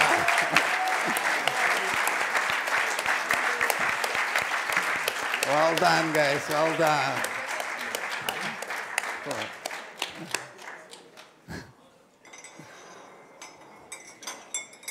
We were trying hard to stay neutral with this team because they were working next door. Oh, no, I, I have to, I have to be in this picture. Sometimes it's really hard to stay neutral. Thanks.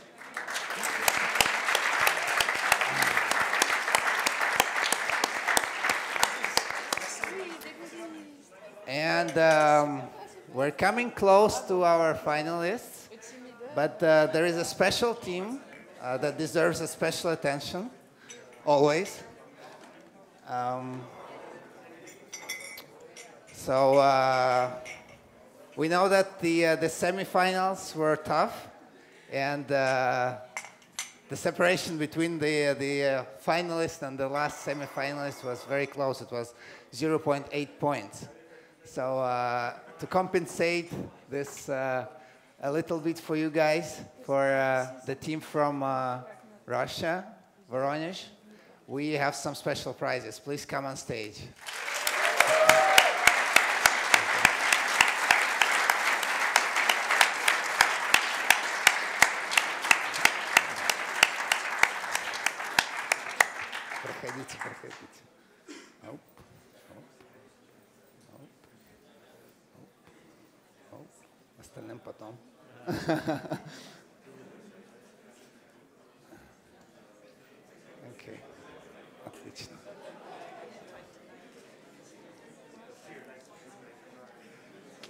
Thanks, guys. You are great.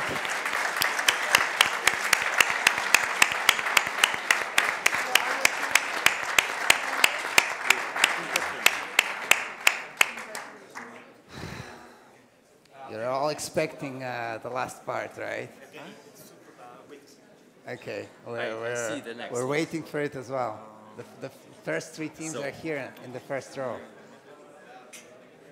And we, we've prepared well for you guys. Yeah.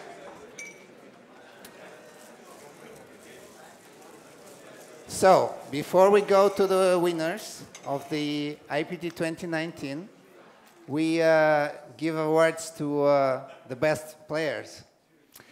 And uh, we start with the best reporter, uh, who is uh, now leaving the stage, but please don't. It's uh, Sergei Glebov.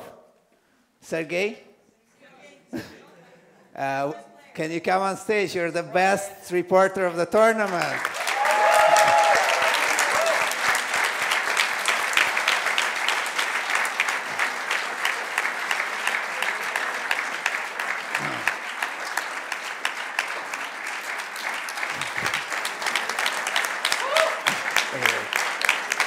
That's not, that's not it. That's not it.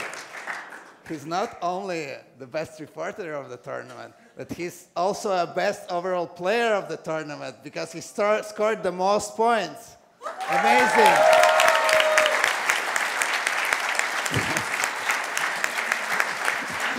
so you get double prizes.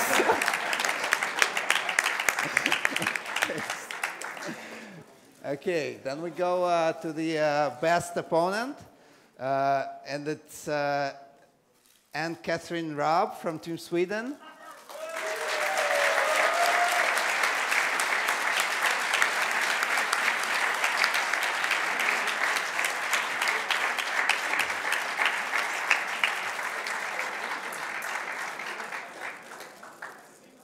Uh, for the photo? Yes, thank you. This is for you as well. thank you. You've been great. Ah, two more guys. Yeah, sorry. Yeah, no, no, two. No. Uh, the best reviewer, and we actually uh, have two best reviewers with the same scores. And uh, first best reviewer is uh, from Team Poland, uh, Jerzy Sunevich. I'm sorry for the pronunciation. and the, second, uh, yeah, please stay, stay on stage. Uh, the second best re- uh, reviewer is uh, Damel Borrero. Sorry, I, I, can't, I can't pronounce it properly. Landazabal. I- sorry. From Colombia. So this is to you. I'm very sorry for my bad pronunciation. Please come for the photo.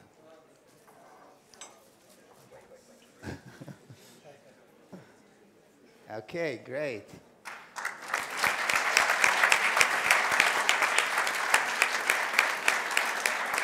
Ah. So, are we ready for the final part? Very, very final part. Yeah? Okay, can I uh, get some noise from you guys? How ready are you? Ah, nice! I like you. You're such a nice crowd. Um, okay, so the third place at the International Physicist Tournament 2019 goes to. Come on, really, Nikolai?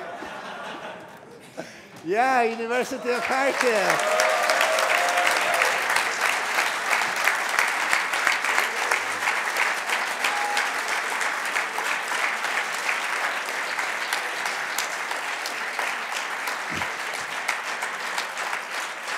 Have some very special trophies this year.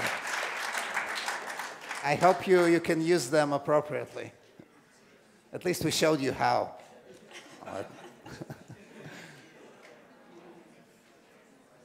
okay, thank you guys.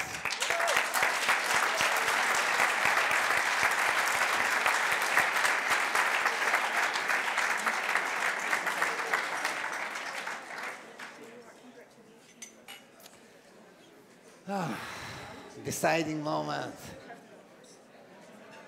And we're ready to announce the second place at the International Physicist Tournament 2019 goes to. Good guess. Lyon.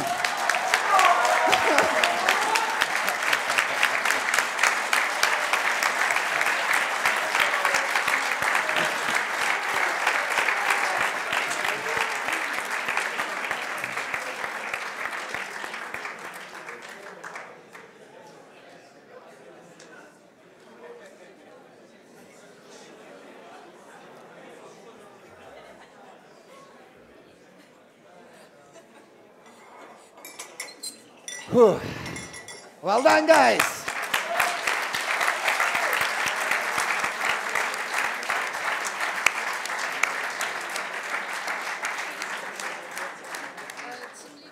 And of course, you probably know what will be on the next slide, but still, the first place, the winners of the International Physicists Tournament 2019 is the team from Paris, École Polytechnique.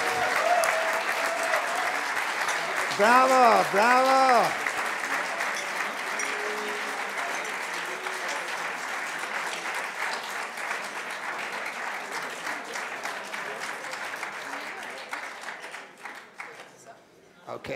This, this, this comes later, I guess.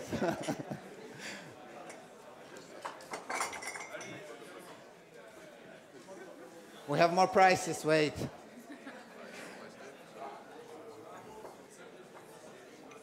Uh,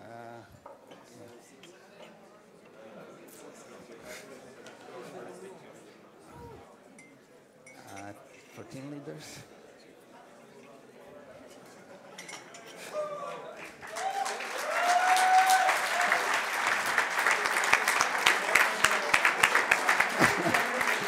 Thank you guys, you are amazing as always.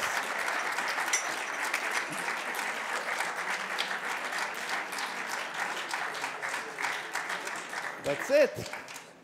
Go for, for the team photo in the photo booth.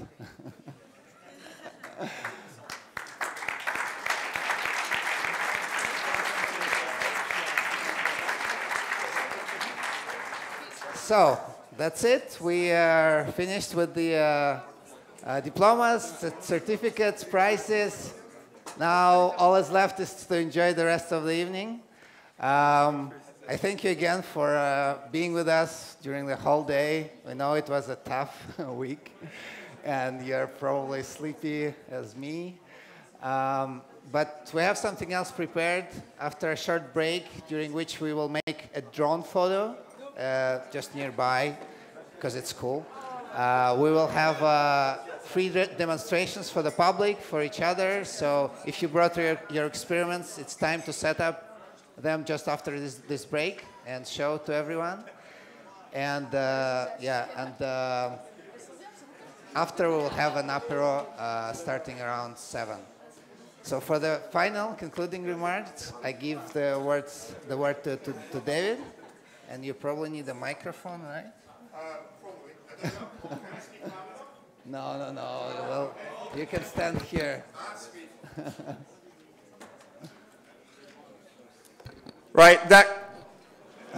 That's loud. Oh, I'll speak from about here. Okay, that concludes the competitive part of the competition, but the tournament's not just about the competitive part, it's also about having an adventure, having a bit of fun, getting to meet new friends. And some of you have already been doing that. For some teams, it's the first time you've probably left your country, been on a plane, or probably the first time you've been in Europe, the first time you've met someone from another country.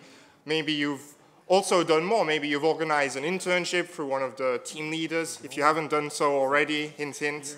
Um, but also there's a socialization part, and the fun's not over yet. While the competitive part is closed, we've got a nice dinner later for you um, after some quick demonstrations from the teams that want to really show off their, their best practical setups. So thank you very much for competing. Uh, hope to see some of you maybe again next year. Uh, we're still going to decide a host. Well done.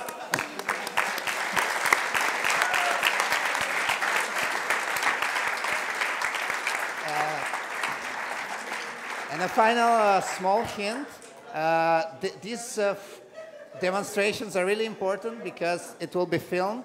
And uh, you are already in Swiss media. They're talking about you in every paper, every magazine in Switzerland. So let's just keep up with the pace. Uh, we'll make a quick drone photo here. Just follow the guides and uh, uh, come back with, with us to set up the experiments and be back for an apero around 7. Thank you.